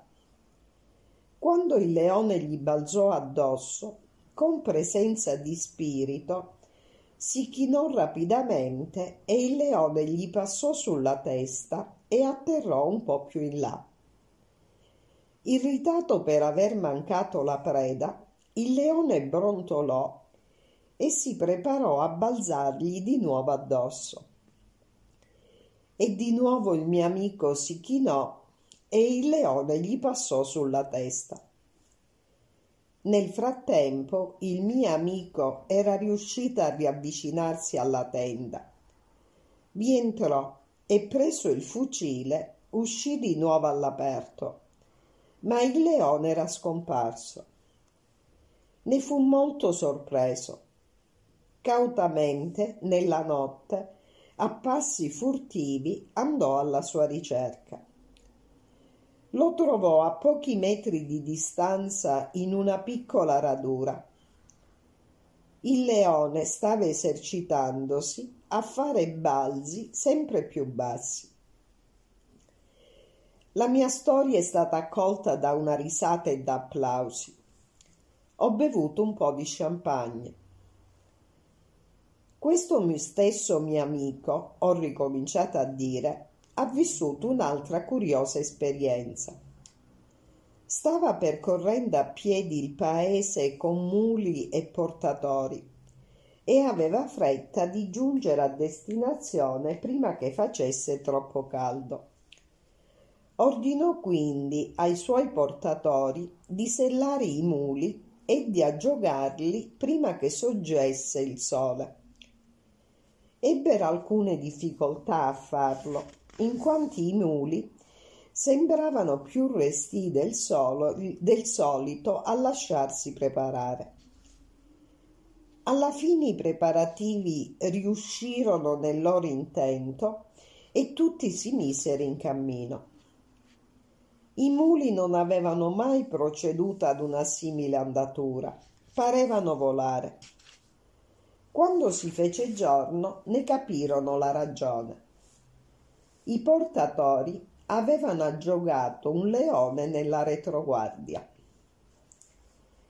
Anche questo mio racconto, pieno di umorismo, è piaciuto e tutti hanno riso divertiti ma sono certo che il maggior tributo me lo ha dato, anche se involontariamente, la mia nuova conoscenza, il pezzo grosso del partito laburista, che era rimasto serio e pensieroso.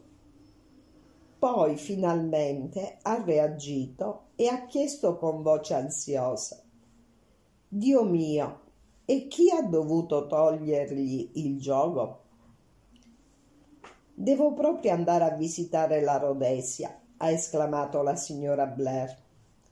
Dopo tutto ciò che ci avete raccontato, mi rendo conto che deve essere un paese molto interessante. Purtroppo il viaggio è terribilmente faticoso. Mi hanno detto che ci vogliono cinque giorni di treno. Sarà meno penoso se verrete nel mio vagone privato, le ho offerto galantemente. Oh, Sir Eustace, come siete gentile! Dite sul serio? Certo che dico sul serio, ho esclamato con tono di rimprovero e bevendo un altro po' di champagne. Fra una settimana saremo in Sudafrica, ha sospirato la signora Blair. Ah, il Sudafrica, ho esclamato con sentimento e ho cominciato a citare alcuni passi di una conferenza che avevo tenuto di recente al Colonial Institute. Che cos'ha il Sudafrica da mostrare al mondo? Le sue fattorie, i suoi prodotti, la sua lana, le sue mandrie, il suo pellame, il suo oro, i suoi diamanti. Parlavo con una certa fretta perché sapevo che non appena mi fossi fermato Rives si sarebbe lanciato in una diatriba tenendoci a farci sapere, per esempio, che il pellame era senza valore perché gli animali si ferivano contro il filo spinato o per fare qualche altra critica del genere, per poi passare a definire infernale la vita che conducevano i minatori nelle miniere del Rand. Poiché non mi sentivo disposto a farmi bistrattare nella mia qualità di capitalista, ho cercato di non permettergli di intervenire. Ma l'interruzione mi è venuta da ben altra fonte, alla parola magica appena pronunciata diamanti. Diamanti, ha esclamato la signora Blair estatica. Diamanti, ha mormorato la signorina Bedingfield. Tutte e due si sono rivolte al colonnello Reis. Sarete sicuramente stato a Kimberley. Anch'io ero stata a Kimberley, ma non ho fatto in tempo a dirlo. Reis si è trovato sommerso da una valanga di domande. Com'erano le miniere? Era vero che i minatori venivano rinchiusi in una specie di recinto? E così via. Reis ha risposto alle loro domande e ha mostrato di essere molto ben informato. Ha descritto il sistema usato per dare asilo ai minatori. Ha spiegato come venivano trattati gli indigeni ha elencato gli studi e le ricerche che si facevano sul posto, le varie precauzioni che prendeva la De Beer. Allora è praticamente impossibile rubare i diamanti, ha chiesto la signora Blair con un senso di acuta delusione, come se il suo viaggio avesse avuto proprio quello scopo. Non c'è niente di impossibile signora Blair. I furti avvengono lo stesso, come in quel caso che vi ho narrato, quando un cafro riuscì a nascondere una pietra nella sua ferita. Sì, lo ricordo, ma furti su più vasta scala? È capitato una volta sola, proprio prima che scoppiasse la guerra. Ricorderete certo il caso Pedler. Non eravate in Sudafrica in quel periodo? Ho annuito. Raccontateci ciò che è successo, ha chiesto incuriosita la signorina Bedingfield. Per favore. Reis ha sorriso.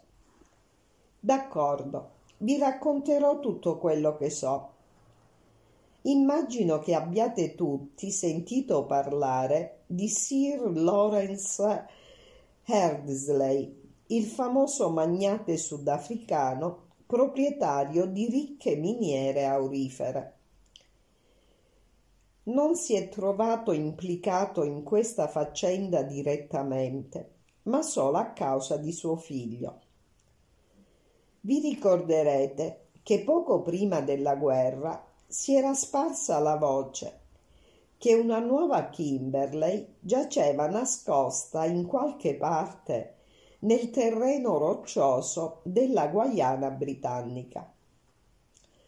Due giovani esploratori, così almeno correva voce, erano tornati in Sudafrica portando con sé un'interessante collezione di diamanti grezzi, alcuni di notevole grossezza. Piccoli diamanti erano già stati trovati nelle vicinanze dei fiumi Essequibo e Mazzaruni, ma quei due giovani, John Eardsley e il suo amico Lucas, affermavano di aver trovato ricchissimi depositi di pietra diamantifera alla sorgente comune dei due fiumi. I diamanti erano di tutti i colori, rosa, azzurro, verde, nero e bianco purissimo. Erdsley e Lucas vennero a Kimberley per far esaminare le pietre che avevano raccolto. In quel preciso periodo si scoprì che la De Beer era stata vittima di un furto sensazionale. La società mineraria quando deve mandare in Inghilterra una partita di diamanti, li fa confezionare in un piccolo pacco che viene custodito nella cassaforte.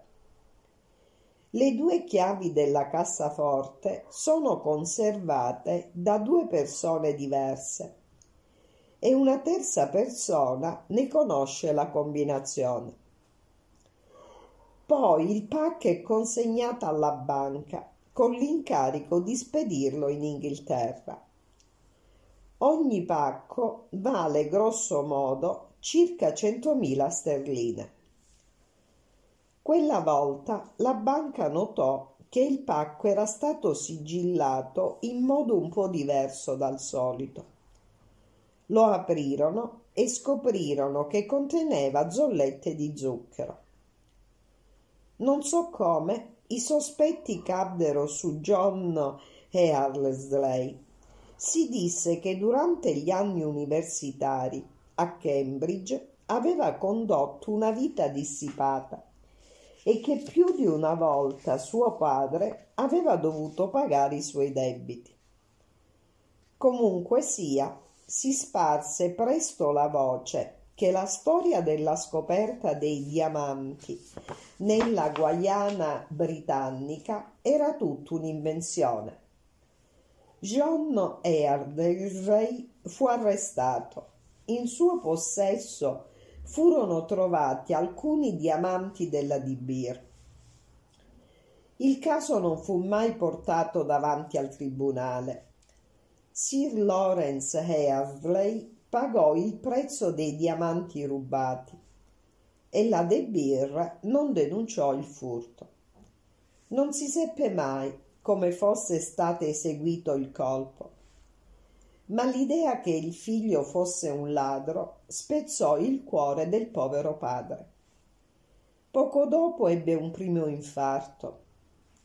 In quanto a John, il destino gli è stato favorevole si è arruolato in guerra, ha combattuto coraggiosamente ed è stato ucciso sul campo di battaglia, cancellando così con un colpo di spugna la sua colpa. Sir Lawrence è stato colpito da un terzo infarto ed è morto circa un mese fa. È morto senza fare testamento e tutti i suoi beni sono passati al parente più prossimo, un uomo che conosceva appena. Il colonnello ha smesso di parlare e intorno a lui si è levato una babele di esclamazioni e domande. In quel momento l'attenzione di Anne Bedingfield è stata attratta da qualcosa che l'ha costretta a voltarsi. All'esclamazione di sorpresa che si è lasciata sfuggire, mi sono voltata anch'io. Il mio nuovo segretario, quello che diceva di chiamarsi Rayburn, era fermo sulla soglia Sotto la bronzatura aveva la faccia terrea. Pareva un uomo che avesse visto un fantasma. Il racconto di Reis lo aveva evidentemente profondamente scosso. Accorgendosi di essere osservato, Rayburn si è voltato bruscamente ed è scomparso. Lo conoscete? mi ha chiesto Anne Bedingfield e l'altro mio segretario, le ho spiegato. Si chiama Rayburn, finora non si è sentito bene. La ragazza giocherellava con il pane che aveva sul piatto. È vostro segretario da molto tempo? No, non da molto tempo, le ho risposto cauto. Ma la cautela non serve quando il vostro avversario è una donna. Più trattenete i dettagli che la interessano, più lei si fa pressante. Anne Bedingfield non ha mollato la presa. Quanto tempo? ha chiesto bruscamente. Beh, per la verità l'ho assunto proprio prima di partire. Mi è stato raccomandato da un vecchio amico. Non ha detto nulla, è rimasta in silenzio pensierosa. Mi sono rivolta al colonnello Reis, pensando di dover mostrare un certo interesse al suo racconto. Chi è il parente più prossimo di Sir Lawrence Haresley? Lo conoscete? Certo che lo conosco, mi ha risposto sorridendo. Sono io. Capitolo quattordicesimo Riprende il racconto di Anne. La sera del ballo mascherato decisi che era tempo di confidarmi con qualcuno. Fino a quel momento avevo agito da sola e mi ero molto divertita. Ora la faccenda aveva cambiato aspetto. Non mi fidavo più del mio giudizio e per la prima volta mi sentivo assalire da un sentimento di desolazione e di solitudine. Mi sedetti sull'orlo della mia cuccetta, indossava ancora il costume da zingara e mi misi a riflettere sugli sviluppi della situazione. Pensai prima di tutto al colonnello Reis si era mostrato amichevole ed ero certa che mi avrebbe ascoltata con gentilezza e disponibilità. Ero un uomo intelligente. Eppure, ripensandoci, esitai. Dotato di una forte personalità, avrebbe probabilmente deciso di togliermi il caso di mano. L'indagine era mia e poi c'erano altre ragioni, ragioni che facevo persino fatica ad ammettere con me stessa e che non era il caso di confidare al colonnello Reis. Passai alla signora Blair. Si mostrava sempre molto gentile con me. Non mi illudevo che ci fosse tra noi un rapporto che avesse un significato particolare provava per me una simpatia che non era destinata ad avere un futuro. La interessavo e lei era una donna che aveva probabilmente provato tutte le normali sensazioni della vita. io ero disposta a farle provare emozioni inattese e straordinarie.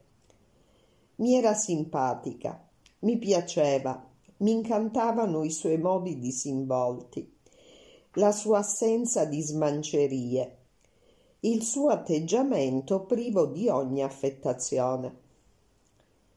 Feci la mia scelta e decisi di andare subito a parlarle. Di sicuro non era ancora andata a letto. Poi mi ricordai che non sapevo il numero della sua cabina, ma la mia amica, la cameriera di notte, sapeva probabilmente dove alloggiava.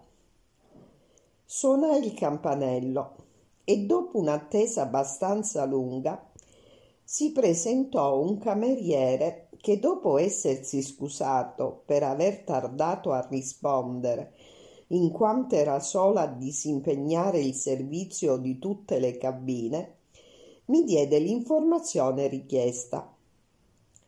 La signora Blair stava alla cabina numero 71. Dov'è la cameriera? Allora gli chiesi. Le cameriere terminano il servizio alle dieci di sera. Intendo la cameriera di notte. Non vi sono cameriere di notte, signorina. Ma come? Una cameriera è venuta nella mia cabina l'altra notte. Era l'una. Avete sognato, signorina. Nessuna cameriera presta più servizio dopo le dieci. Se ne andò e rimasi sola a digerire quel modesto ma preoccupante scampolo di informazione e a riflettere. Chi era la donna entrata nella mia cabina la notte del 22? L'astuzia e l'audacia dei miei ignoti antagonisti mi fece capire la gravità della situazione in cui mi ero messa.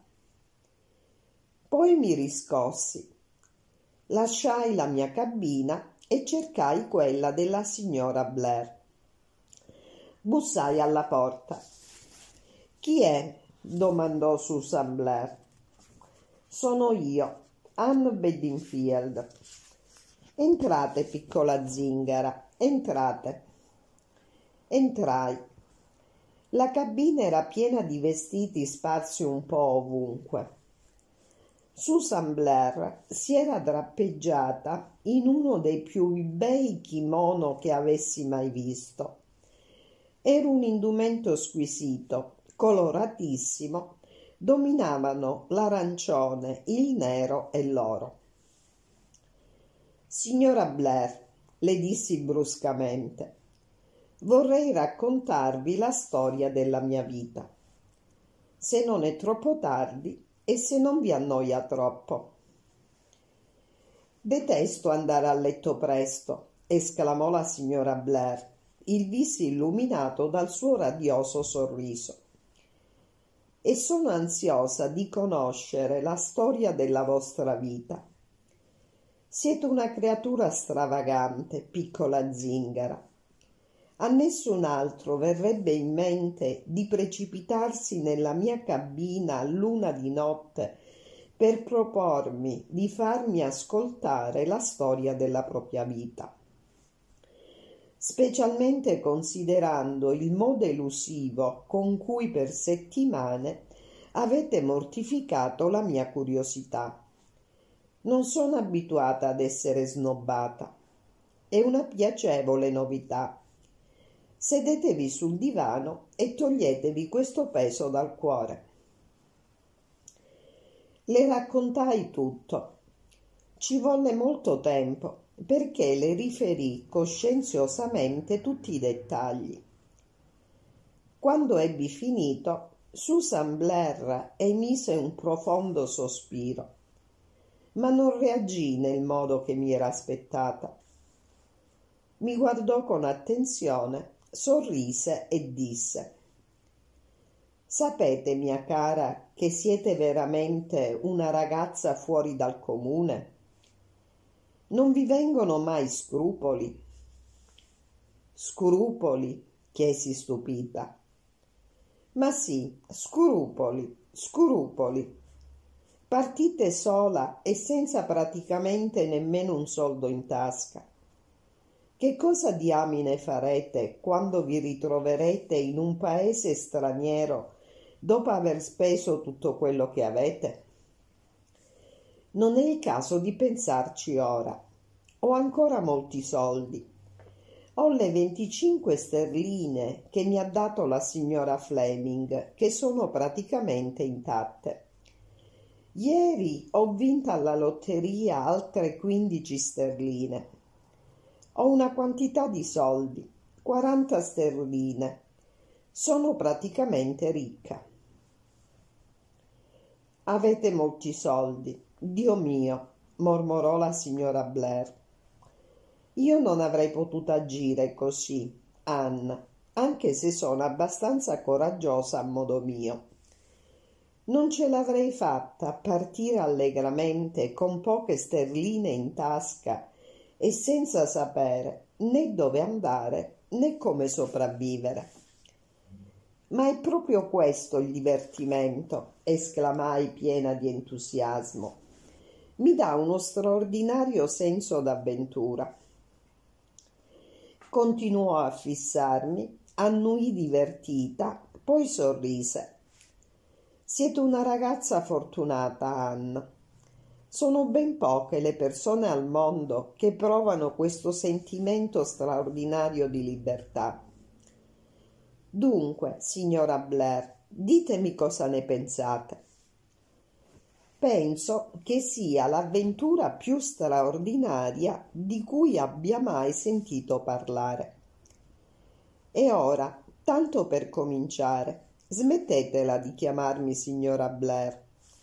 Chiamatemi Susanna, d'accordo? Mi farà molto piacere, Susanna. Brava, torniamo al tuo problema hai detto che hai riconosciuto l'uomo che è stato ferito e che è venuto a rifugiarsi nella tua cabina. Si tratta del segretario di Sir Eustace, non Paget dalla faccia patibolare, ma quell'altro, vero? Annui. Sono quindi due i legami che collegano Sir Eustace al tuo caso la donna viene assassinata nella sua casa ed è il suo segretario che si fa pugnalare proprio a luna di notte, l'ora fatidica. Non credo che si possa sospettare di Sir Eustace, ma non si può più pensare che si tratti solo di coincidenze. Deve esserci un collegamento che probabilmente lui stesso ignora. Inoltre c'è la strana faccenda della cameriera, proseguì pensierosa. Che aspetto aveva? L'ho appena notata. Ero così nervosa e preoccupata. E poi l'apparizione della cameriera è stata così inattesa. Però, ora che ci penso, mi è sembrato che si trattasse di un viso familiare e lo sarebbe se l'avessi già vista a bordo. Ti è sembrato una faccia familiare, ripeté Susanna. Sicura che non fosse un uomo?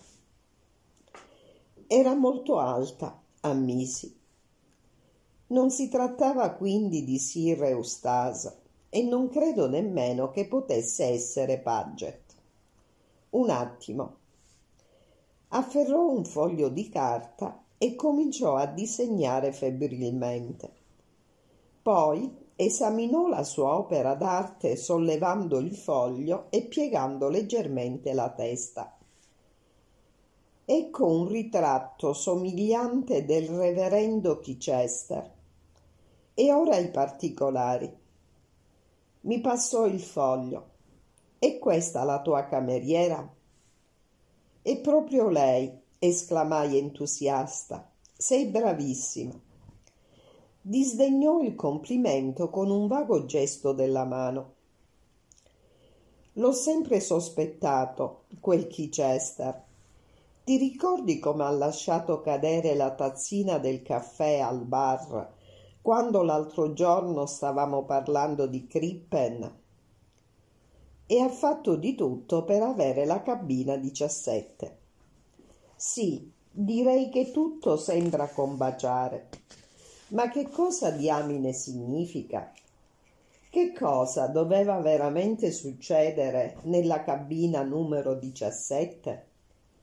Non ha senso pensare che volessero pugnalare il segretario di Sir Eustace.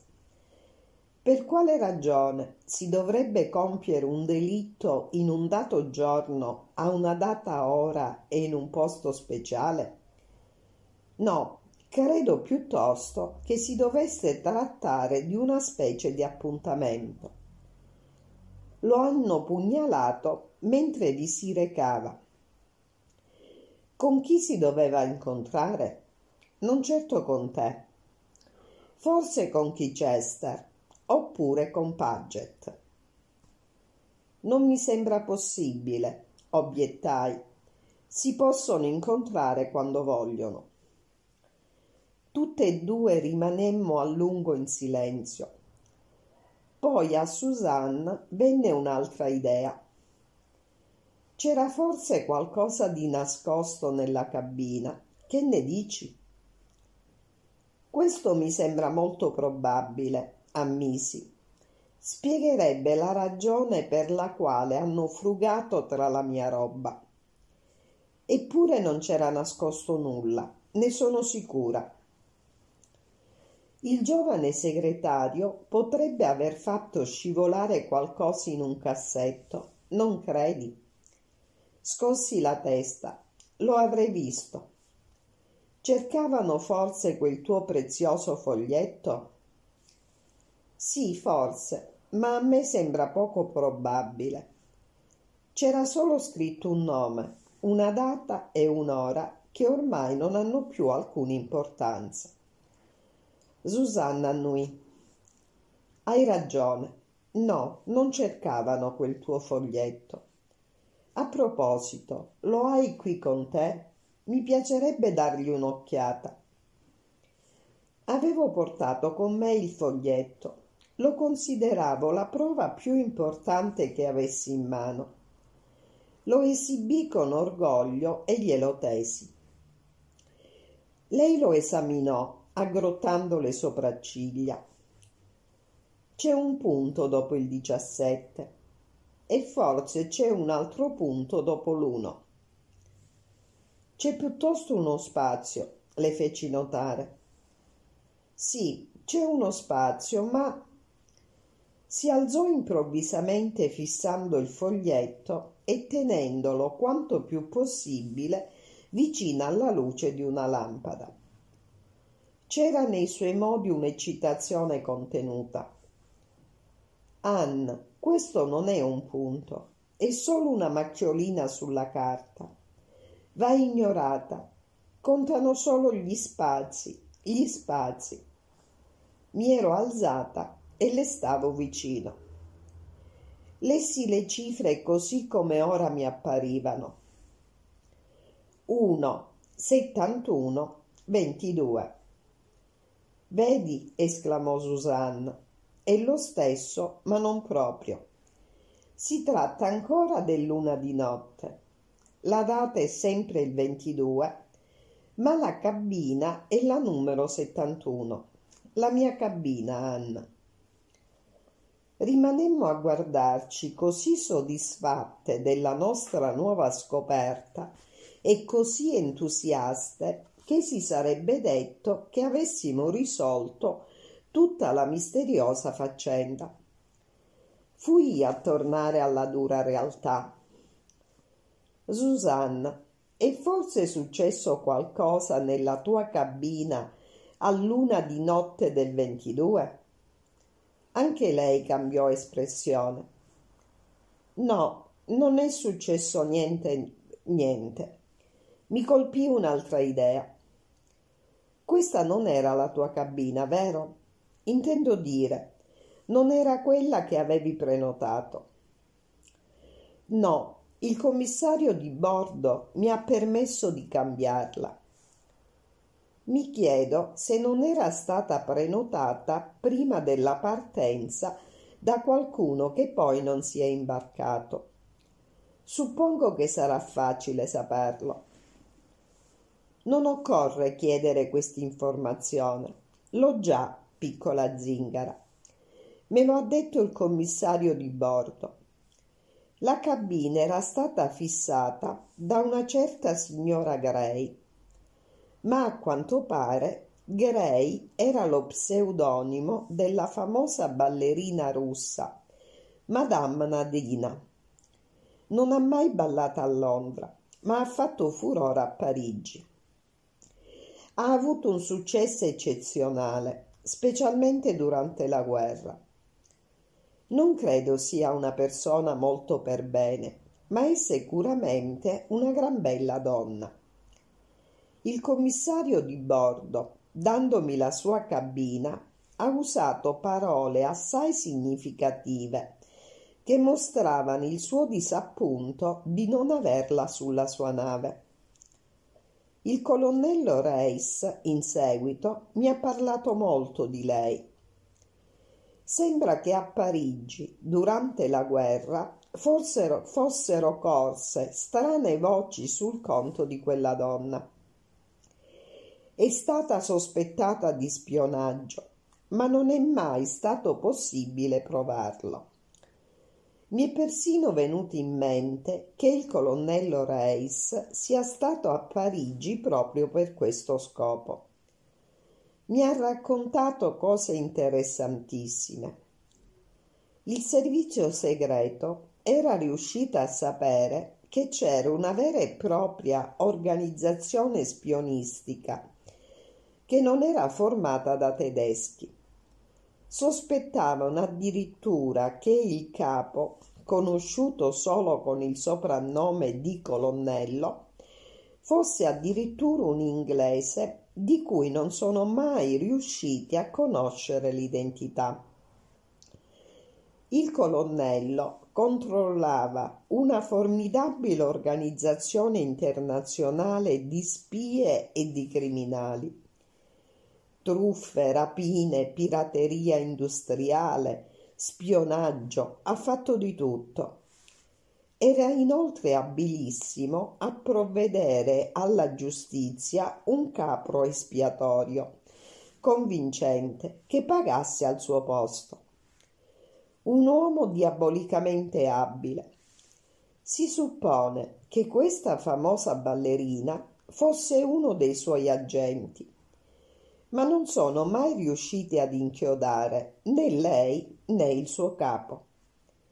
Sian siamo sulla pista giusta. L'appuntamento a luna del 22 era sicuramente nella sua cabina. Ma lei dov'è? Perché non si è imbarcata? Un lampo mi illuminò all'improvviso. Aveva l'intenzione di imbarcarsi, dissi lentamente. E allora perché non l'ha fatto?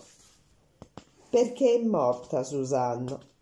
Nadine è la donna che è stata assassinata a Marlow. Ritornai con la mente a quella stanza nuda nella casa vuota e mi sentii di nuovo investire da quell'indefinibile sensazione di minaccia e di paura. Ricordai naturalmente anche la penna che mi era caduta e il rotolo di pellicole che avevo scoperto. Un rotolo di pellicole. Mi parve un ricordo più recente. Dove avevo sentito ultimamente parlare di un rotolo di pellicole? E perché associavo quel pensiero alla signora Blair? Feci un balzo verso di lei e per poco non la afferrai per le spalle scuotendola tanto ero eccitata. Il tuo rotolo di pellicole, quello che ti hanno restituita attraverso la presa d'aria. È successo la notte del 22, vero? Quello che avevo perso. Come fai a sapere che è lo stesso? Perché mai qualcuno te l'avrebbe restituito in un modo così stravagante? Nel bel mezzo della notte? È una pazzia. No, c'è sicuramente qualcos'altro. Forse si è trattato di un messaggio. Hanno tolto le pellicole dalla piccola custodia di metallo giallo e ci hanno messo dentro qualcos'altro. Lo hai ancora? Potrei averlo usato. No, eccolo. Ricordo di averlo messo sullo scaffale di fianco alla cuccetta. Me lo tese. Era un banale piccolo cilindro di latta, di quelli che si usano per proteggere le pellicole nei climi tropicali. L'ho presi con mani tremanti. Il cuore mi batteva all'impazzata era più pesante di quanto avrebbe dovuto essere. Tolsi l'adesivo che lo sigillava, tolsi il coperchio e un mucchietto di pezzi di vetro cadde sul letto.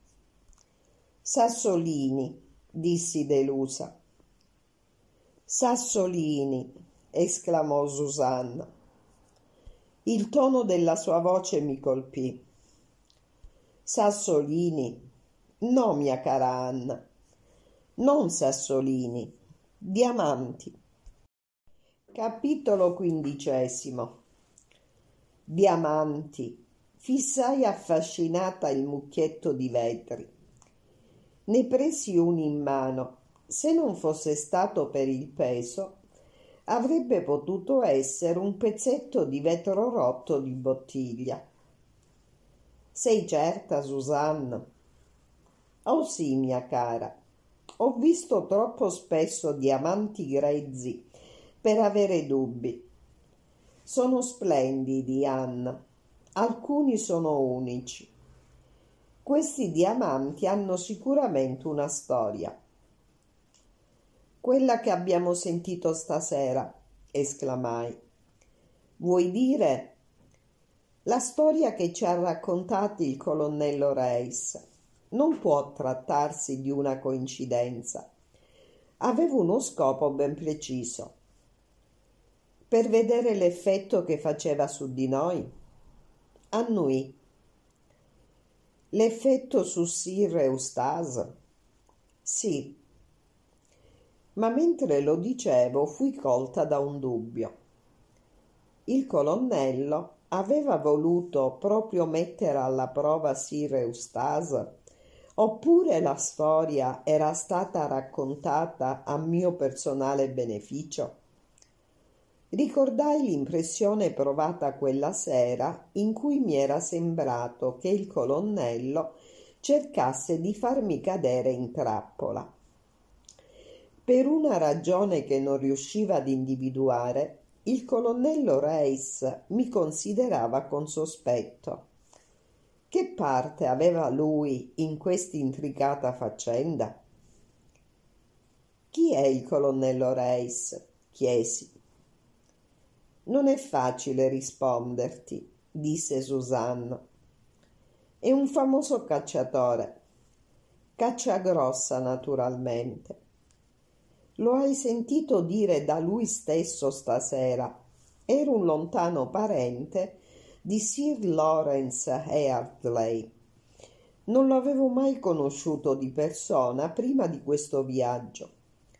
Ho sentito dire che si reca spesso in Africa. Corre voce che faccia parte del servizio segreto, ma non so se sia vero. È di certo un uomo molto misterioso.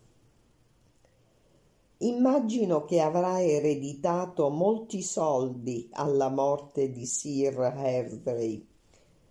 Mia cara Anna, naviga sicuramente nell'oro.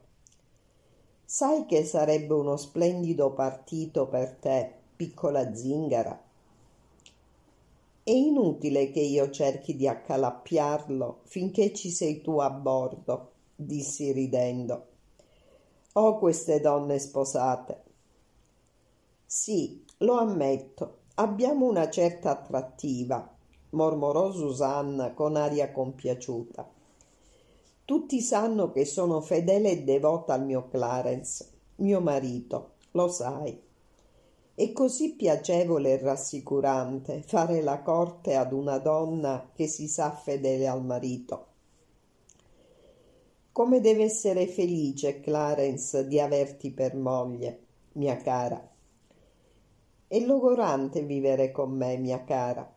Lui, per sua fortuna, può sempre fuggire e rifugiarsi al Ministero degli Esteri dove si fissa il monocolo nell'occhio e si addormenta sulla sua poltrona.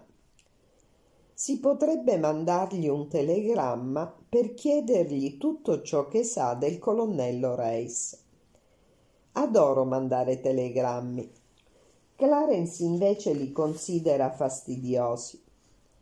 Dice sempre che sarebbe bastato una lettera. Temo che non ci direbbe molto è maledettamente discreto. È una delle qualità che rendono la vita vicina a lui così difficile. Ma torniamo ai nostri progetti matrimoniali. Sono sicura che il colonnello Reis è molto attratto da te, Anna. Lanciagli un paio di occhiate assassine con quei tuoi occhi da seduttrice e sarà ai tuoi piedi. Tutti finiscono con il fidanzarsi a bordo. Non c'è nient'altro da fare. Non voglio sposarmi.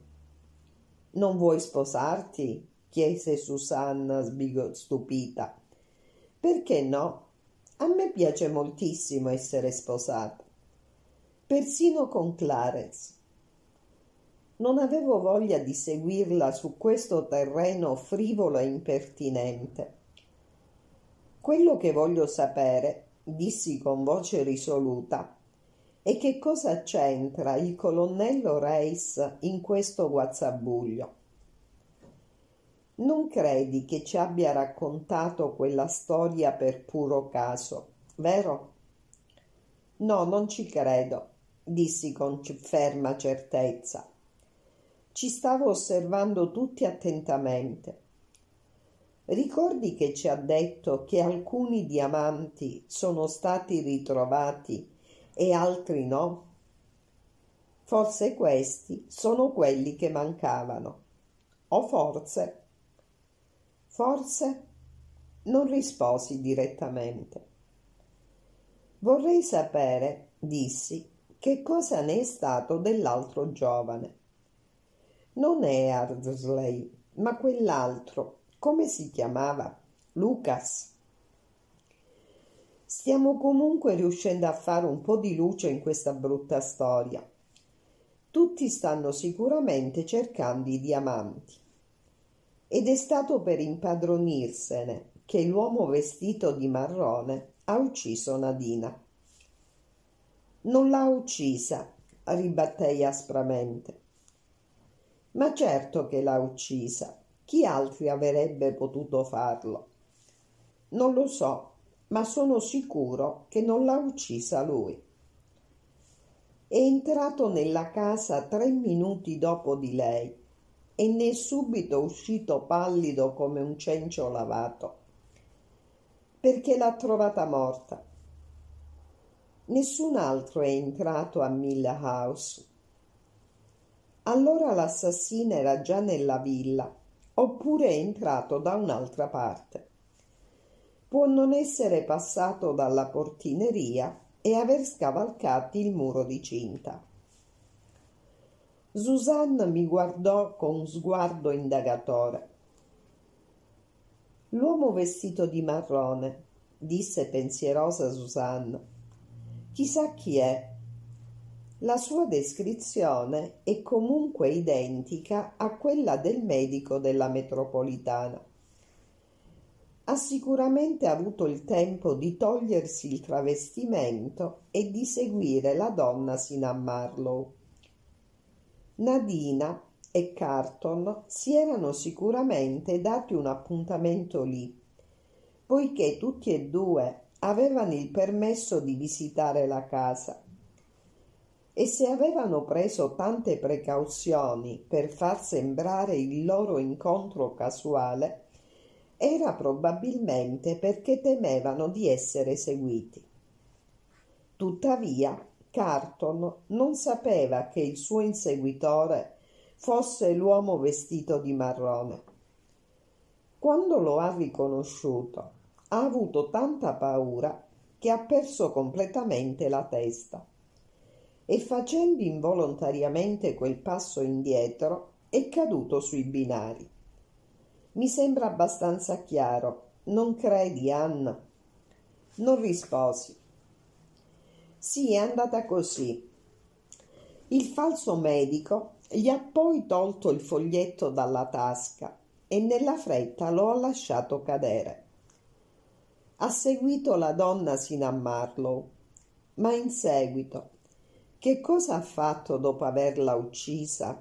O secondo te, dopo averla trovata morta? Dove è andato? Rimasi di nuovo zitta. Mi chiedo ora, proseguì Susanna, sempre pensierosa, se non è possibile che abbia convinto Sir Eustace a portarlo con sé a bordo come segretario. Un'occasione eccezionale per lasciare l'Inghilterra senza dare nell'occhio e sollevare sospetti. Ma come è riuscito a persuadere Sir Eustace? Sembra avere un certo potere su di lui. O su Paget, le suggerì mio, mio malgrado. Mi sembra che tu non abbia molta simpatia per quel povero Paget, Anna. Sir Eustace dice che è un giovane capace e un gran lavoratore. Per quanto ne sappiamo noi, potrebbe proprio esserlo.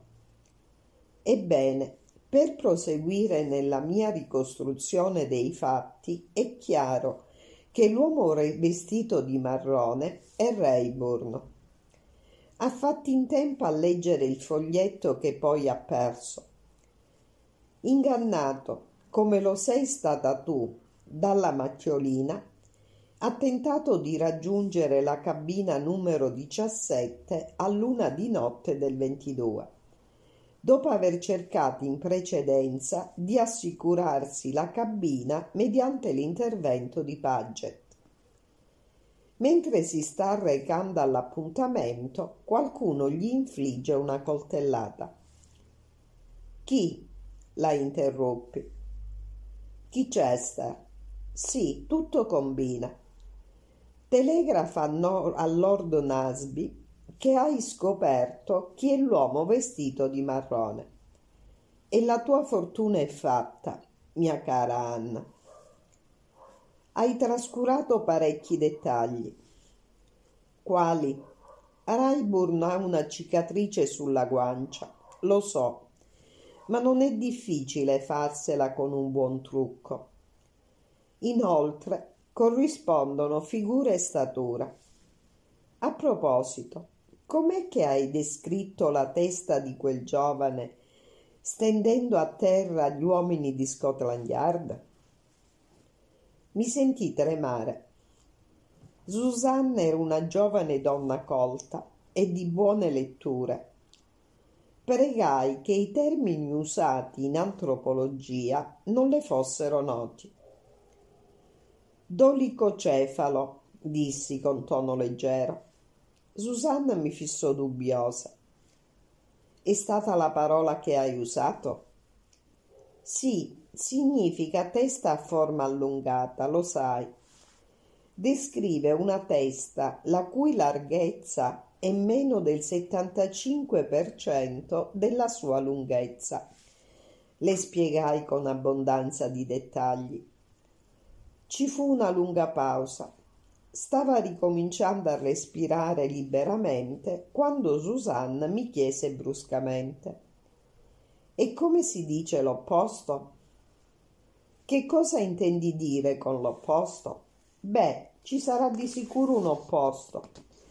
Come si chiamano le teste la cui larghezza supera il 75% della lunghezza? Brachicefalo, mormorai contro la mia volontà. Ecco cos'era. Ricordavo il termine che mi hai, che mi hai detto poco fa. Davvero? È stato un lapsus. Intendevo dire dolicocefalo, dissi con tutta la sicurezza di cui fui capace. Susanne mi osservò con molta attenzione, poi si mise a ridere. Sei bravissima a mentire, mia cara piccola zingara, ma eviteremo di perdere tempo e di fare inutili errori se mi vorrai dire tutta la verità. Non ho nient'altro da dire, ribattei, imbronciata. Davvero? Accidenti, credo proprio che te lo dovrò dire, ammisi controvoglia. Non è che me ne vergogni.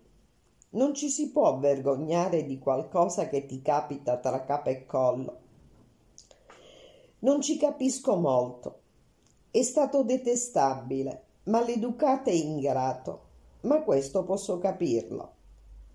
Si è comportato come un cane che è stato maltrattato o incatenato. Un cane che morderebbe chiunque. Ecco com'è stato amaro e sarcastico. Non so proprio perché gli voglio bene, eppure lo confesso. Ci tengo molto a lui e al suo avvenire. Mi è bastato vederlo per pochi minuti e tutta la mia vita è cambiata. Mi sono innamorata, innamorata follemente. Attraverserei tutta l'Africa a piedi per ritrovarlo Farei di tutto perché anche lui mi amasse. Sarei la sua schiava, morirei per lui, lavorerei per lui, ruberei per lui, chiederei l'elemosina per lui. Ecco, ora lo sai. Susanna rimase silenziosa, continuando a fissarmi. Hai un carattere così poco inglese, mia piccola zingara, disse finalmente. Non c'è un briciolo di sentimentalismo nel tuo temperamento. Non ho mai incontrato nessuno che potesse essere insieme, così pratico e passionale. Per mia fortuna non potrò mai amare con tanta dedizione. Eppure, in fondo, ti invidio è importante essere così capace di amare. Sono in pochi ad averne il coraggio. Quel tuo medico di paese che hai rifiutato di sposare è stato fortunato. Se l'è cavata per il rotto della cuffia. Non mi sembrava abbastanza audace da tenere in casa una persona così esplosiva come sei. Allora niente telegramma a Lord Nasby, se ho ben capito. Scossi la testa. Eppure sei convinta che sia innocente, vero? Sono anche convinta che si possono impiccare gli innocenti. Mm, sì, questo è vero.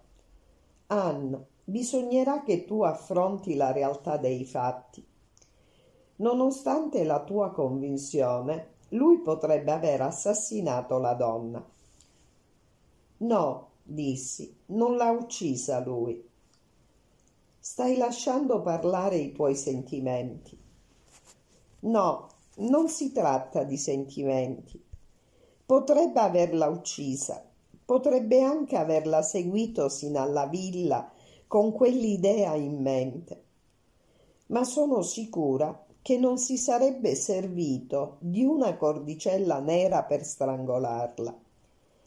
Se l'avesse uccisa lui, l'avrebbe fatto con le sue mani nude. Susanna rabbrividì, socchiuse gli occhi come se stesse soppesando e valutando la ragazza che le stava davanti. Mm, Anna, comincio a capire perché trovi così attraente quel tuo giovanotto. Capitolo XVI il mattino successivo ebbi la possibilità di far parlare il colonnello Reis. Era appena terminato il sorteggio della lotteria e stavamo passeggiando insieme sul ponte. Come state, piccola zingara, stamane? Desiderata ancora la terraferma e il carrozzone? Scossi la testa Ora che il mare è calmo, sento che potrei stare qui per sempre. Che entusiasmo! Ci appoggiammo tutte e due al parapetto. Il mare era piatto come uno specchio. Sembrava che le onde fossero state avvolte da una spessa coltre d'olio si notavano qua e là molte enormi macchie di colore che andavano dal blu all'azzurro, al verde pallido, al verde smeraldo, con strane strisce dorate che nell'insieme ricordavano una pittura cubista. Di tanto in tanto quella superficie quasi immota veniva interrotta dal rapido guizzare argenteo di un pesce volante. L'aria era calda, umida, quasi appiccicosa. Il soffio una carezza profumata. Ci avete raccontato ieri sera una storia molto interessante, dissi interrompendo un lungo momento di silenzio. Quale? Quella dei diamanti.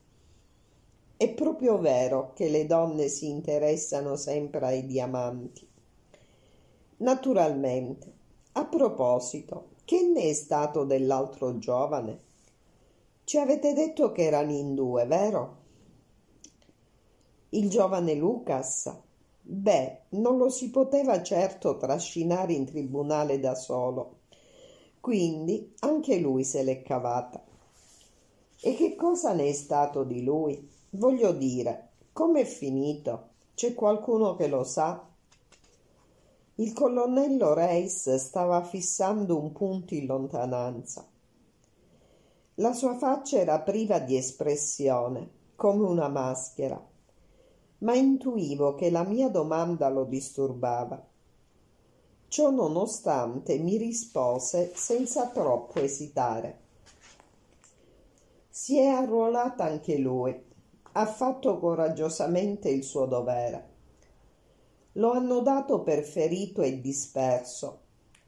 Si pensa che sia morto anche lui. Avendo avuto l'informazione che mi premeva, preferì non insistere. Provai più che mai il desiderio di scoprire che cosa sapeva veramente il colonnello Reis e quale era il suo ruolo in quella vicenda confusa e complessa. C'era un'altra piccola indagine da fare. Interrogai il cameriere di notte. Un piccolo incoraggiamento finanziario lo spinse a parlare. Spero che la signora non si sia spaventata. Mi è sembrato uno scherzo innocuo se ho ben capito, si era trattato di una scommessa. Mi feci raccontare tutta la storia. Durante il viaggio da Città del Capo a Southampton, uno dei passeggeri gli aveva consegnato la pellicola, dandogli l'ordine di farla cadere sulla cuccetta della cabina 71, a luna di notte del 22 durante il viaggio di ritorno. Una signora avrebbe occupato la cabina. Non sapeva più se si trattava di uno scherzo o di una scommessa. Il cameriere aveva ricevuto una lauta mancia per questo suo piccolo servizio. Non gli avevano specificato il nome della signora e siccome Susanna era andata direttamente in quella cabina dopo aver parlato con il commissario appena messo piede sul piroscafo, il cameriere non aveva nemmeno lontanamente sospettato che non potesse essere lei la signora in questione. Il nome del passeggero che gli aveva chiesto di fare quello scherzo era Carton e la descrizione corrispondeva esattamente a quella dell'uomo che era morto nella metropolitana. Così almeno uno dei tanti misteri era stato chiarito e i diamanti erano ovviamente la chiave di tutta la faccenda. Gli ultimi giorni sul Kilmorden Castle passarono rapidi ci stavamo avvicinando a Città del Capo e io fui costretta a riflettere seriamente e a pianificare il mio immediato futuro. C'erano tante persone che volevo sorvegliare. Chichester, Sir Eustace e il suo segretario e naturalmente sì, anche il colonnello Reis. Come fare?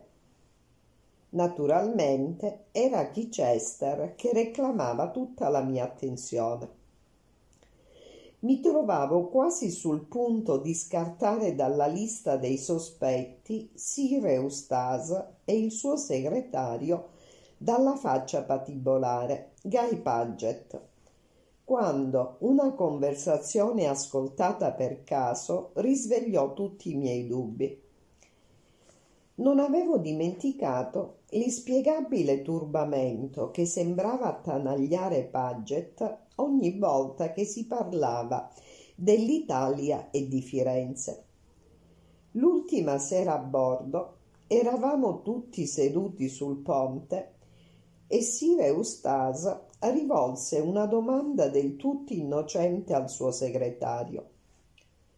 Ho dimenticato la domanda ma ho il vago ricordo che si trattava dell'abituale ritardo con cui viaggiavano i treni della penisola. Notai subito che Paget era in preda al solito imbarazzo già riscontrato in precedenza. Quando Sir Eustace invitò a ballare la signora Blair, ne approfittai per cambiare posto e andare a sedermi vicino al segretario, con l'intento di andare in fondo alla questione che mi incuriosiva. Ho sempre desiderato andare in Italia, dissi, e avrei tanto voluto visitare Firenze. Vi siete molto divertito quando ci siete stato? Sì, certo, signorina Bedingfield ma vi prego di scusarmi. Devo andare a terminare la corrispondenza di Sir Eustace. Lo afferrai risoluta per la manica della giacca. Oh, non dovete scappare, gli gridai con la voce querula di un'anziana signora offesa. Sono certa che a Sir Eustace non farebbe piacere sapere che mi avete abbandonato qui sola senza nessuno con cui chiacchierare. Mi sembra che non vi faccia mai piacere parlare di Firenze. Oh, caro signor Paget, credo proprio che voi stiate nascondendo un vergognoso segreto. La mia mano era ancora appoggiata al suo braccio. Avvertì subito il sussulto che lo scosse. Ma no, signorina Bedingfield, cosa dite? ribatté ansioso. Sarei felice di raccontarvi tutto del mio soggiorno, ma vi assicuro che ho ancora molto da fare. Ci sono i telegrammi. Oh, signor Paget, queste sono solo scuse. Lo dirò a Sir Eustace. Non proseguì nemmeno e lo sentì tremare. Quell'uomo aveva i nervi a fior di pelle. Che cosa volete sapere? Il tono di martire rassegnato mi fece sorridere. Oh, voglio sapere tutto, il panorama, gli ulivi, l'arte. Mi fermai non sapendo che altro dire. Suppongo che sappiate parlare l'italiano, affermai a guisa di commento riassuntivo. Non ne so neanche una parola, purtroppo, ma naturalmente mi sono arrangiato con l'aiuto dei portieri d'albergo e delle guide. Certo, mi affrettai a proseguire. E ditemi, qual è stato il quadro che vi ha colpito di più? Oh beh, la Madonna, la Madonna di Raffaello. Cara vecchia Firenze, mormorai con tono sentimentale ed evocatore. Le rive dell'Arno così pittoresche, un fiume magnifico. E il Duomo, vi ricordate il Duomo? Naturalmente, naturalmente. Un altro magnifico fiume, vero? azzardai, quasi più bello dell'Arno. Sì, senza dubbio, direi. Incoraggiata dal successo del mio modesto tranello, continuai sulla stessa scia. Ma ormai non avevo più dubbi. Paget si stava consegnando nelle mie mani ad ogni parola che aggiungeva. Quell'uomo non era mai stato a Firenze in vita sua. Ma se non era a Firenze, dove era andato? In Inghilterra? In Inghilterra, proprio quando era stato compiuto quel misterioso delitto nella villa di Sir Eustace? decisi di fare un altro tentativo pieno di audacia. Esaminai l'espressione della sua faccia senza nascondere il mio intento.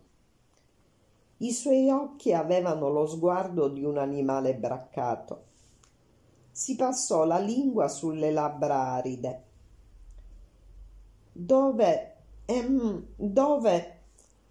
Mi sembra di avervi visto, terminai per lui la frase rimasta in sospeso. Forse a Marlow. Siete stata a Marlow, signor Paget? Ah, che sciocca! Sir Eustace ha una casa in quel sobborgo di Londra, vero? Mormorando una scusa incoerente, la mia vittima si alzò e prese la fuga. Ancora in preda all'eccitazione, quella stessa sera mi precipitai nella cabina di Susanna. Dopo averle raccontato tutto, dissi Ti rendi conto, Susanna, Paget era in Inghilterra, a Marlow, il giorno del delitto. Sei ancora così certa che l'assassino sia l'uomo vestito di marrone? Di una cosa sono più che certa, esclamò Susanna, gli occhi pieni di malizia. Di che cosa? Sono convinta che l'uomo vestito di marrone è sicuramente molto più affascinante del povero Paget. No, Anna, non ti irritare, sto solo scherzando. Siediti. Scherzi a parte. Credo che tu abbia fatto una scoperta importante. Finora avevamo tutte e due pensato che Paget avesse un buon alibi. Ora sappiamo che non ce l'ha. È vero, rincarai, dobbiamo tenere d'occhio anche lui. Come tutti gli altri, aggiunse Susanna tristemente. Ecco, questo è uno degli argomenti che volevo discutere con te. Questo è il lato economico. No, non fare quella faccia altezzosa. Lo so che sei assurdamente orgogliosa e indipendente, ma dovrai ascoltare il mio ragionamento che è pratico e sensato. Siamo socie. Non ti offrirei nemmeno un soldo perché mi sei simpatica o perché sei una ragazza sola. Ciò che desidero è l'avventura e sono pronta a pagare per esservi coinvolta. Dobbiamo agire insieme e senza badare a spese. Tanto per cominciare, verrai con me al Mount Nelson Hotel e sarò io a pagare il conto. Lì progetteremo il nostro piano di battaglia. Discutemmo a lungo e alla fine dovetti cedere. Non ero particolarmente soddisfatta della situazione in cui mi veniva a trovare.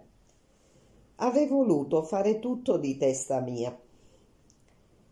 Allora siamo d'accordo, vero? disse Susanna alzandosi, stiracchiandosi e nascondendo uno sbadiglio. Questo sforzo di eloquenza mi ha stancato. E ora parliamo delle nostre vittime. Chichester parte per Durban. Sir Eustace scenderà allo stesso nostro albergo di Città del Capo e poi si preparerà a partire per la Rhodesia. Mi ha detto che riserverà un vagone privato che farà agganciare al treno. In un momento di buon umore, dopo la sua quarta coppa di champagne l'altra sera, mi ha offerto un posto. Sono quasi sicura che non ci tiene particolarmente, ma se insisto non potrà tirarsi indietro. Bene, approvai. Tu ti incaricherai di controllare Sire Eustasa e Paget. Io mi occuperò di Chichester e il colonnello Reis. Susanna mi fissò con uno sguardo sorpreso. Anne, non mi dirai che sospetti anche lui? Certo, sospetto tutti.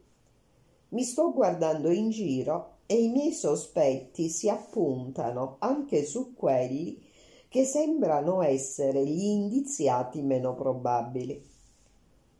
Anche il colonnello Reis deve recarsi in Rhodesia, disse pensierosa Susanna.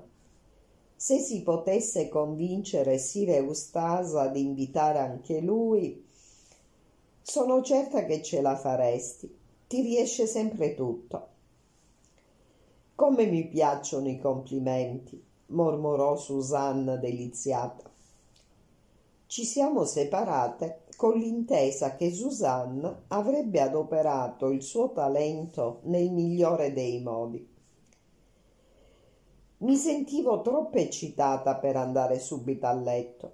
Era la mia ultima notte a bordo. Il mattino seguente era previsto il nostro arrivo nella rada di Table Bay. Sgusciai sul ponte. La brezza era fresca e frizzante. Il piroscafo stava dolcemente rollando su un mare appena increspato. Il ponte era buio e deserto. Era passata la mezzanotte. Mi appoggiai al parapetto per osservare meglio la traccia spumeggiante che la nave lasciava nella sua scia. Davanti a noi c'era l'Africa e noi ci stavamo avvicinando rapidamente, solcando un mare dalle onde scure. Mi sentii sola in un mondo meraviglioso avvolti in una strana coltra di pace. Rimasi a lungo in piedi, senza badare al tempo che scorreva, persa in un sogno. All'improvviso provai una strana premonizione di pericolo. Non avevo udito alcun rumore, eppure mi voltai istintivamente. Un'ombra mi aveva raggiunto alle spalle Nell'attimo stesso in cui mi voltai mi balzò addosso. Una mano mi afferrò alla gola, soffocando il grido che avrei potuto lanciare. Lottai disperatamente, senza speranza.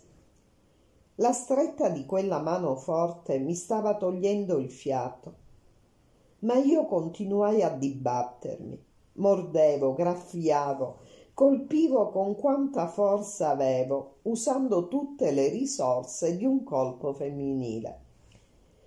L'uomo era un po' impedito dal suo tentativo di non permettermi di gridare. Se fosse riuscita a raggiungermi alle spalle e a prendermi di sorpresa, gli sarebbe stato facile gettarmi in mare, facendomi volare oltre il parapetto, gli squali avrebbero terminato l'opera. Pur continuando a lottare, sentii che stavo per cedere. Lo capì anche il mio aggressore, che raddoppiò i suoi sforzi. Proprio allora, dopo una corsa silenziosa sul tavolato, fummo raggiunti da un'altra ombra che con un pugno formidabile mandò a terra il mio aggressore. Liberata, mi appoggiai al parapetto stravolta e tremante. Il mio salvatore si voltò rapidamente verso di me. Siete ferita? C'era un tono stranamente violento nella sua voce. Una minaccia per chi osava attentare alla mia incolumità. Lo avevo naturalmente riconosciuto subito, anche prima che parlasse. Era il mio uomo, l'uomo della cicatrice. Quel momento di distrazione bastò all'uomo colpita e finita a terra. Rapido come un lampo si rialzò e si mise a correre. Con un'imprecazione Rayburn si lanciò sulle sue tracce. Sono incapace di accettare di essere lasciati indietro. Mi precipitai anch'io all'inseguimento. Girammo intorno al ponte e poco dopo, vicino alla porta del salone, c'era un uomo accovacciato per terra. Rayburn era chino su di lui. Lo avete colpito di nuovo? chiesi senza fiato. Non è stato necessario, mi rispose bruscamente. L'ho trovato svenuto vicino alla porta. Oppure, non essendo riuscita ad aprirla, ha fatto finta di perdere conoscenza. Lo sapremo subito e sapremo anche chi è il vostro aggressore. Il cuore in tumulto mi avvicinai mi resi subito conto che il mio aggressore era un uomo molto più alto del reverendo Chichester.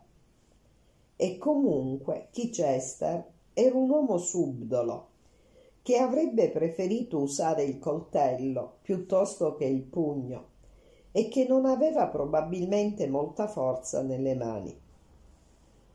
Rayburn accese un fiammifero tutti e due ci lasciammo sfuggire un'esclamazione. L'uomo era Guy Paget. Rayburn sembrava assolutamente stupefatto dalla scoperta. Paget, mormorò. Mio Dio, Paget. Provai un sottile senso di superiorità. Mi sembrate sorpreso. Lo sono, disse con tono perplesso. Non avrei mai pensato. Si voltò improvvisamente e mi fissò. E voi, voi non siete sorpresa? Lo avete riconosciuto quando vi ha aggredito? No, non l'ho riconosciuta allora, ma non importa. Non sono sorpresa. Seguitò a fissarmi sospettoso. Non riesco a capire come mai siete coinvolti in questa faccenda. Che cosa sapete veramente? Sorrisi. Sono moltissime cose, signor Lucas. Mi afferrò per un braccio. L'inconsapevole forza della sua presa mi strappò una smorfia di dolore. Da dove avete tirato fuori questo nome? Chiese con voce roca. Perché? Non è il vostro nome? gli chiesi con voce flautata.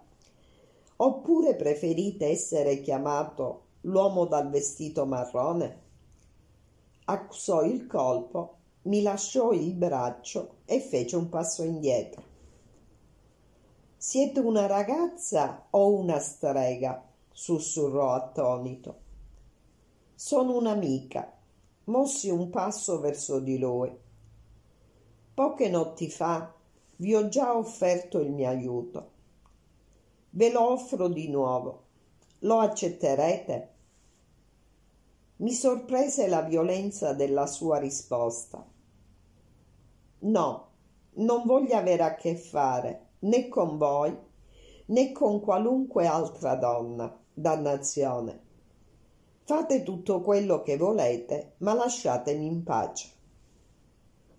Com'era capitata al nostro primo incontro, cominciai a perdere la pazienza.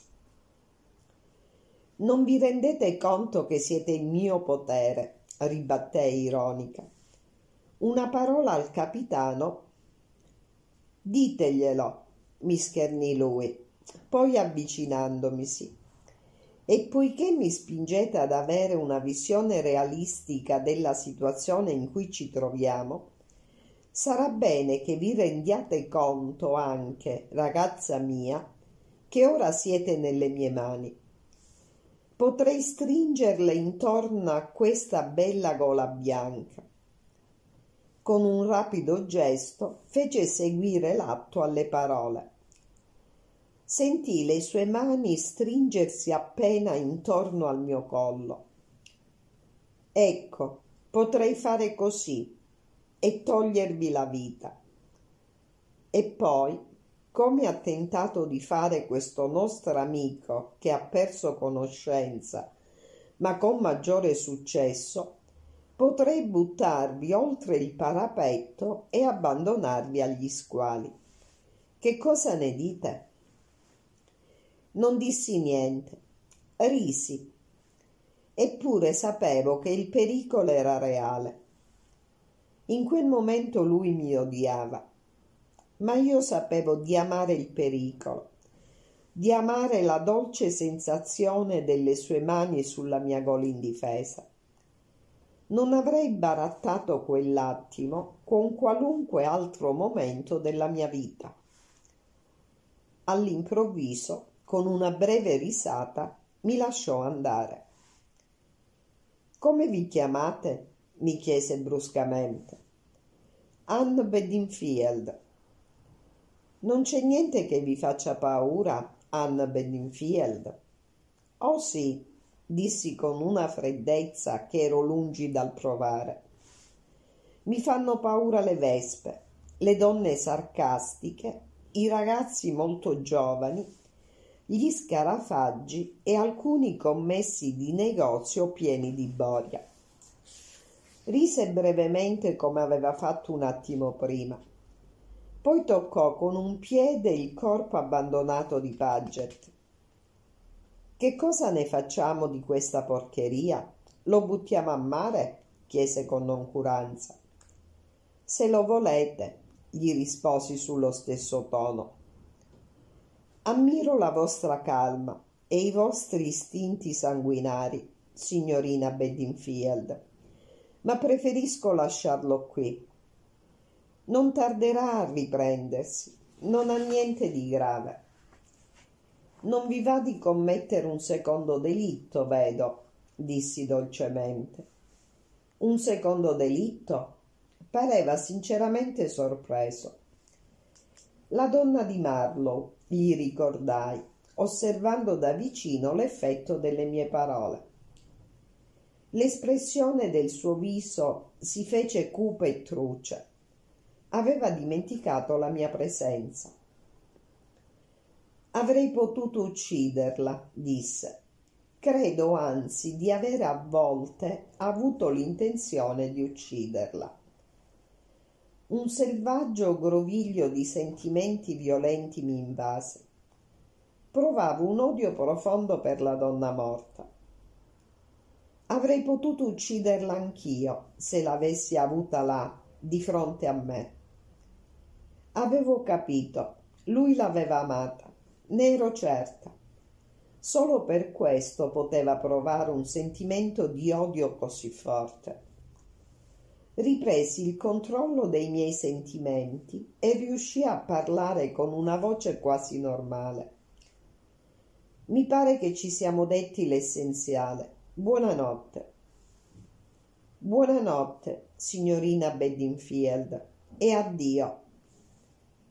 Au revoir, caro signor Lucas. Trasalì di nuovo udendo il suo nome. Si avvicinò. Perché lo dite? Perché au revoir? Perché ho l'impressione che ci rivedremo. Mai più, se dipende da me. Usò un tono enfatico, ma non mi offese. Al contrario, provai un profondo senso di piacere. Non sono così sciocca. Eppure, ripetei con aria seria, sono certa che ci rivedremo. Perché? Scossi la testa, incapace di spiegargli le sensazioni che, me, che mi avevano spinto a dirgli quelle parole. Io mi auguro di non vedervi mai più, disse bruscamente e con contenuta violenza non si mostrava particolarmente gentile nei miei confronti. Eppure mi limitai a ridere dolcemente e a sparire nel buio. Lo sentii muovere qualche passo alle mie spalle, fermarsi. Una parola fluttuò nell'aria calda. Ho l'impressione che fosse strega.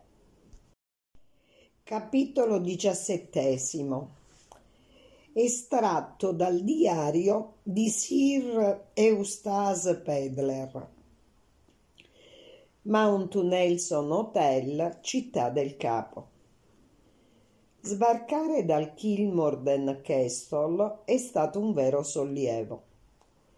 Per tutto il tempo in cui sono rimasta a bordo ho avuto la sensazione di essere circondato da una fitta rete di intrighi. Per colmo di orrore, Guy Paget la notte scorsa ha avuto la bella idea di lasciarsi coinvolgere in una rissa di ubriachi. Sono anche disposta a trovargli delle giustificazioni. Ciò non toglie che si è proprio trattato di questo una rissa tra ubriachi. Che altro vi verrebbe in mente se vi foste visto apparire davanti agli occhi un uomo che aveva un bernoccolo sulla testa grosso come un uovo di piccione e un occhio che stava assumendo tutti i colori dell'arcobaleno? Naturalmente Paget ha tentato di farmi credere che ci fosse un lato misterioso in questa sua squallida vicenda.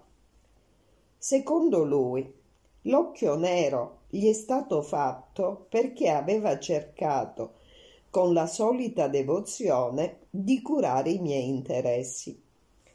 La storia che mi ha raccontato mi è sembrata confusa e farraginosa mi c'è voluto un bel po' di tempo per farla quadrare. Per prima cosa, pare che abbia visto un uomo dal fare sospetto, sono le sue precise parole, che penso gli siano state suggerite da quei romanzi polizieschi tedeschi che legge, quando gli ho chiesto cosa intendesse dire con fare sospetto, non è stato in grado di spiegarmelo in modo esauriente. Si è limitata ad insistere. Stava camminando furtivamente ed era già passata la mezzanotte. Beh, e voi, Paget, che cosa ci facevate in giro a quell'ora? Perché non eravate già andate a letto come ogni buon cristiano timorato di Dio? Gli ho chiesto irritato. Stavo preparando quei telegrammi che dovevamo spedire, Sir Eustace, e avevo battuto a macchina le ultime pagine del vostro diario. Paget non si lascia mai prendere in castagna, ha sempre una spiegazione plausibile e non manca mai l'occasione di atteggiarsi a martire. E allora? Ho pensato di fare un giro prima di andare a letto, Sir Eustace. L'uomo veniva dal corridoio che porta alla vostra cabina. Ho subito capito che c'era qualcosa di poco onesto nel suo comportamento. È sgusciato per le scale che portano al salone e l'ho seguito.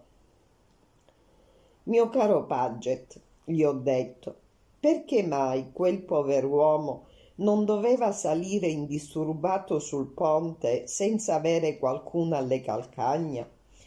C'è persino gente che va a dormire sul ponte, anche se ho sempre pensato che era terribilmente scomodo farlo.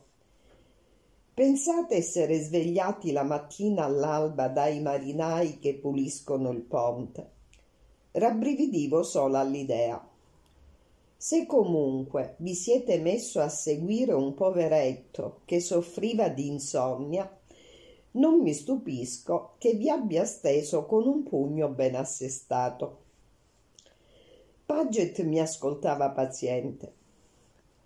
Sir Eustace, vi prego, ascoltatemi sino in fondo. Ero convinto che quell'individuo fosse andato ad aggirarsi furtivamente vicino alla vostra cabina. Non avrebbe dovuto essere in quei paraggi.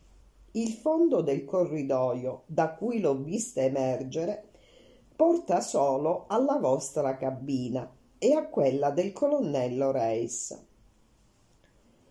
Reis, ho detto, accendendo con cura il mio sigaro, è perfettamente in grado di badare a se stesso senza il vostro aiuto, Paget. Poi ho aggiunto, dopo averci ripensato, e lo sono anch'io. Allora Paget si è avvicinato e respirando pesantemente, come sempre gli succede, quando è sul punto di svelarmi un segreto, ha detto Vedete, Sir Eustace, mi è sembrato, e ora ne sono certo, era Raiburn. Raiburn. Sì, Sir Eustace. Scossi la testa. Raiburn è un giovane troppo sensato per venirmi a svegliare nel bel mezzo della notte. Avete ragione, Sir Eustace.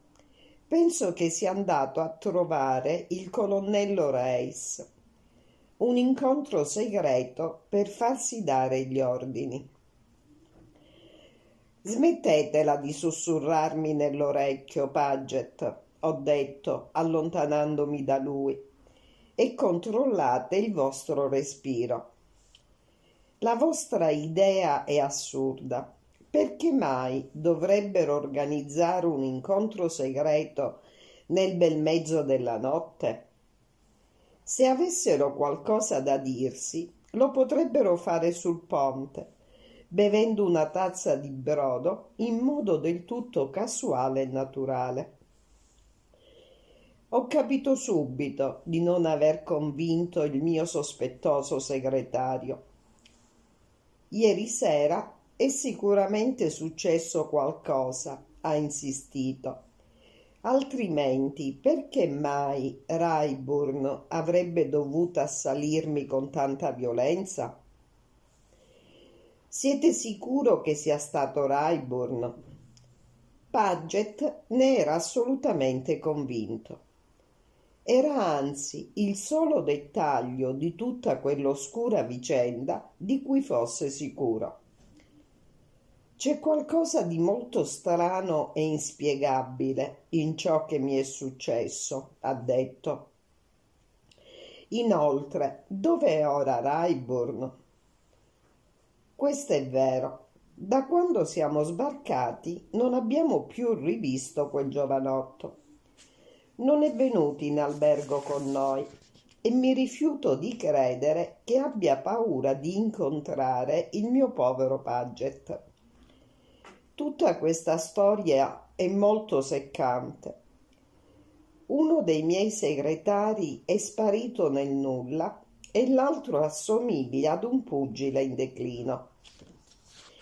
Non posso permettermi di portarlo in giro con me in quelle deplorevoli condizioni. Mi farei prendere in giro da tutta la società che conta di Città del Capo.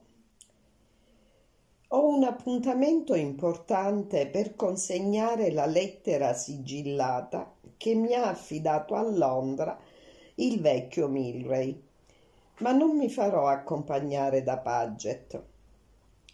Al diavolo lui e la sua mania di mettere il naso nelle faccende che non lo riguardano.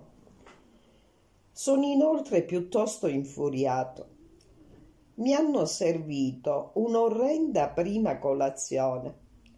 Ci è voluto una mezz'ora alla cameriera olandese dalle gambe pesanti per portarmi un immangiabile filetto di aringa era ancora stanco per essermi dovuta alzare alle cinque del mattino, non appena siamo entrati in porto, per subire il solito rito farsesco al quale vengono sottoposti dal medico tutti coloro che sbarcano in Sudafrica. Più tardi è accaduto un fatto molto grave sono andata all'appuntamento con il primo ministro, portando con me la busta sigillata che mi aveva consegnato Milray. A vederla sembrava intatta, eppure, quando è stata aperta, conteneva solamente un foglio bianco. E ora sono in un mare di guai. Perché mai ho permesso a quel vecchio sciocco e piagnucoloso di Milray di mettermi in questo pasticcio? Paget, come al solito, non mi è di alcun conforto. Sulla sua faccia c'è ora un'espressione di cupa soddisfazione che mi esaspera. Ha approfittato del mio turbamento per appiopparmi il baule della cancelleria a meno che non si comporti con molta prudenza, il primo funerale a cui assisterà sarà il suo. Tuttavia, alla fine sono stato costretto ad ascoltarlo. Sir Eustace, supponete che Rayburn abbia sentito per caso parte della vostra conversazione con Milray. Gli avete creduto senza mettere in dubbio le sue parole. Eppure ricordatevi che non aveva in mano nessun ordine scritto da parte di Milray.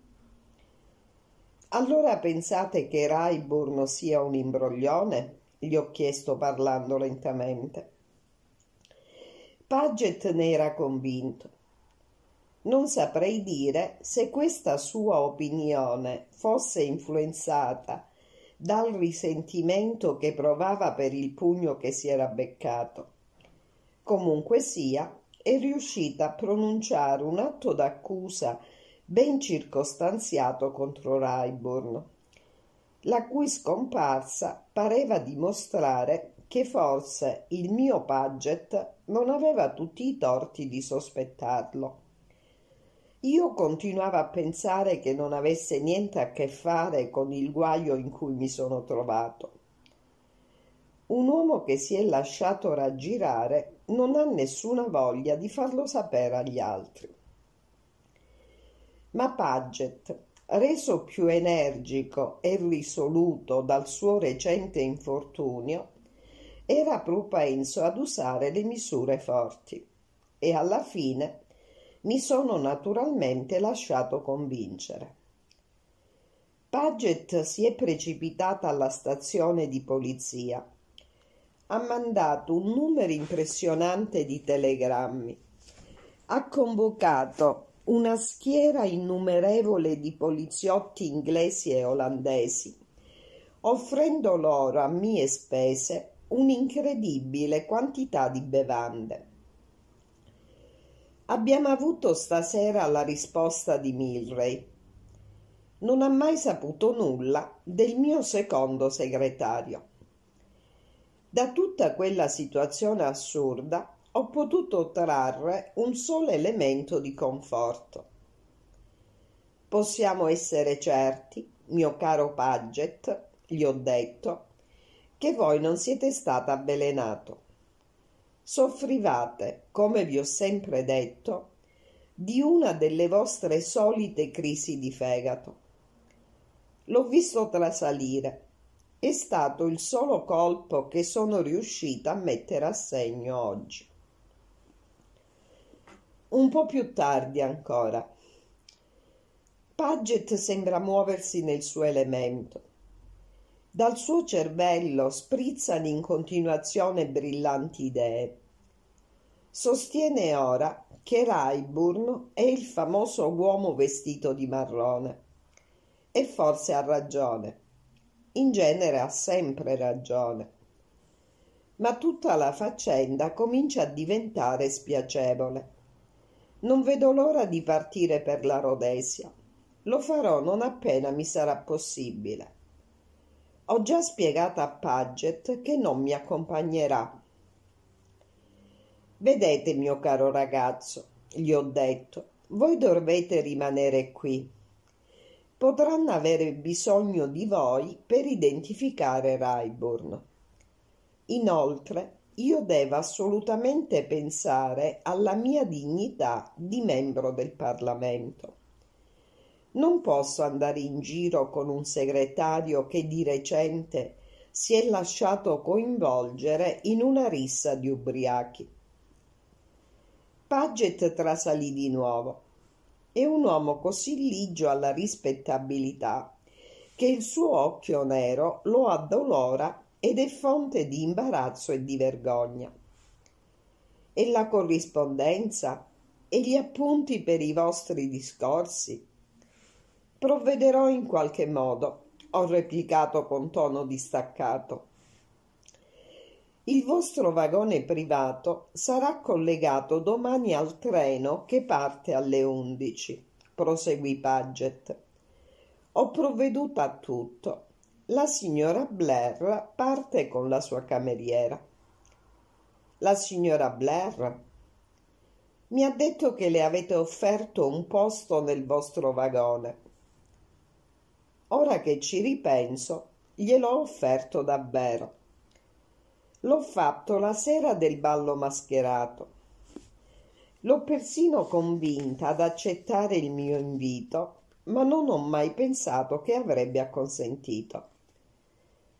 Per quanto simpatica, non so proprio se ho voglia di avere come compagnia di viaggio di andata e ritorno la signora Blair. Le donne hanno sempre bisogno di troppe attenzioni e a volte sono un impiccio ad averle tra i piedi.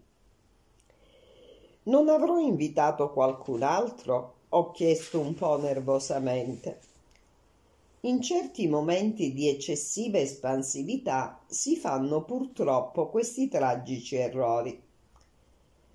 La signora Blair sembra credere che abbiate invitato anche il colonnello Reis. Mi è sfuggito un gemito. Se ho invitato il colonnello, dovevo proprio essere ubriaco, molto ubriaco. Datemi retta, Paget. Non dimenticate mai il vostro occhio nero Spero che vi ricordi sempre gli effetti deleteri dell'alcol. Sire Eustase, lo sapete, sono astemio. È meglio fare voto di temperanza quando si ha questa debolezza. Ditemi, Paget, non ho invitato qualcun altro? Non che io sappia, Sire Eustase. Ho respirato sollevato.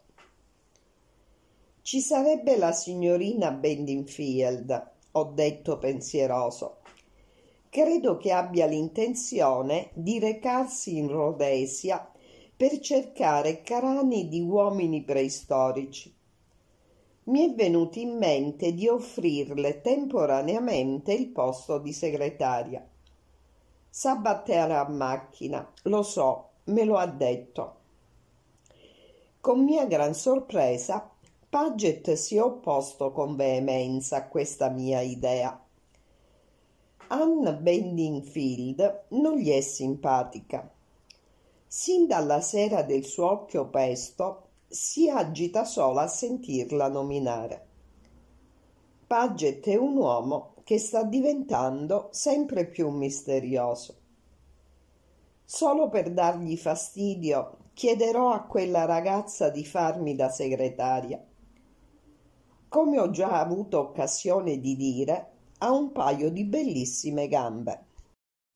Capitolo diciottesimo Riprende il racconto di Anna. Non dimenticherò mai, per quanto mi sia dato di vivere, l'incredibile visione della montagna della tavola. Mi ero svegliata prestissimo quel mattino e contravvenendo alle regole della vita di bordo, mi ero recata sul ponte delle barche perché sentivo che mi ci voleva un gesto di audacia per conquistare il piacere della solitudine.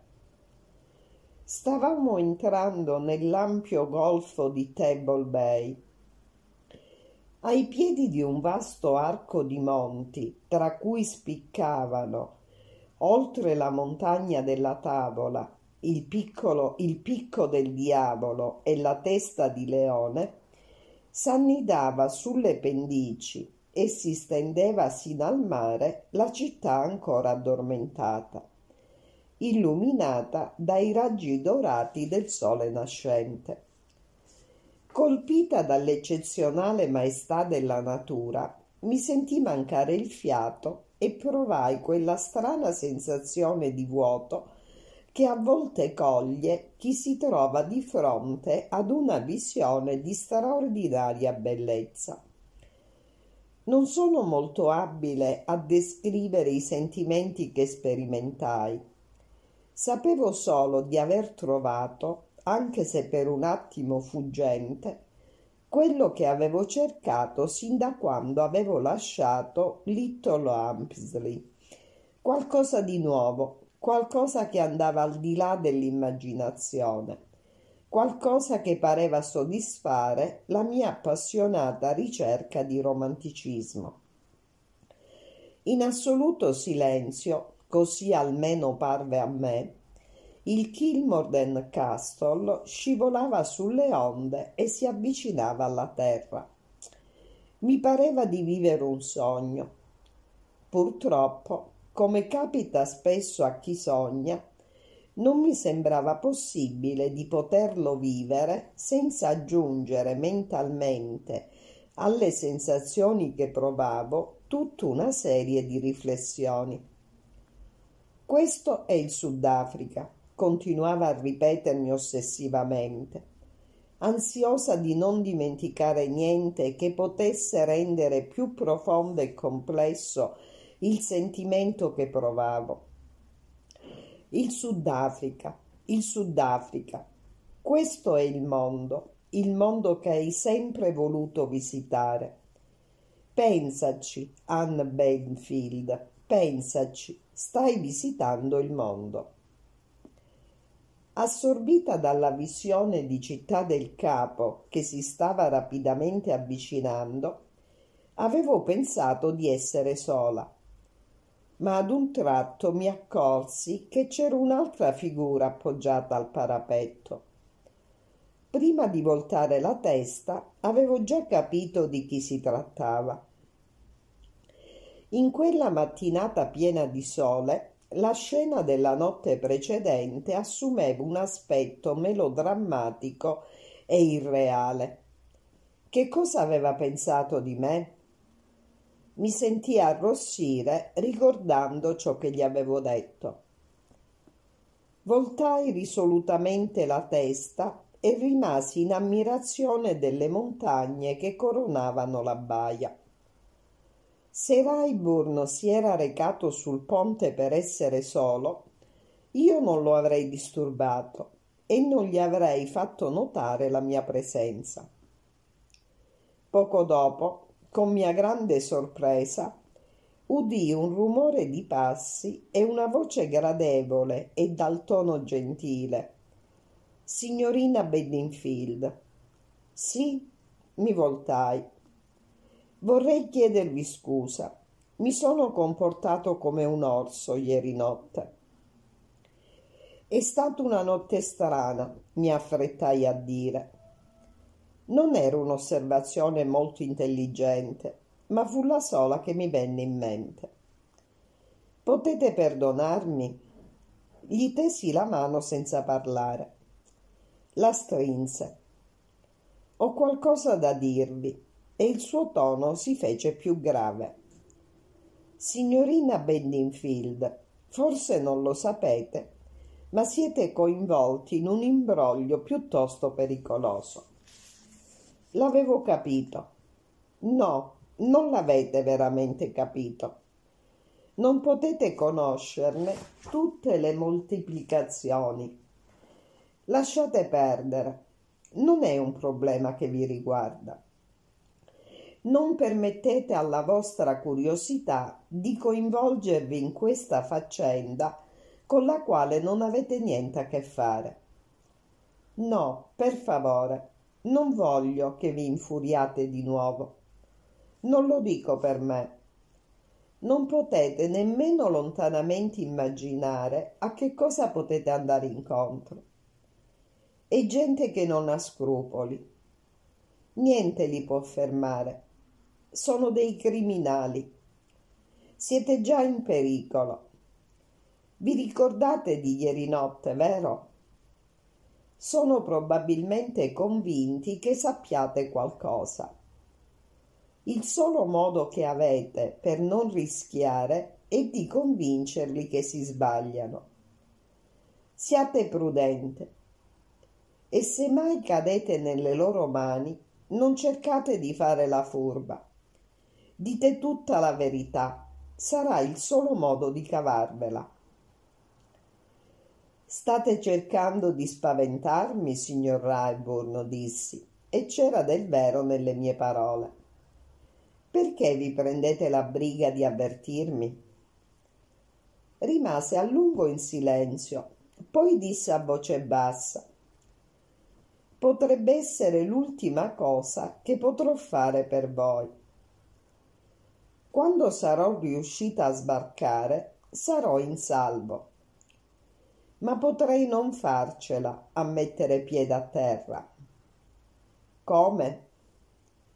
Temo che voi non siate la sola persona a bordo a sapere che sono l'uomo vestito di marrone. Se credete che sia stata io, cominciai a dire offesa, mi rassicurò con un sorriso. Non dubito di voi, signorina Bedingfield. Se ve l'ho fatto credere, ho mentito.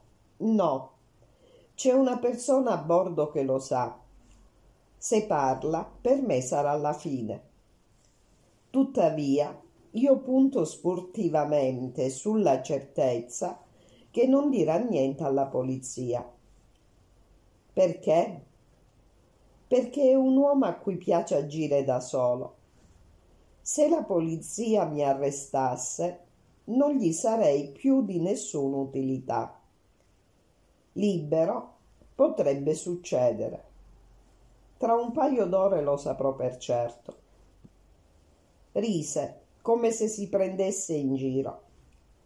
Ma mi accorsi che l'espressione del suo viso si era fatta cupa e determinata.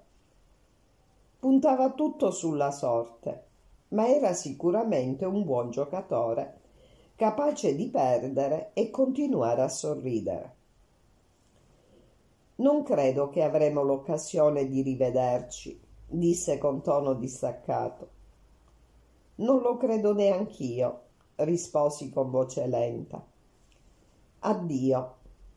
Risposi addio a mia volta, mentre lui mi stringeva la mano fissandomi negli occhi. Poi si voltò bruscamente e un attimo dopo mi lasciò.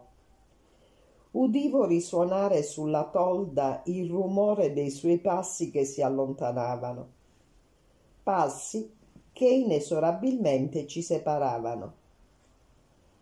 Le due ore che seguirono non furono affatto piacevoli.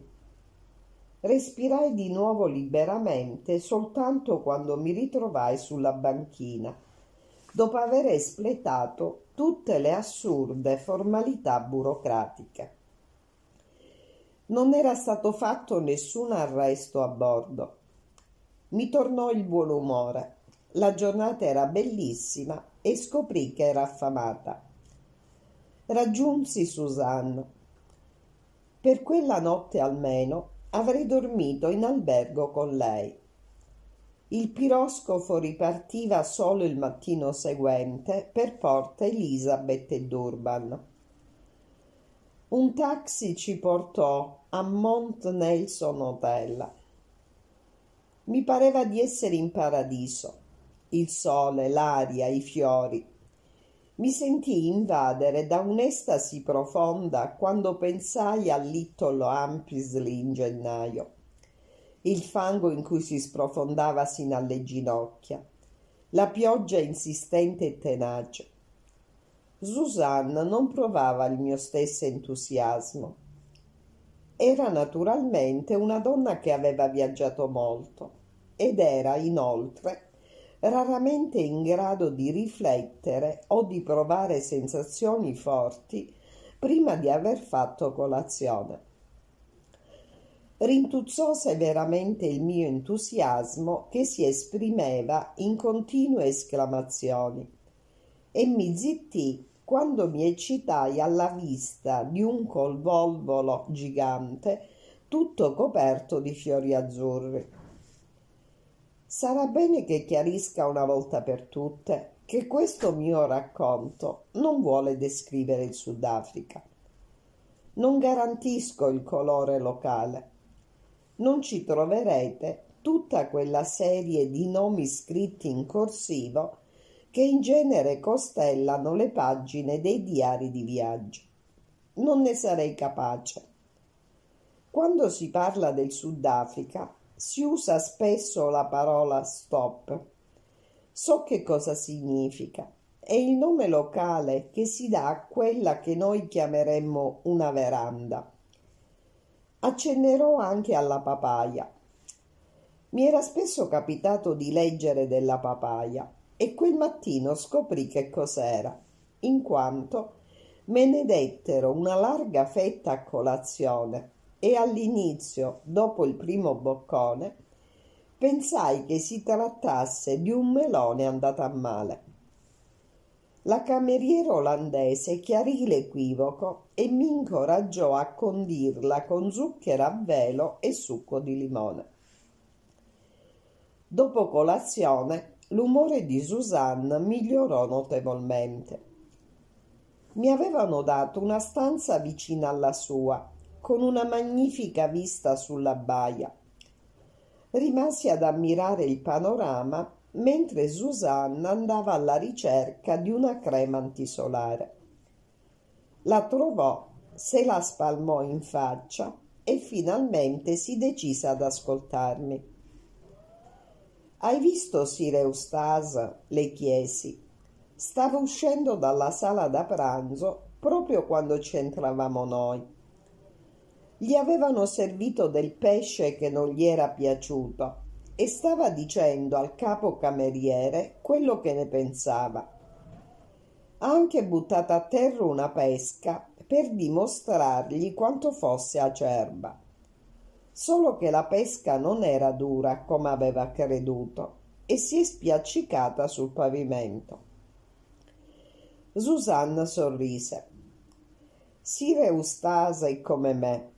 Non gli piace alzarsi all'alba, disse. A proposito, hai visto Paget? L'ho incontrato in corridoio. Avevo un occhio pesto. Chissà che cosa ha combinato ha solo cercato di buttarmi fuori bordo, le risposi disinvolta. Ero riuscita a scuotere la sua indifferenza. Susanna smise di spalmarsi il viso di crema e insistette per sapere tutto ciò che era successo. L'accontentai. Questa vicenda sta diventando sempre più misteriosa e confusa, esclamò deliziata. Credevo che mi fosse toccata la parte più facile e che ti saresti divertita molto più di me a seguire il reverendo Chichester. Ora non ne sono più così sicura. Spero che Paget non mi scaraventerà fuori dal vagone in una notte scura. Credo che tu sia ancora al di sopra di ogni sospetto, Susanna, ma se dovesse capitare il peggio, ti prometto che telegraferò a Clarence. A proposito di telegramma, questo mi fa venire in mente che devo spedirne uno. Passami un modulo. Che cosa posso dirgli? Coinvolta nel più elettrizzante mistero. Stop. Inviami subito mille sterline. Susanna. Per economizzare cercai di togliere ciò che non mi sembrava essenziale. Fatica sprecata. Susanna non sa nemmeno che cosa sia l'economia. Anzi, ripensandoci, ha aggiunto altre tre parole. Mi diverto immensamente. Susanna era stata invitata a pranzo da alcuni amici che vennero a prenderla verso le undici. Rimasi sola. Scesi in giardino, mi incamminai lungo un viale ombreggiato che portava alla strada principale. Passeggiai godendomi il sole osservando la gente di colore, soffermandomi davanti alle vetrine. Scoprì un locale dove vendevano un gelato squisito. Comprai un cestino di frutta e tornai in albergo. In portineria trovai un biglietto mandatomi dal direttore del museo aveva letto sul giornale locale che la figlia del defunto professor Bedingfield era venuta a Città del Capo con il Kilmorden Castle. Aveva conosciuto mio padre e lo aveva molto ammirato. Lui e sua moglie sarebbero stati molto felici di offrirmi quello stesso pomeriggio il tè nella loro villa a Muizenberg e mi dava le indicazioni necessarie. Mi fece piacere di sapere che il mio povero padre non era ancora stato dimenticato. Previdi che avrei dovuto fare una visita guidata del museo prima di lasciare Città del Capo, ma ero disposta a pagare quel modesto tributo per molti sarebbe stato un piacere, lo ammetto. Per me, invece, forse perché per anni gli studi di mio padre, la passione della sua vita, mi erano stati ammanniti mattino, mezzogiorno e sera, rappresentava solo un peso che ero però disposta a sopportare in ricordo del mio genitore. Misi il mio più bel cappello, Susanna lo aveva scartato e lo aveva donato a me. Indossai l'abito di lino meno strazionato e mi misi in cammino subito dopo il pranzo. Presi un treno rapido e dopo mezz'ora arrivai a Muizenberg. Il breve viaggio fu molto gradevole. La linea ferroviaria percorreva la base della montagna della tavola. Gli alberi e i fiori erano splendidi. Non essendo molto ferrati in geografia, non sapevo che Città del Capo era situata su una penisola. Fui dunque molto sorpresa quando, scendendo dal treno, mi accorsi che avevo ancora di fronte a me il mare. La spiaggia era piena di gente. Era ancora presto per il tè. Decisi di concedermi un bagno di mare. Molti giovani si lanciavano con il surf sulla cresta delle onde. Sembrava così facile. Ebbene, non lo è. Non dirò altro. Non volli mollare. Non mi piace dover riconoscere un insuccesso. Mi ostinai a riprovare. Poi, quasi per caso, presi l'onda giusta. Mi sentii trascinare da una forza sconosciuta e provai un momento di gioia esaltante. Con una certa difficoltà riuscì finalmente a trovare Villa Medici. Si ergeva isolata sul pendio della montagna, lontana dalle altre costruzioni. Suonai il campanello. Mi aprì la porta un indigeno sorridente. La signora Raffing, chiesi. Mi fece entrare e precedendomi andò ad aprire una porta. Proprio mentre stavo per oltrepassare la soglia, esitai. Provai un improvviso senso di inquietudine. La porta si richiuse alle mie spalle. Un uomo, seduto al tavolo, si alzò e mi venne incontro, la mano tesa.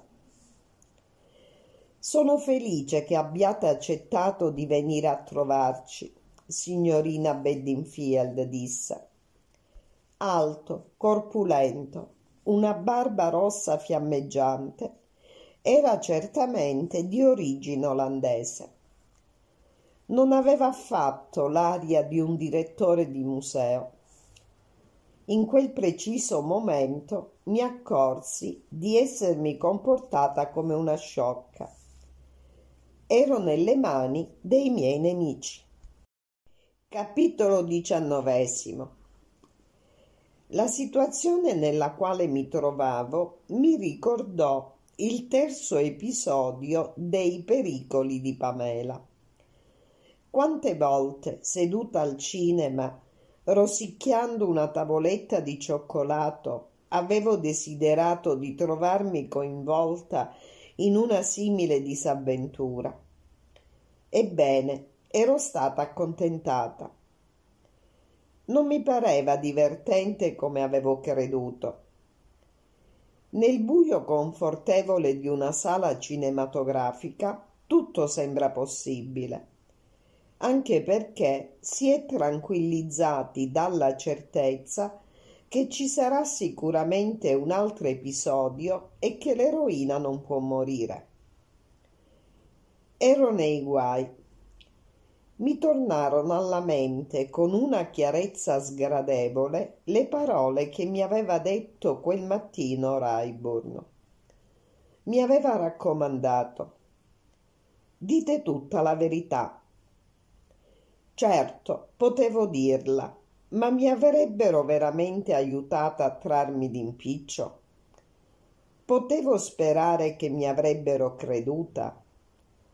Come pensare che menti pratiche potessero considerare probabile o possibile che mi fossi lanciata in quella folle impresa solo perché un foglietto di carta trovato per terra ai piedi di un uomo sospetto emanava un vago odore di naftalina?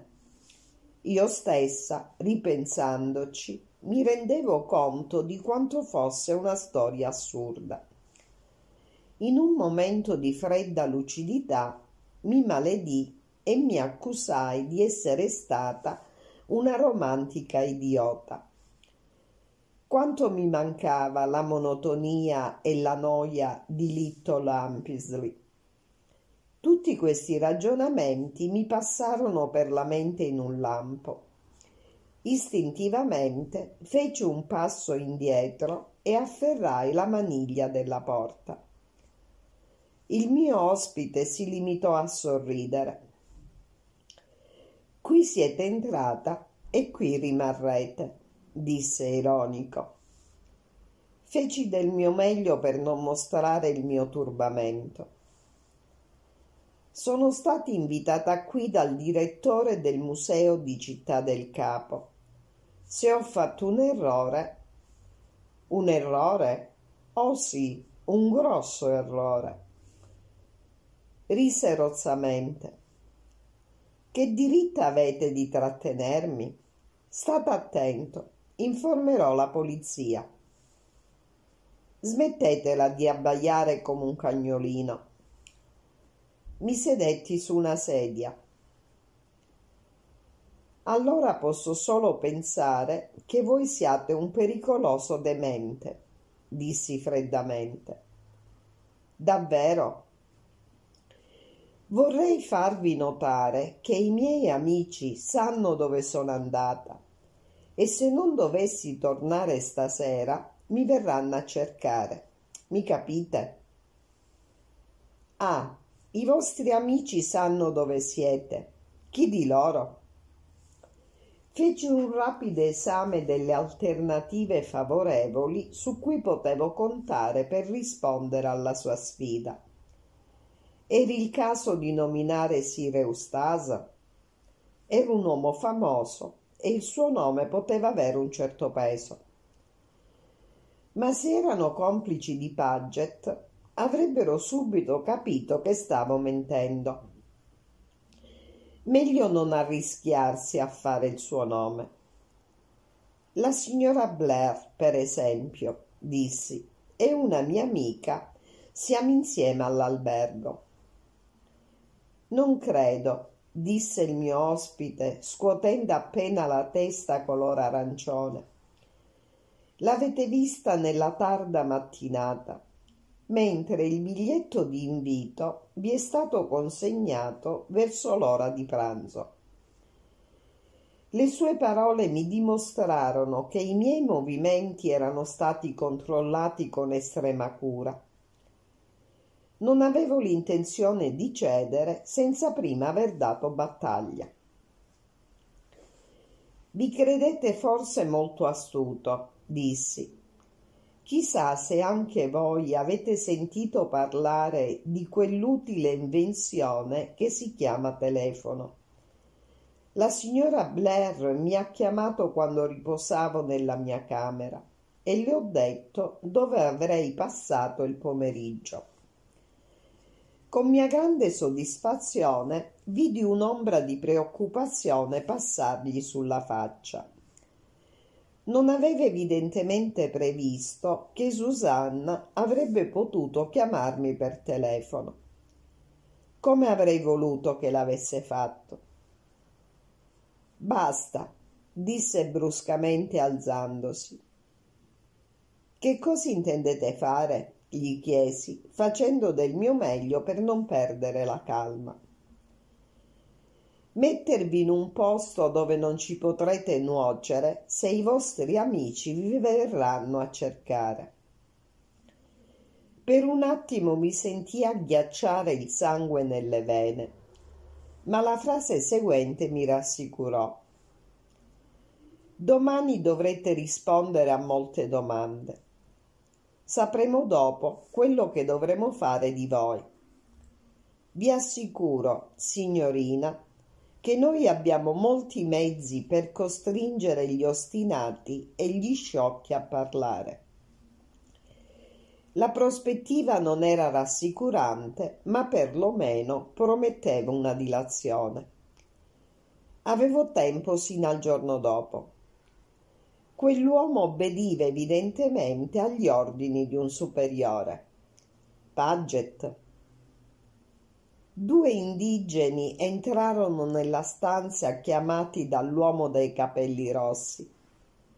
Nonostante cercassi di dibattermi e di resistere, mi afferrarono, mi imbavagliarono e riuscirono a legarmi mani e piedi. Mi trascinarono in una stanza all'ultimo piano, piccola e polverosa era evidente che quella soffitta non era mai stata abitata. L'olandese mi fece ironicamente un inchino, poi uscì richiudendosi la porta alle spalle.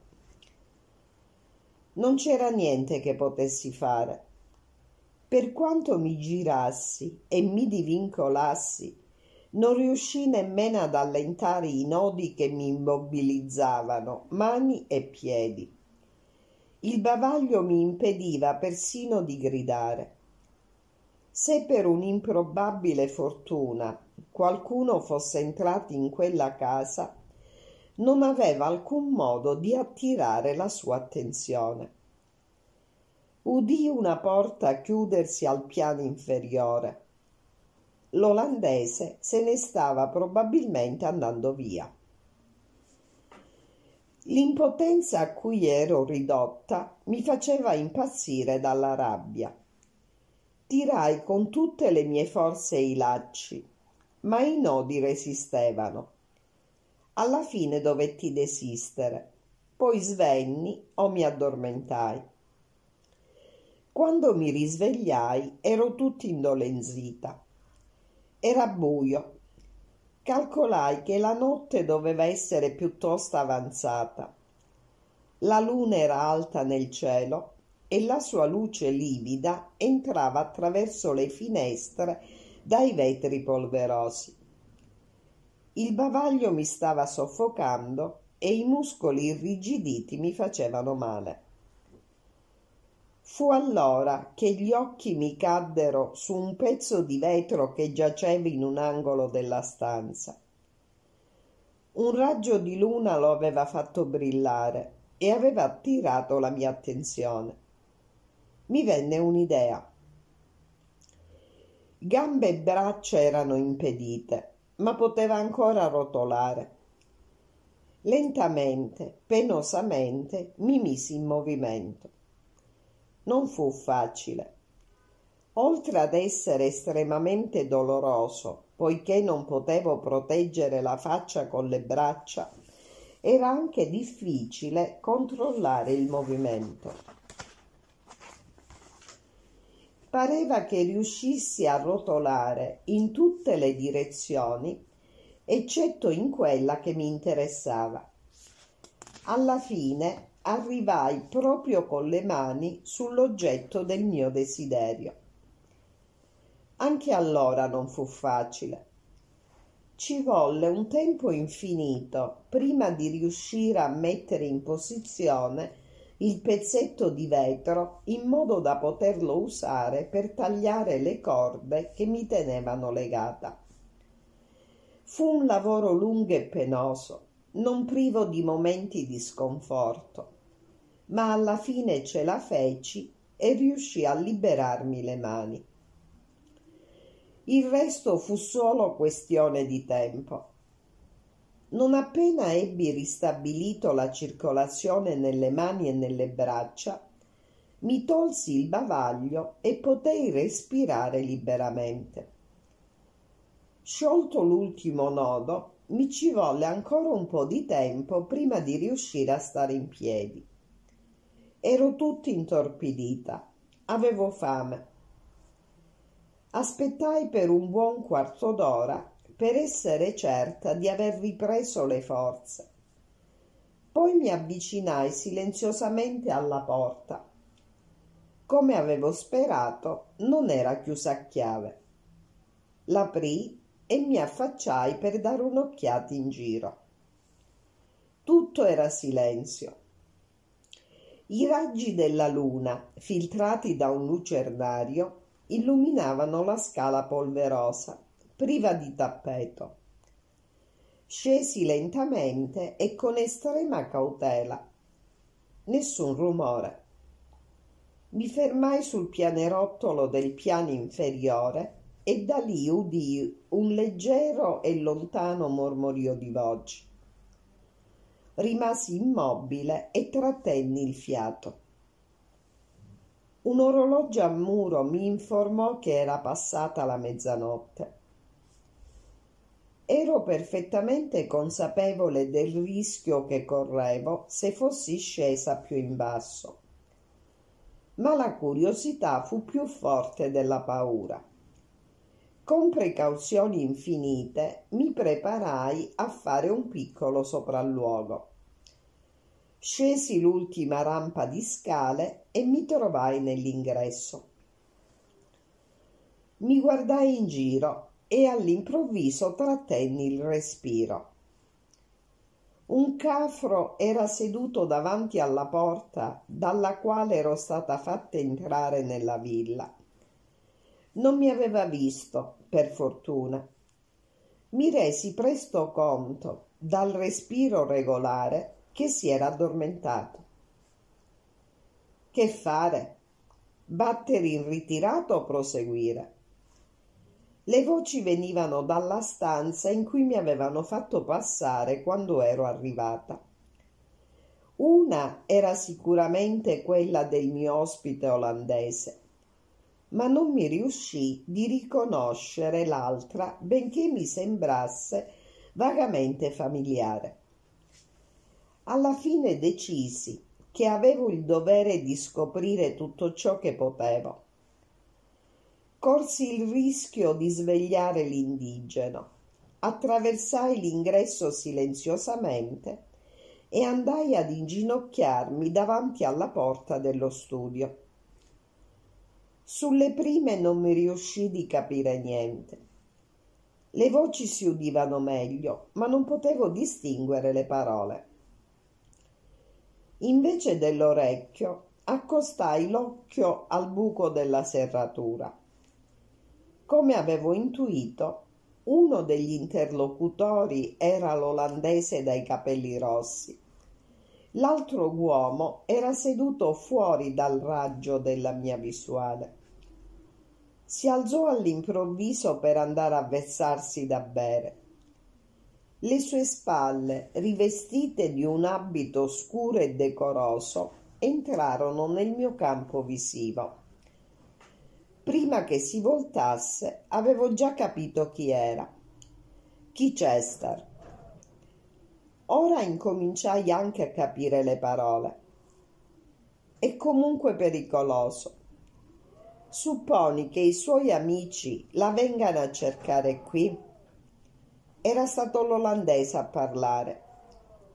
Chichester gli rispose aveva completamente abbandonato il tono di voce compunto. Per questa ragione non l'avevo riconosciuto subito. La ragazza ha mentito, non sanno assolutamente dove si trova.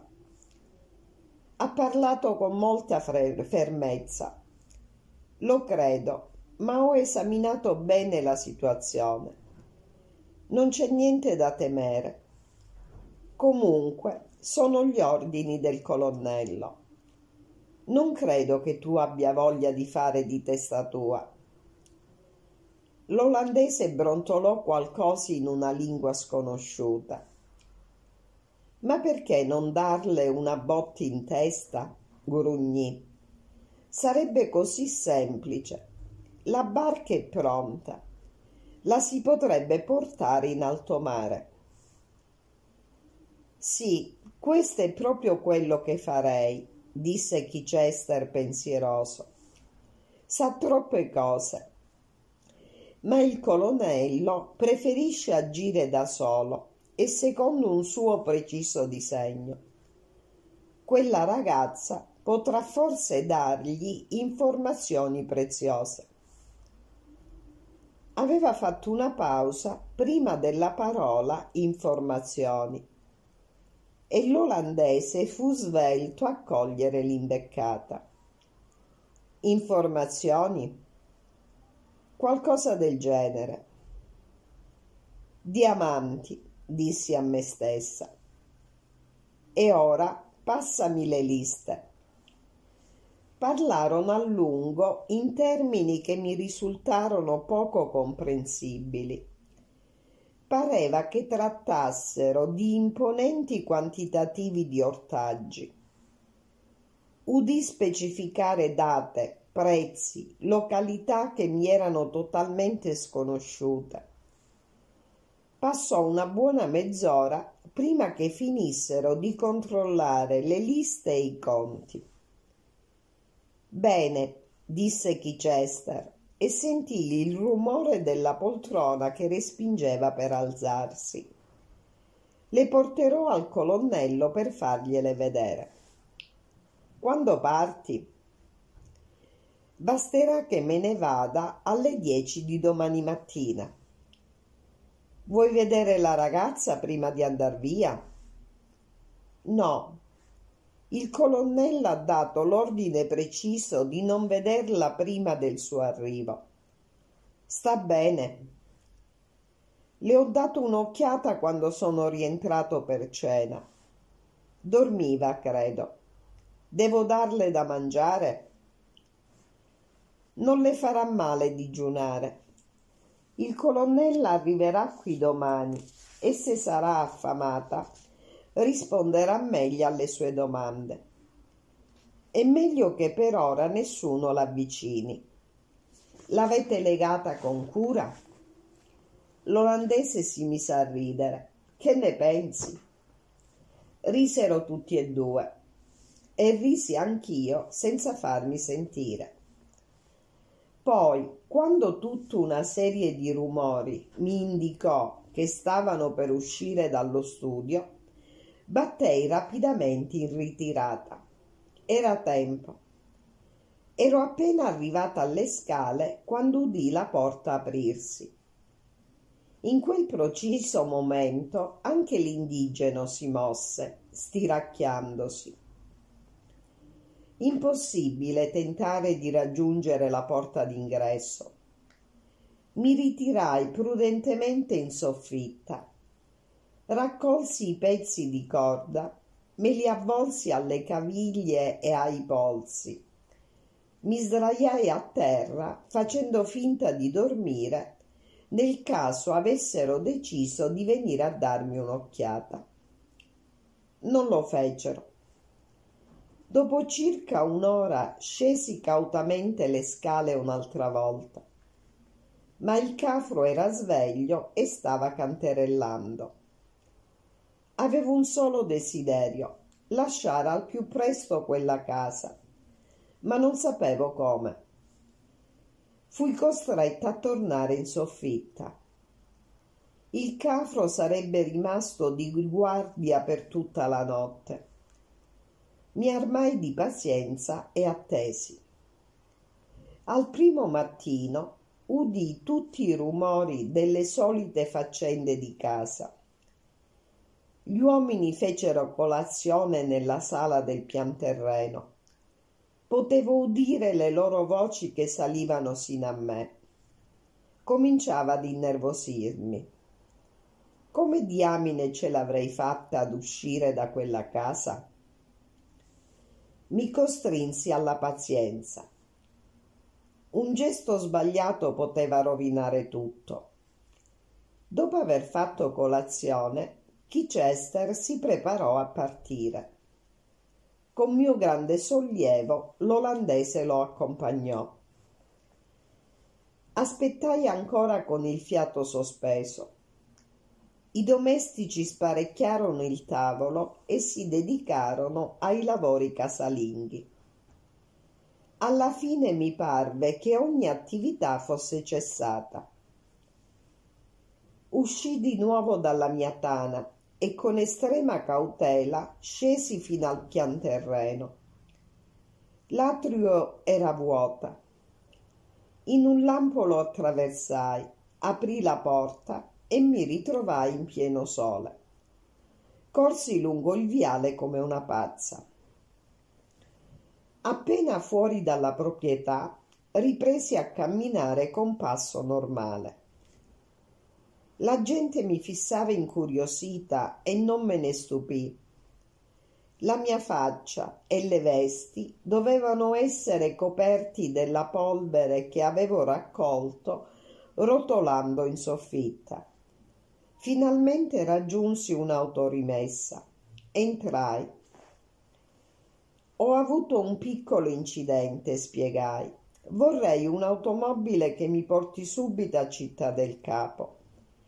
Devo riuscire a prendere il piroscafo per Durban. Dieci minuti dopo ero su un'automobile che filava rapida in direzione di Città del Capo. Doveva accertarmi che Chichester si fosse veramente imbarcato. Non sapeva ancora se mi sarei imbarcata anch'io o se sarei rimasta. Non riusciva a decidermi. Alla fine pensai che fosse più giusto partire anch'io.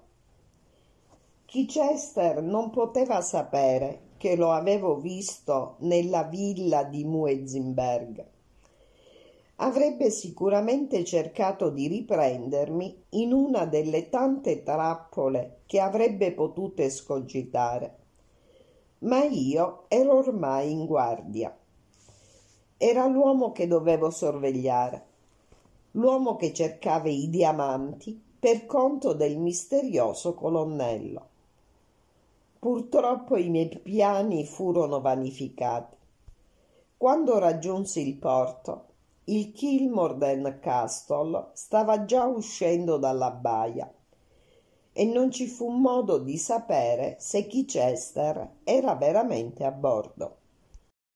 Capitolo XX Mi feci portare in automobile sino all'albergo non c'era nessuno che conoscessi nell'atrio. Così corsi al piano superiore e andai subito a bussare alla porta di Susanna. La sua voce mi disse di entrare. Appena mi vide, mi balzò incontro e mi abbracciò. Anna, mia cara, dove sei stata? Ero folle di preoccupazione. Che cosa diamine hai fatto? Sono stata in balia dell'avventura, le risposi.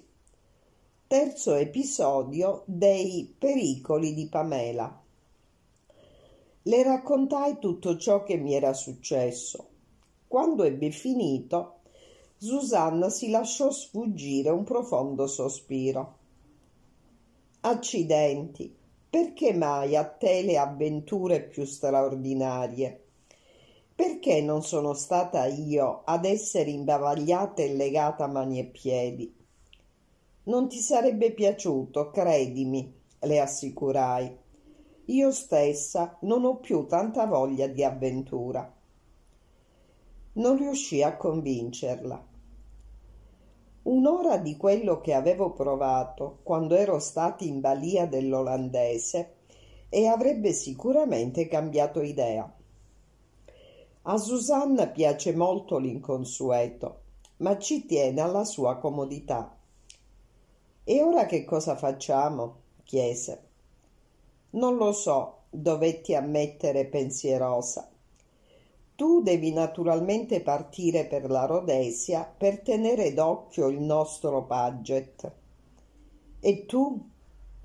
Questa era proprio la difficoltà in cui mi dibattevo. Chichester era veramente partito per Durban come era sua intenzione?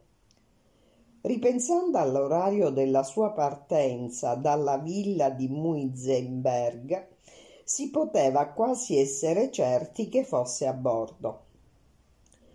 Avrei potuto prendere un treno e raggiungere Durban forse prima dell'arrivo del piroscafo. D'altra parte, se avessero telegrafato la notizia della mia fuga a Chichester, avrebbero potuto anche fargli sapere che ero partita in treno per raggiungerlo. Gli sarebbe quindi stato facile scendere a Port Elizabeth o a East London e sparire nel nulla. Il problema era complesso. Informiamoci comunque sull'orario dei treni per Durban, dissi. Non è troppo tardi per prendere il tè, disse Susanna. Scendiamo in sala mi informarono che il treno per Durban partiva la sera alle 8.15. Rimandai la decisione e raggiunsi Susanna per un tardivo tè del mattino.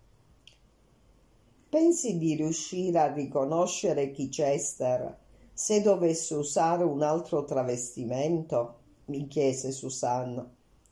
Scossi la testa sfiduciata non l'ho assolutamente riconosciuto quando si è travestito da cameriera e non mi sarei accorta che era lui senza il tuo disegno. Quell'uomo deve essere un attore, disse Susanna pensierosa. Sa truccarsi magnificamente bene. Potrebbe scendere dal piroscafo dopo aver assunto un aspetto totalmente diverso e tu non ce la faresti mai a riconoscerlo. Sei molto incoraggiante. In quel preciso momento il colonnello Reis entrò da una porta finestra e ci raggiunse. Sapete che cosa stia facendo Sir Eustace? gli chiese Susanna. No, non ho ancora avuto l'occasione di vederlo. Un'espressione strana apparve sulla faccia del colonnello gli è capitato un guaio che lo tiene molto occupato. Per favore, raccontateci tutto. Non posso. Andiamo, colonnello, raccontateci qualcosa, anche se dovrete inventarlo. Beh, che ne direste se il famoso uomo vestito di marrone avesse fatto il viaggio con noi sul Kilmorden Castle? Cosa? Mi sentii prima impallidire, poi arrossire. Per fortuna il colonnello non mi stava guardando. In tutti i porti la polizia era allerta, ma lui è riuscito, con l'inganno, a convincere Pedler ad assumerlo come segretario. Paget. No, non Paget, l'altro quello che si fa chiamare Rayburn. L'hanno arrestato? chiese Susanna. Sotto il tavolo mi strinse la mano per rassicurarmi. Aspettai innanzi alla risposta. Sembra svanito nel nulla. Come l'ha presa Sir Eustace? Lo considera uno sgarbo che il destino ha fatto alla sua persona. Più tardi avemmo l'occasione di ascoltare direttamente da Sir Eustace la sua opinione sulla sgradevole faccenda. Ci eravamo appena svegliate dopo un sonnellino corroborante quando un commesso ci portò un invito di Sir Eustace ad un tè pomeridiano. In termini commoventi ci pregava di raggiungerlo in salotto. Il pover'uomo era in uno stato pietoso. Ci raccontò la sua disavventura incoraggiato dalla comprensione di Susanna. Prima di tutto, una donna, una sconosciuta, ha l'improntitudine di farsi strangolare nella mia casa, con l'unico scopo, credo, di importunarmi. Perché la mia casa? perché tra tutte le case del Regno Unito ha dovuto scegliere proprio Millhouse? Che male ho fatto a quella donna perché dovesse farsi ammazzare proprio lì? Susanne espresse con un vago mormorio la sua comprensione e Sir Eustace proseguì con un tono di voce sempre più lagnoso. Ma non è tutto. L'uomo che l'ha uccisa ha la sfacciataggine, la colossale impudenza di farsi assumere come segretario. Come mio segretario. Incredibile. Sono stufo di segretari. Non avrò mai più segretari. O sono brutali assassini o sono stolti ubriaconi. Avete visto l'occhio pesto di Paget? Certo, non si può non vedere come si è ridotto. La sua faccia sta assumendo un colorito viola e giallognolo che non si armonizza affatto al nero che circonda l'occhio. Non voglio più segretari, a meno che non trovi una ragazza, una cara ragazza, una bella ragazza dagli occhi glauchi una ragazza che mi tenga per mano quando sono irritato. Signorina Bedingfield, accettate la mia offerta di lavoro, per favore. Quante volte al giorno dovrei tenervi per mano? gli chiesi ridendo. Per tutto il giorno, mi rispose galantemente Sir Eustaso. Non avrò molto tempo per battere a macchina. Che importa? È Paget che ha la smania del lavoro. Mi ha fatto sgobbare come un negro. Non vedo l'ora di lasciarlo a Città del Capo e partire per la Rhodesia. Rimane qui? Sì, e sono certo che si divertirà immensamente a dare la caccia a Raiburn. È un compito che gli si addice. Adora gli intrighi. La mia è un'offerta seria. Non volete venire? Sarete insieme alla signora Blair e di tanto in tanto avrete un po' di giorni di vacanza che vi permetteranno di fare scavi e cercare crani. Vi ringrazio, Sir Eustace, dissi prudentemente, ma è probabile che io parta stasera per Durban. Non siate ostinata, ragazza mia. Ricordatevi che in Rhodesia ci sono molti leoni. Vi piaceranno i leoni. A tutte le ragazze piacciono i leoni. Credete che si stiano ancora esercitando a fare balzi adeguati? gli chiesi ridendo. No, grazie, Sir Eustace, ma devo andare a Durban. Sir Eustace mi fissò, sospirò profondamente, poi andò ad aprire la porta che dava su un'altra sala e chiamò Paget. Se avete terminato il vostro riposo pomeridiano, mio caro giovanotto, forse non vi peserà di fare un po' di lavoro. Guy Paget apparve sulla soglia.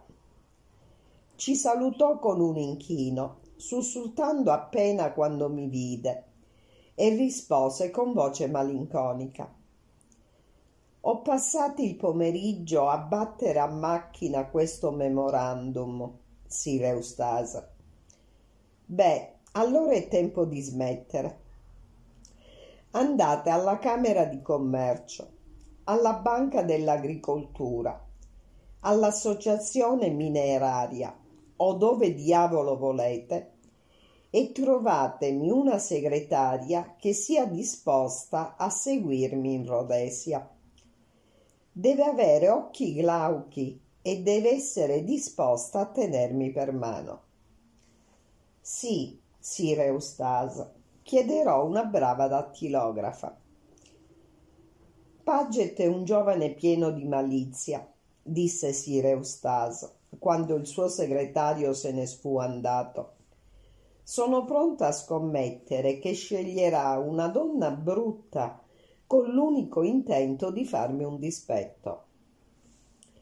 Attirai l'attenzione di Susanna e la trascinai quasi a forza nella sua stanza. Susanna, le dissi sovraeccitata, dobbiamo rivedere i nostri piani e lo dobbiamo fare presto. Paget rimane a Città del Capo, glielo hai sentito dire, vero? Sì, certo. Suppongo che adesso non potrò più partire per la Rhodesia. Mi dispiace, avevo proprio voglia di andarci. Che seccatura. Non ti abbattere, la rassicurai. Devi partire. Non puoi cambiare idea all'ultimo momento senza destare sospetti. Inoltre, Paget potrebbe essere richiamato improvvisamente da Sir Eustace e allora ti sarebbe molto difficile seguirlo. Non sarebbe affatto rispettabile, disse Susanna ridendo, e per convincerlo dovei, dovrei fingere di essere in preda ad una passione fatale. Mentre se tu fossi già lì, la tua presenza sarebbe, sembrerebbe naturale. Inoltre, non credo che sia prudente perdere di vista gli altri due. Oh, Anne, non sospetterai di Sir Eustace e del colonnello Reis. Sospetto di tutti, dissi cupamente. E se tu avessi letto più romanzi polizieschi, Susanna, dovresti sapere che il colpevole è sempre la persona meno sospettabile. Molti crimini, molti criminali hanno l'aspetto bonario di un uomo grassoccio come Sir Eustaso. Il colonnello Reis non è né grasso né gioviale. A volte sono anche snelli e taciturni, ribattei. Non dico di sospettare seriamente né l'uno né l'altro. Ma dopo tutto quella donna è stata assassinata in casa di Sir Eustasa. Sì, sì, è inutile tornare sull'argomento. Te lo terrò d'occhio, Anna. E se dovesse ingrassare e diventare più gioviale e bonario, ti manderò subito un telegramma. Sir è sta ingrassando, molto sospetto. Vieni. Susanne, per favore, esclamai, non prenderlo come un gioco. Sì, è vero, ammise Susanne imperterrita. Ma come non farlo? È colpa tua. Mi sono lasciata trascinare dal tuo desiderio d'avventura. Quello che succede non mi sembra reale. Povera me, se Clarence dovesse sapere che me ne vado in giro per l'Africa sulle tracce di pericolosi criminali, gli verrebbe un colpo apoplettico. Perché non gli mandi un telegramma? Le chiesi sarcastica. Quando si parla di telegrammi, Suzanne perde completamente il suo senso dell'umorismo. Prese seriamente in considerazione la mia proposta. Potrei, ma dovrà essere un lunghissimo telegramma. I suoi occhi brillarono al pensiero. Ma penso che sia meglio che non lo faccia. I mariti hanno la pessima abitudine di interferire in questi piccoli divertimenti innocenti. Beh, dissi, riassumendo la situazione, tu sorveglierai Sir Eustasa e il colonnello Reis. So perché devo sorvegliare Sir Eustasa, mi interruppe Susanne, a causa della sua corporatura e della sua conversazione ironica. Ma temo che tu stia esagerando a proposito del colonnello Reis. Ricordati che fa parte del servizio segreto Così almeno si dice. Credo proprio, Anna, che dovremmo avere fiducia in lui. Perché non gli raccontiamo tutto? Mi opposi vigorosamente alla sua proposta. Susanna alla fine mi promise di non confidarsi con il colonnello Reis e continuammo a fare i nostri piani. È evidente che io devo rimanere qui per sorvegliare Paget. E il miglior modo di riuscire in questo intento è di fingere di partire per Durban stasera, portandomi via tutti i bagagli. Invece andrò naturalmente in un alberghetto. Modificherò un po' il mio aspetto. Metterò una parrucca bionda, un foulard in testa mi sarà più facile capire qual è il suo gioco se Paget mi crederà lontana. Susanna approvò il mio piano con entusiasmo. Ostentai i miei preparativi, chiesi un'altra volta l'orario del treno per Durban e rifeci il baule. Cenammo in albergo. Il colonnello Reis non si fece vedere ma Sir Eustasa e Paget erano seduti al loro tavolo, vicino alla finestra. A metà pasto Paget lasciò il tavolo. Ne fui molto seccata. Avevo progettato di salutarlo. Comunque, Sir Eustace poteva bastare. Quando terminai la cena, mi alzai e andai al suo tavolo. Arrivederci, Sir Eustace, gli dissi. Parto stasera per Durban. Sir Eustace sospirò. Siete sicura di non avere voglia di venire con me? Mi farebbe piacere. Come siete gentile. Siete certa di non cambiare idea e di non aver voglia di dare un'occhiata ai leoni della Rhodesia? Ne sono certa. Deve essere proprio un bel giovane, disse in tono lagnoso Sir Eustace. Uno di quei giovani audaci e atletici che mettono in ombra il mio fascino di uomo maturo. A proposito, Paget deve recarsi in centro in automobile tra un paio di minuti. Potrebbe accompagnarvi alla stazione. Oh no, grazie, ribattei in fretta. La signora Blair ed io abbiamo già ordinato il taxi. Andare alla stazione con Paget era proprio l'ultimo dei miei desideri. Sir Eustace mi fissò attentamente. Paget non vi è simpatico, vero? Non vi biasio, no. È un povero asino pieno di sussiego che se ne va in giro con quella sua aria da martire, sempre pronto ad irritarmi per la sua insistenza e a farmi dispetto. Che cosa vi ha combinato? gli chiesi incuriosita. Mi ha trovato una segretaria. Che donna! Quarant'anni, occhiali, scarpe pratiche, un'aria di efficienza che mi farà morire di orrore. Brutta come il peccato. Non acconsente a tenervi per mano? Spero che non lo faccia mai esclamò Sir Eustace. Sarebbe il colmo. Arrivederci, occhi glauchi. Se dovessi abbattere un leone, non vi regalerò la sua pelle. Mi avete vilmente abbandonato. Mi strinse la mano con calore e lo lasciai. Susanne mi stava aspettando nel salone d'ingresso era pronta ad accompagnarmi.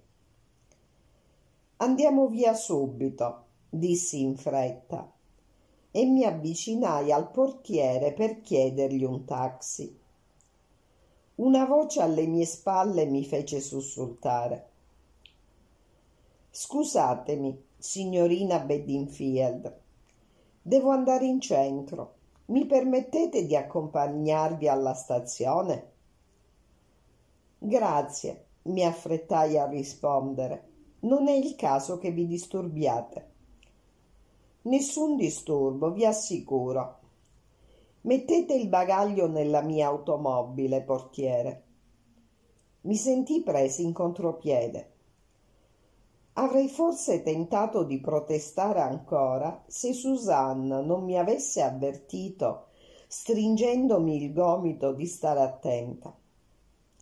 Grazie, signor Paget, dissi freddamente. Salimmo tutti e tre in auto. Mentre la macchina correva veloce, mi scervellavo per trovare qualcosa da dire. Alla fine fu lo stesso Paget a interrompere il silenzio.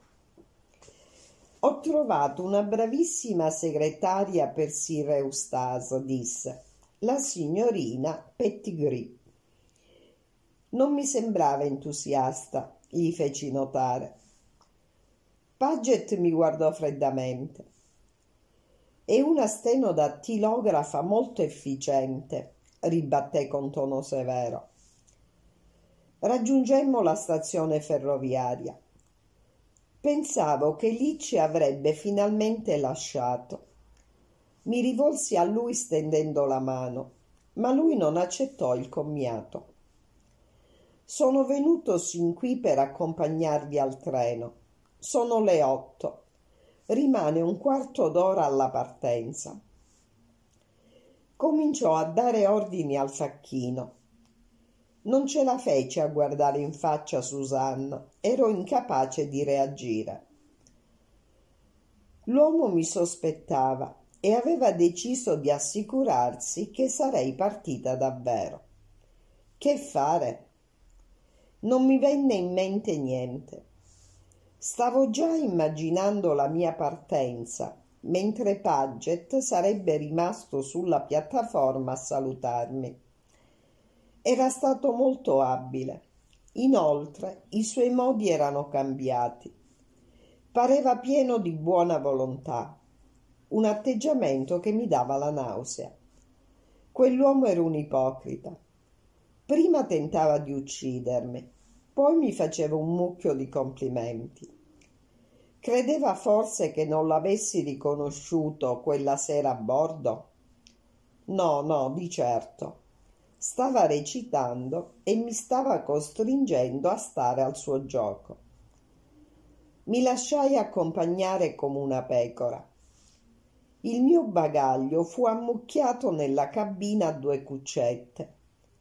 Erano le otto e venti. Mancavano due minuti alla partenza. Ma Paget non aveva fatto i conti con l'abilità di Susanna. Sarà un viaggio terribilmente caldo, Anna, disse all'improvviso specie quando domani attraverserete carro. Ti sei portato un po' d'acqua di colonia, vero? Capì al volo. Oh, povera me, esclamai. Ho lasciato l'acqua di colonia nel bagno dell'albergo. L'abitudine al comando che caratterizzava la mia amica ci fu di estrema utilità. Paget, presto, Abbiamo appena il tempo. C'è una farmacia proprio davanti alla stazione.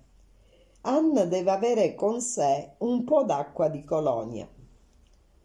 Lui esitò, ma i modi imperiosi di Susanna lo costrinsero a cedere. Susanna è un'autocrate nata. Paget si allontanò rapidamente. Susanna lo seguì con gli occhi sino a quando la sua persona sparì alla vista. Presto, Anna, scendi dal lato opposto, nel caso non se ne sia veramente andato e ci stia osservando da lontano. Lascia stare il bagaglio, puoi sempre recuperarlo mandando domani un telegramma. Speriamo che il treno parti in orario. Aprì lo sportello sul lato opposto della piattaforma e scesi. Nessuno stava osservandomi. Mi nascosi. Vedevo Susanna ferma dove l'avevo lasciata, il viso sollevato verso il finestrino, come se stesse parlando con me. Un fischio lacerò, lacerò l'aria. Il treno si mosse. Solo allora udì lo scalpiccio di passi che correvano lungo la piattaforma. Mi ritirai all'ombra di un'edicola e rimasi lì ad osservare.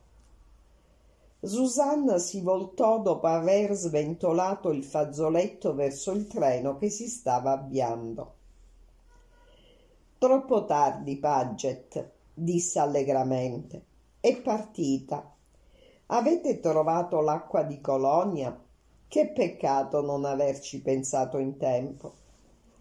Uscendo dalla stazione mi passarono a pochi metri di distanza. Paget era molto accaldato. Aveva evidentemente fatto una corsa per andare in farmacia e tornare. Volete che vi chiami un taxi, signora Blair? Susanna continuò a recitare il suo ruolo. Sì, grazie. Avete molto da fare per Sir Eustaso? Come avrei voluto che la signorina Bedingfield avesse accettato di venire con noi in Rhodesia. Non mi va di saperla viaggiare da sola sino a Durban, ma di certo c'era qualcosa o qualcuno che l'ha attirata. Non udì più nulla, erano ormai troppo lontani.